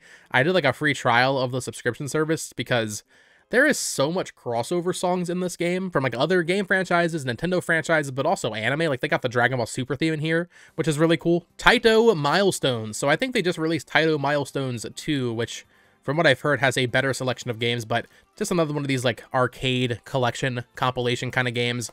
But this one has a lot of stuff that like I'm sure most of us haven't really played, or at least, at least I haven't played. Like I've played Qix, but I haven't played Space Seeker or Alpine Ski or the Fairyland story on here before, so uh, definitely a more intriguing collection in terms of like, at least for me, lesser known games. Tactics Ogre Reborn, another one of those games from 2022 when Square Enix was just pushing it all out at once for some reason. This is a remake of the original Tactics Ogre from the PS1, although it might be more based off the PSP version, I believe. Uh, but Tactics Ogre, really cool. Glad this came back. Hope we get a new one someday. Tales of Symphonia Remastered. I was really excited for this one when it was announced because I had always wanted to play Tales of. I had played Tales of the Abyss on the 3DS a little bit back when it came out in like 2012. So Symphonia I'd always heard about because people always talk about Lloyd and Smash. And I picked this up, played it for a little bit. Not not a great uh, remaster. There's a lot of issues with this. I think they might have fixed some of them by now, but yeah, there was a lot of issues with this remaster when it first came out, like weird flickering in the textures, um, just a lot of stuff they could have done to improve what is I think considered probably the, the most popular Tales of game, or at least like the most iconic one, or at least one of the most iconic ones. They should have done more more justice to this game for sure. We got a couple of Ninja Turtles games here. So we have Shredder's Revenge, which is the new one from uh, Dotemu or .mu. Always wanted to check out this one because Dotemu, I don't have it physically, but they did the Wonder Boy Dragon's Trap remake, which was just fantastic. I believe they're the ones that did it. Um, but yeah, really cool uh, that this is a modern beat 'em up TMNT game. I think that's awesome. And then the Cowabunga collection, which also came out around the same time, just has a bunch of the classic games, which is um, once again just collections, man. I love collections. I go crazy for this stuff. And speaking of collections, Telenet Shooting Collection. Don't know much about these games from Edia, but just a bunch of like anime themed shmup games. Granada, Avenger, Psychic Storm. Love the art style here. Temtem, this was a big deal when it came out back in like 20, I don't know, 2018, it was finally delivering on that Poke MMO dream that we all had as a kid. And then it came out and it, eh, I don't know, it, it, it's fine. Tetris at 99, I think it's awesome that this game got a physical release. It included a code for Switch Online. You can try that out if you want. I don't think I ever used it. But uh, yeah, I bought this used one on eBay. This is the one that came with Bendy and the ink machine, I believe, as well as Snipperclips, I, I think was the lot I bought. Uh, but yeah, super cool to have this as a physical release on the Switch. I hope we get F-Zero 99 eventually as a uh, as a physical version.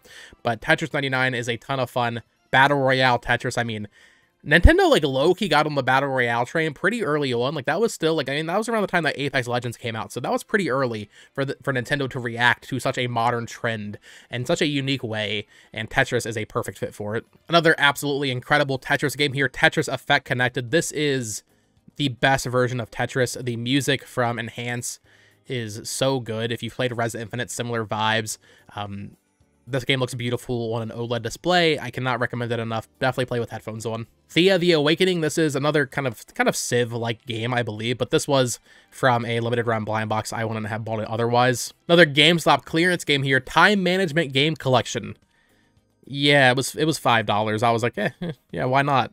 But looks like a bunch of mobile games ported to the Switch. Tokyo Mirage Sessions Sharp FE Encore. I think next to Origami King, this is probably my other shame when it comes to games I never finished on the Nintendo Switch because I just never finished Tokyo Mirage Sessions.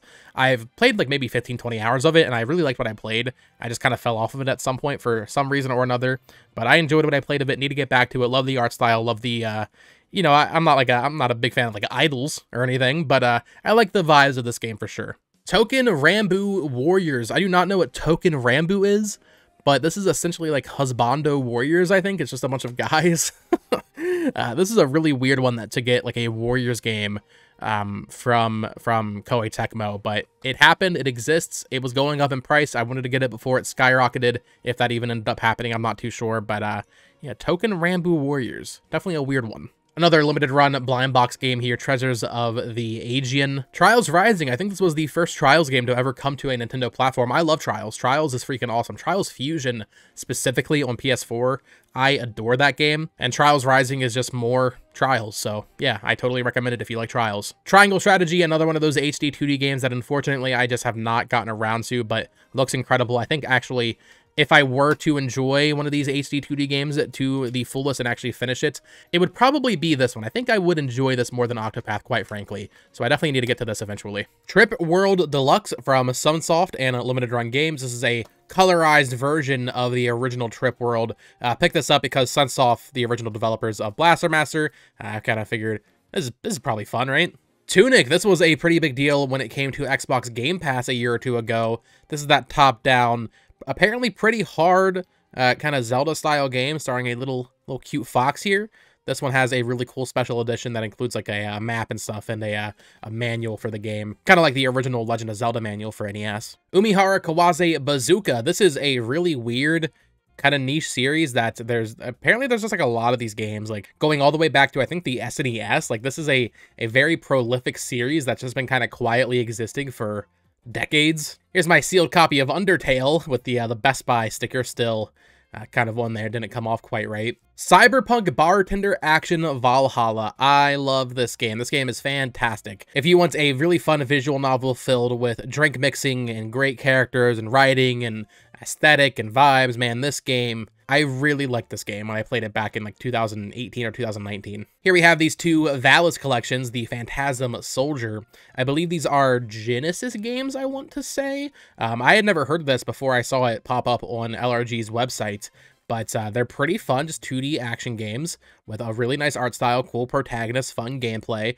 I've only played through the first one, but there's a lot of these games to get through. I think they're doing a third collection as well, with like a bunch of like different types of PC ports for the Valis games. Very weird franchise that I never heard of, but cool to have here on the Switch. Void Terrarium, another NIS America game, but honestly, even if this wasn't NIS America, I think this game looks super sick. Here we have another one of these Square Enix games that you have to hold sideways to get the full artwork. Various Daylife. Now this this is an Apple Arcade game, and it got a lot of flack when it was announced in that September 2022 Nintendo Direct because why? Like, why does this exist? More importantly, why does it have a physical copy? I mean, I'm super cool with that, but this is not the type of game you would expect to have a physical copy on the Nintendo Switch, but it just goes to show how Square Enix really was or has been releasing almost everything physically so far this generation, which is really cool. But uh, yeah, Various Daylife is an Apple Arcade game. Not the best. Played a little bit of it because uh, I have it digitally as well it's fine. The Walking Dead, the final season now, if you don't know, The Walking Dead is my favorite TV series of all time. I adore The Walking Dead. Just started watching the new show, The Ones Who Live. Very hype, very exciting. My boy Rick Grimes is back, but these Telltale games are all right. You know, I don't think they're anything that special. Season 1 and 2 are my favorite, for sure. Uh, season 3 was the weakest, in my opinion, and, and Season 4 is pretty good, too. But I wish they had ported all of these to the Switch, or sorry, I should say, I wish they had all gotten physical copies, because I think they all came out digitally, but this is the only one that got a physical, and even then, I think it's just Episode 1 of Season 4 on the cartridge because as you can see here it says uh, season pass card details on back of the box. Yeah and you get to download download the rest of it as it came out which is always that was always kind of annoying with these telltale releases. Warhammer 40k bolt gun this is a relatively recent pickup for me but this is a a doom clone, essentially a boomer shooter set in the Warhammer 40k universe. I am so out of my depth when it comes to Warhammer 40k, but this is a lot of fun. Here we have a pair of WarioWare games on the Nintendo Switch, WarioWare Get It Together and WarioWare Move It. You know, I never played Smooth Moves on the Wii, and I guess in terms of like what I expected for a WarioWare on Switch that really used the Joy-Con, like, I guess Move It satisfies that itch, but neither of these games really are what I wanted when it comes to WarioWare on the Switch. Like, they're both good games. Like, I have nothing wrong with them, really. Like, they're both fine. Get It Together, I do enjoy more than Move It. But, like, WarioWare Gold on 3DS was so good. Like, that is the gold standard, pun intended, of WarioWare. And I was hoping we would get something like that on Switch, but WarioWare Get It Together is like this completely new concept where you're moving a character on the screen, which makes sense because of the co op aspects. And then Move It is a, a motion party game, which is fine. Um, and I'm glad they tried something new with Get It Together, but I hope in the future we get another more, it sounds kind of weird to say this for WarioWare, but a more classic style WarioWare game on the Switch. Warriors Orochi 4 and a Warriors Orochi Ultimate had to get both versions of this. Uh, this one was getting pretty pricey, so I picked it up, and then I saw this was also available, and I was like, you know what? Let's have two versions of Warriors Orochi 4. Love Warriors games. Awesome. West of Loathing, this is that really fun uh, kind of slapstick uh, stick figure comedy game. It was really expensive for a while. I think Limited Run did the original release of it, but they recently reprinted it through Video Games Plus, a Canadian online retailer. So I had to pick this up. Super cool to have it finally. I always wanted to play this one. Couple of Wonder Boy games here. We have the Wonder Boy Collection as well as Wonder Boy Asha in Monster World, and that includes Monster World 4 there. I mentioned earlier, I believe, the Dragon's Trap remake from Dotemu, or Dotemu, or Dotemu, whatever their developer's name is. And that Dragon's Trap remake is what made me a fan of Wonder Boy and Monster Boy. So I had to pick up these collections. Um, I have this one digitally. This one's weird because they've re-released it on ININ's website, I believe, with like even more games. So this is technically the inferior version of this collection, I think. And then Asha in Monster World, I'm not too I'm not too familiar with this one, to be completely honest with you. But Monster Boy, Wonder Boy, cool, cool series. Here we have the Kickstarter backer edition of the Wonderful 101 Remastered. I was a Kickstarter backer for this port to the Switch. Uh, not a great port, but I mean, as I've said time and time again throughout this video, I'm so happy that really every Wii U game of consequence, except for a few like Xenoblade and the Wind Waker and Twilight Princess HD, like most Wii U games that matter have come over. Even though this wasn't a great port, I am glad it did make its way over to the Nintendo Switch. They kind of just put like the bottom screen stuff on the top screen, so it's kind of like picture in picture. It's fine. Uh, this backer edition, I don't think there's anything different other than the slipcover here, which has like a little uh, kind of thank you note on the back from Kamiya and Inaba. So yeah, happy to have this one and happy to support what is a pretty good game on Kickstarter. The World Ends With You Final Remix and uh, Neo The World Ends With You. Been needing to play both of these games. I started at World Ends With You on DS like 10 years ago probably, uh, but never got too deep into it. XCOM 2 collection, I'm going to be honest, I had forgotten I even owned this one because I mentioned the Borderlands one and the Bioshock one. I did not think I had this one. So now I have all three of those like 2K collections they released on the same day in 2020. Um, I, yeah, I, I, I'm gonna be honest, I didn't even know I had this one. and now we get to my beloved Xenoblade Chronicles here. We start with the Xenoblade Chronicles Definitive Edition. This is by far my least favorite Xenoblade game. I know that might be a hot take.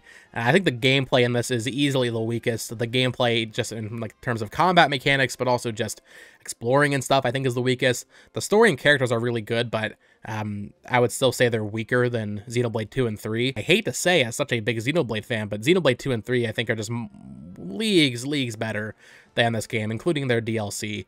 Um, but still, still a great game. Just pales in comparison to 2 and 3, in my opinion. But then we have Xenoblade Chronicles 2, which is just an absolute masterpiece of game play, storytelling, music, Everything about this game is just fantastic. I think it has the best cast of characters. I think it has the best gameplay. Eh, that might be debatable between 2 and 3. 3's gameplay is really good. Um, but in between 2 and 3, we of course had Xenoblade Chronicles 2 Torna, which is a fantastic prequel story to Xenoblade 2 following Lora and Jin. Really happy that this ended up getting a physical release. And then of course we have Xenoblade Chronicles 3, which once again maybe has better gameplay than Xenoblade Chronicles 2, but I prefer the cast and story of Xenoblade 2 overall when you, when you kind of weigh everything, I think Xenoblade 2 is the best Xenoblade Chronicles game. Uh, but 3 3 is not too far behind, and then 1 is like all the way down there somewhere. Here we have Xeodrifter, another game from Atooi, the developers of Mutant Mudds, kind of their take on a, a small, bite-sized Metroidvania game. Uh, this one gets a lot of hype alongside Mutant Mudds, but I don't think it even, it even comes close to Mutant Mudds, in my opinion. I mean, it's still a fun little indie game, but eh, just play Metroid, you know? Mutant Mudds kind of did something unique.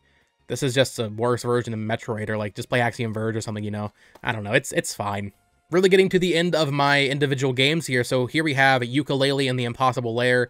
This was Playtonic's take on a Donkey Kong Country game, which, I mean, if you know the history there, Playtonic is mostly composed of developers from Rareware that had left after the Microsoft buyout, or like right before, right?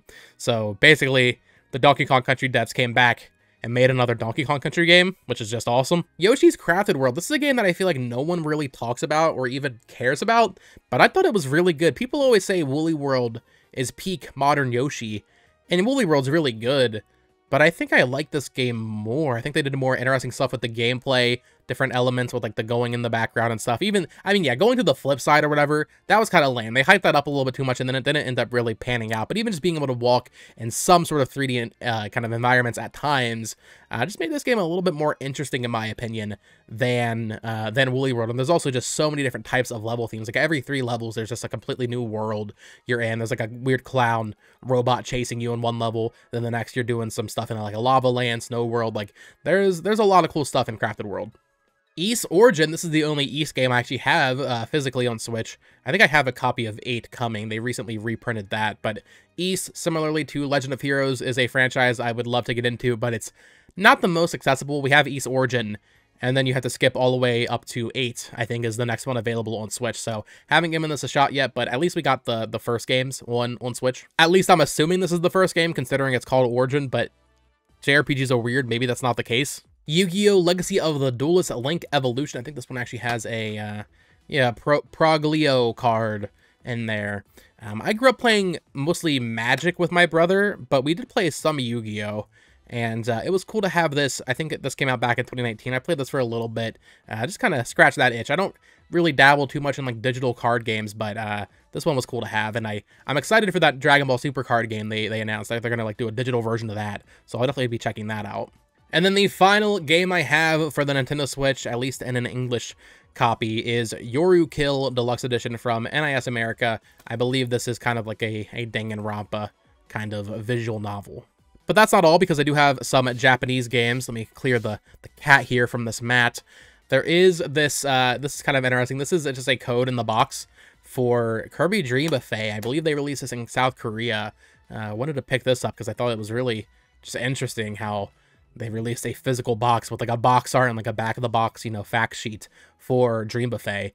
I wish I wish we had just gotten like a physical copy of this in America, even if it was super limited. That would have been nice, but still, this is kind of a neat thing to have, even though it's literally just plastic. Here we have Buddy Mission Bond, another Koei Tecmo game, but this time Nintendo published it. So this is a visual novel, and it's one of the few games that Nintendo released in Japan and nowhere else in the world on the Switch. So uh, hoping for a localization on this one, I was thinking like, oh, maybe I'll play this while uh, just translating it with my phone or something. According to How Long to Beat, this is like a 40-hour game, so I don't think that's going to be happening anytime soon. And that also makes me think they probably won't end up localizing it, which is disappointing because I have heard from people in Japan that apparently this game is uh, really good. Here's an interesting trio of uh, games for you if you are a Switch collector and you want to have some complete copies of games. So for three games in Japan, they've released the game with all of the DLC on the cartridge. So the first one, of course, is The Legend of Zelda Breath of the Wild. This includes the uh, Master Mode, Trial of the Sword, and Champion's Ballad all on the cartridge, which is super cool. Um, just, you know, I, I, wish they had done this in America, but hey, this does have English on the cartridge, so it's not like, uh, you know, it's not like you really need an English copy if you wanted to check this out on your own. But beyond that, we also got Splatoon 2 with the Octo expansion on the cartridge. Uh, I'm not sure if there was any updates released after this after this uh, physical cart came out, but it does have Octo expansion on there at the very least. And then finally, we had that Mario Kart 8 that uh, I had bought and then realized later on that they did do an ESRB version. So this is kind of maybe I'll just sell this one or something. I also have a Japanese copy of Detective Pikachu because for some reason these were selling for like $9 free shipping like a week after the game came out. So I bought one. Woohoo. Here we have Otogi Katsugeki Mamare Bakaru, something along those lines. This is that game from Good-Feel, the developers of Epic Yarn and Crafted World and Woolly World. This is their like Goemon spiritual successor. A lot of fun. I really hope this gets localized. I didn't, you know, get too deep in it because I, I do think it will get localized, but I played, you know, the first couple of levels and I really liked what I played. I'm a big fan of Warriors games, what can I say? So, this was a launch title in Japan. Dragon Quest Heroes 1 plus 2. Uh, this never got localized for some reason, even though the games came out in America on PS4. I don't know why. Maybe it has something to do with the, the size of the cartridge needed for this game. Uh, this is pretty pricey-ish. I think it was even above, it was like above retail. Like this cost more than Breath of the Wild on March 3rd, 2017 in Japan, I'm pretty sure, because they had to use the uh, the 32 gig cartridge. But this is both of the Dragon Quest Warriors games that came out uh, back in like 20, would it be like 2015 and 2016 respectively, I think. And speaking of Square Enix, we have Final Fantasy Crystal Chronicles Remastered Edition. This one sadly did not get a English physical release, which is surprising considering like Romancing Saga Minstrel Song has one, but uh, Crystal Chronicles here have the physical version. This is the Etrian Odyssey Origins Collection, which is the first three games coming over from the DS on the Nintendo Switch. Um, this one does have English on the cartridge. That's the only reason I bought it. It didn't get a physical release in the West at all. So if you want to have a physical copy of this game, yes, it is, uh, you know, I'm not sure what language that is on the on the um, front. I know it's not Japanese, but maybe it's Chinese.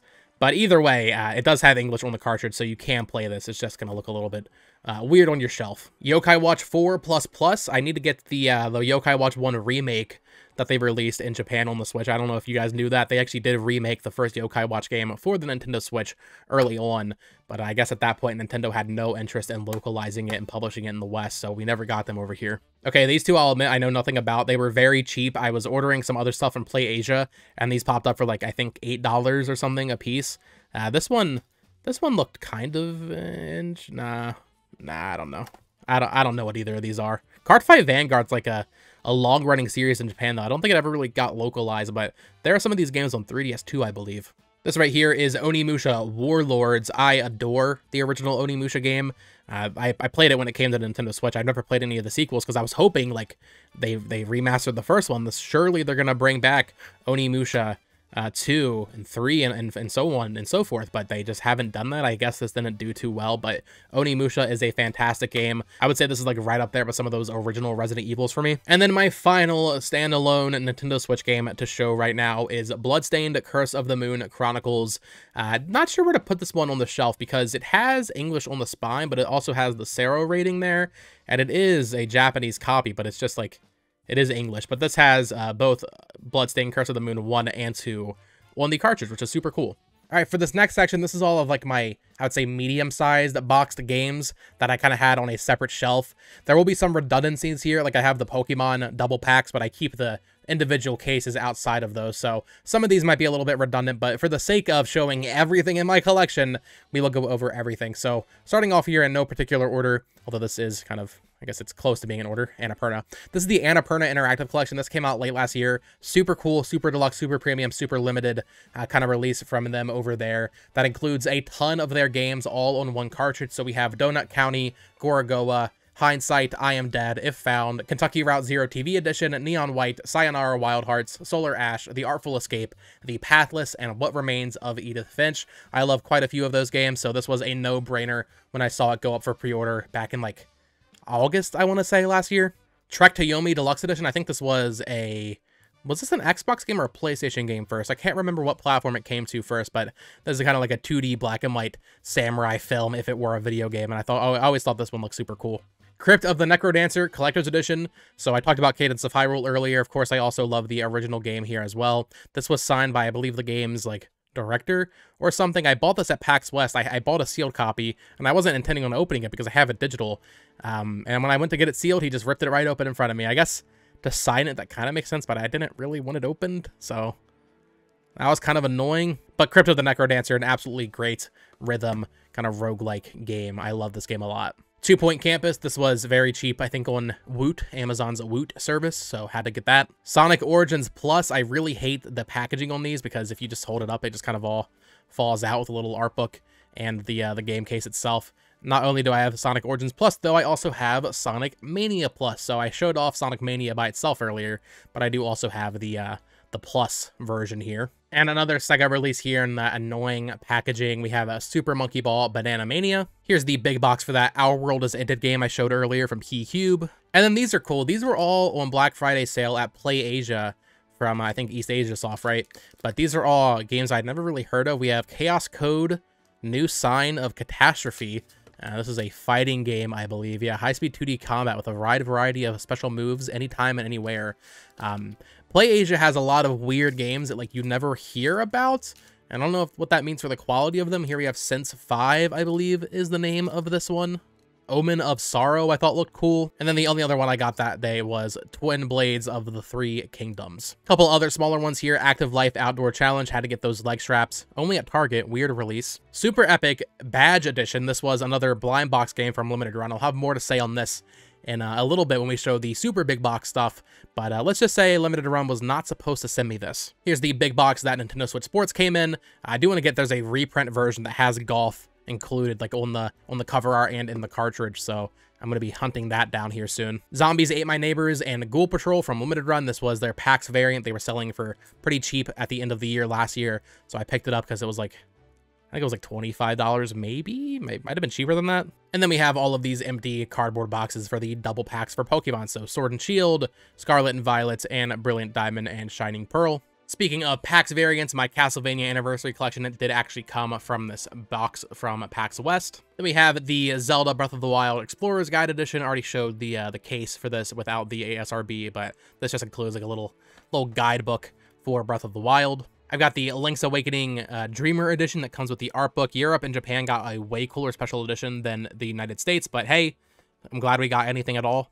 Some more PAX things here. These were, uh, I think, PAX West 2022, Shantae, and Shantae Risky's Revenge. That's why I uh, I had uh, Seven Sirens and Half Genie Hero on the shelf, but not these two. Missing Pirate's Curse, obviously, because that game is, I think it's the most expensive Switch game, right? But uh, happy to have these two even though quite frankly these big boxes are kind of dumb. Here's the special edition of Hyper Light Drifter. I bought this before that Annapurna collection came out. This is a weird release. So we had Mario Kart 8 Deluxe with Super Mario Party. This is still sealed.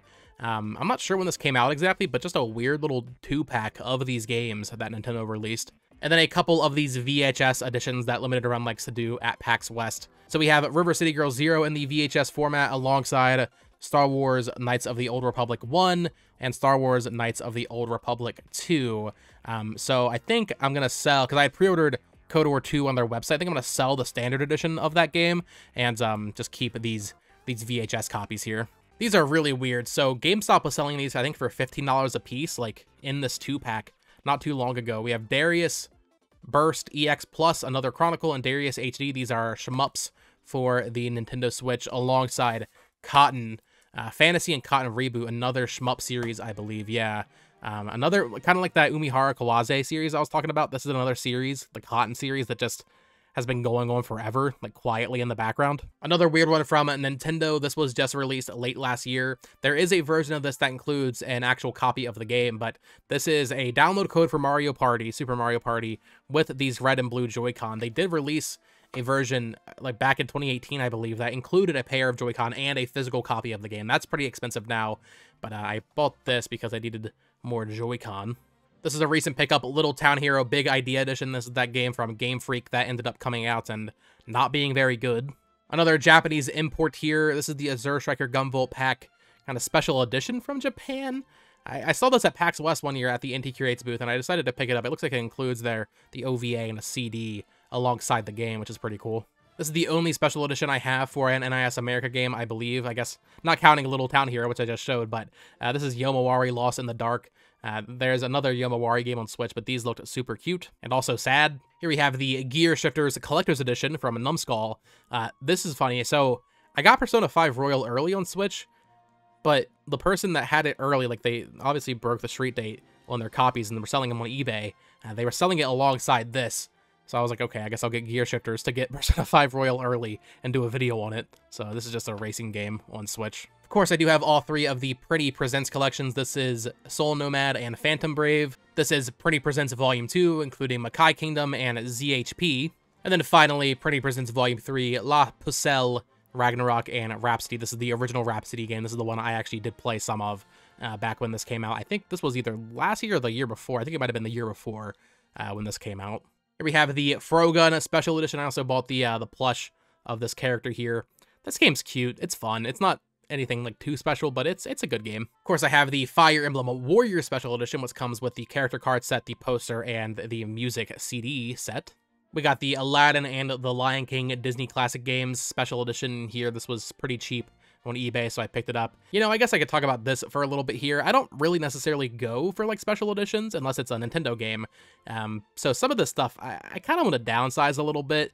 I know you're probably watching this video, you got to this point, you're like, wow, he wants to downsize, huh, with your 8 million Switch games. Uh, yeah, I think something like this I probably don't need.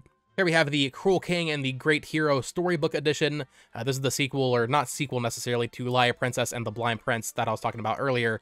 Um, I hope this one has better gameplay. But this was like super cheap on Amazon. I think this was $15 for the special edition, which includes a plush of the, uh, I don't know if that's the Cruel King or the Great Hero. That's probably the Great Hero, and the, I'm assuming the Dragon's the King based on their other stories. But uh, yeah, this one was really cheap and has a, a fantastic art style. I'm hoping the gameplay is better than Liar Princess. Here we have the Monster Hunter Stories 2 Wings of Ruin Collector's Edition that includes the uh, the amiibo in there. Kind of hard to see. I don't know why it's so dark right now.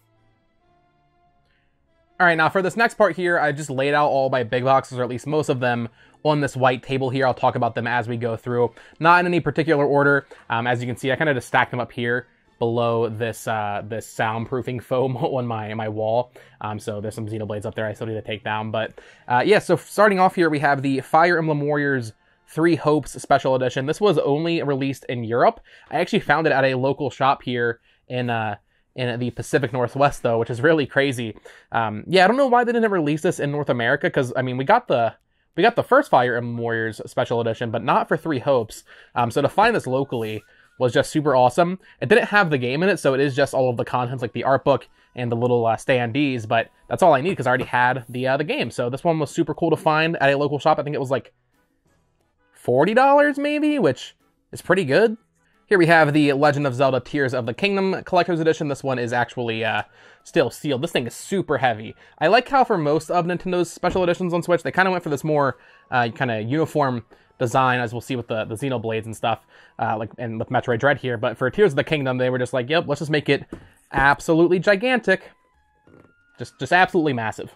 Here we have the Metroid Dread Special Edition. This is where that disgusting steelbook came from, but obviously super cool to have a, uh, a special edition of one of my favorite Switch games.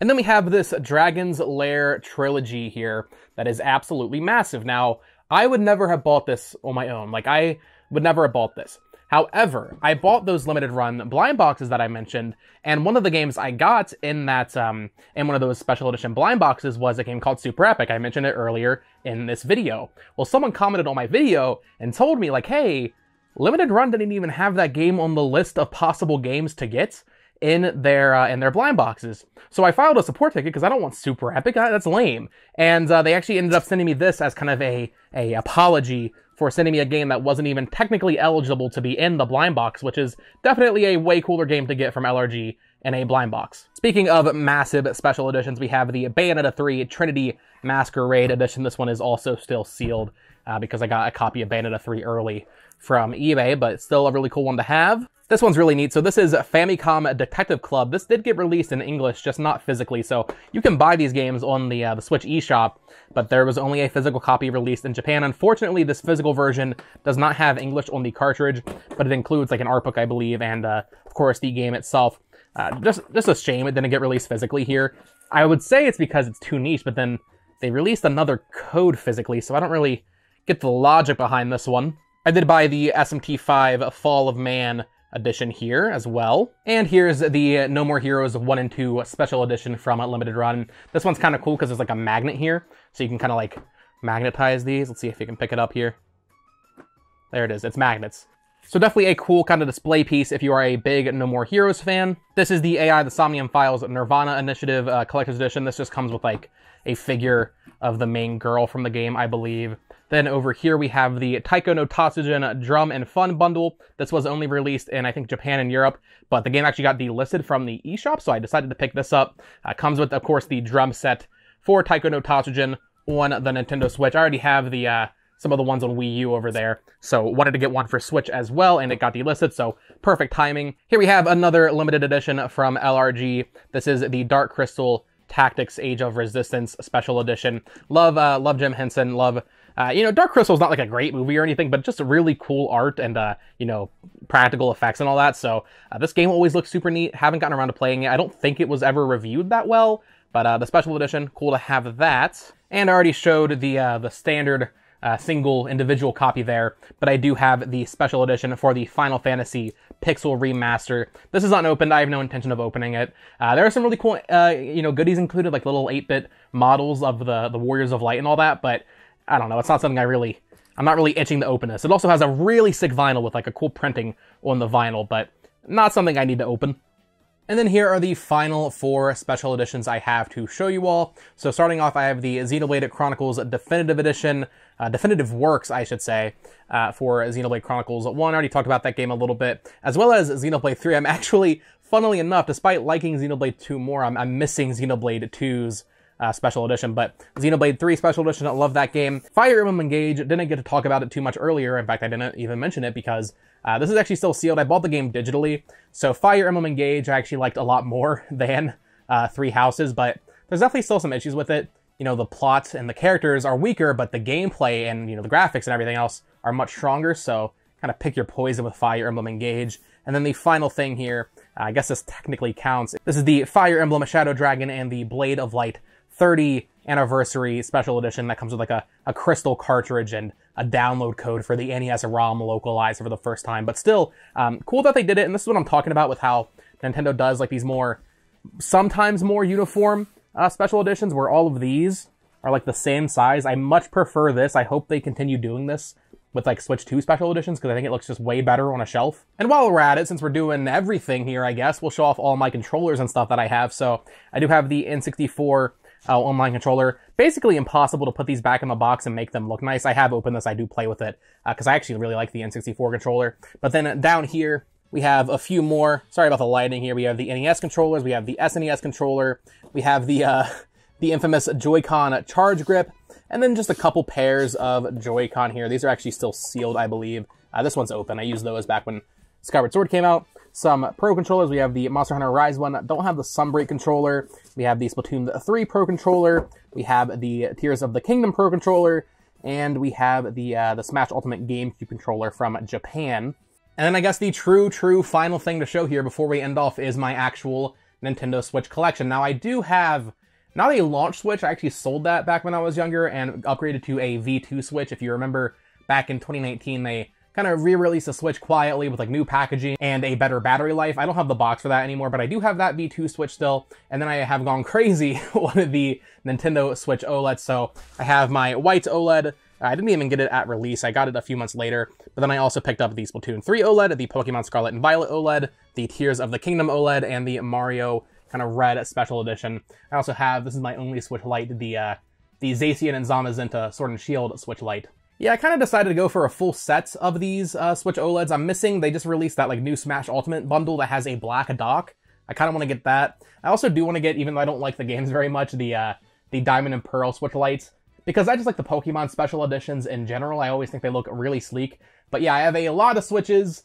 Uh, I haven't done unboxings for a couple of these, so definitely go check those out if you haven't already. I know this was actually a pretty short video, so let me know in the comments down below, what games do you think I should add to my Nintendo Switch collection in the future? If you made it this far into the video, I do appreciate your support, and of course I would appreciate it if you did subscribe for more future Nintendo Switch videos, collecting videos, and also I do a lot of news and discussions on this channel, so thank you so much for watching, and until next time folks, peace!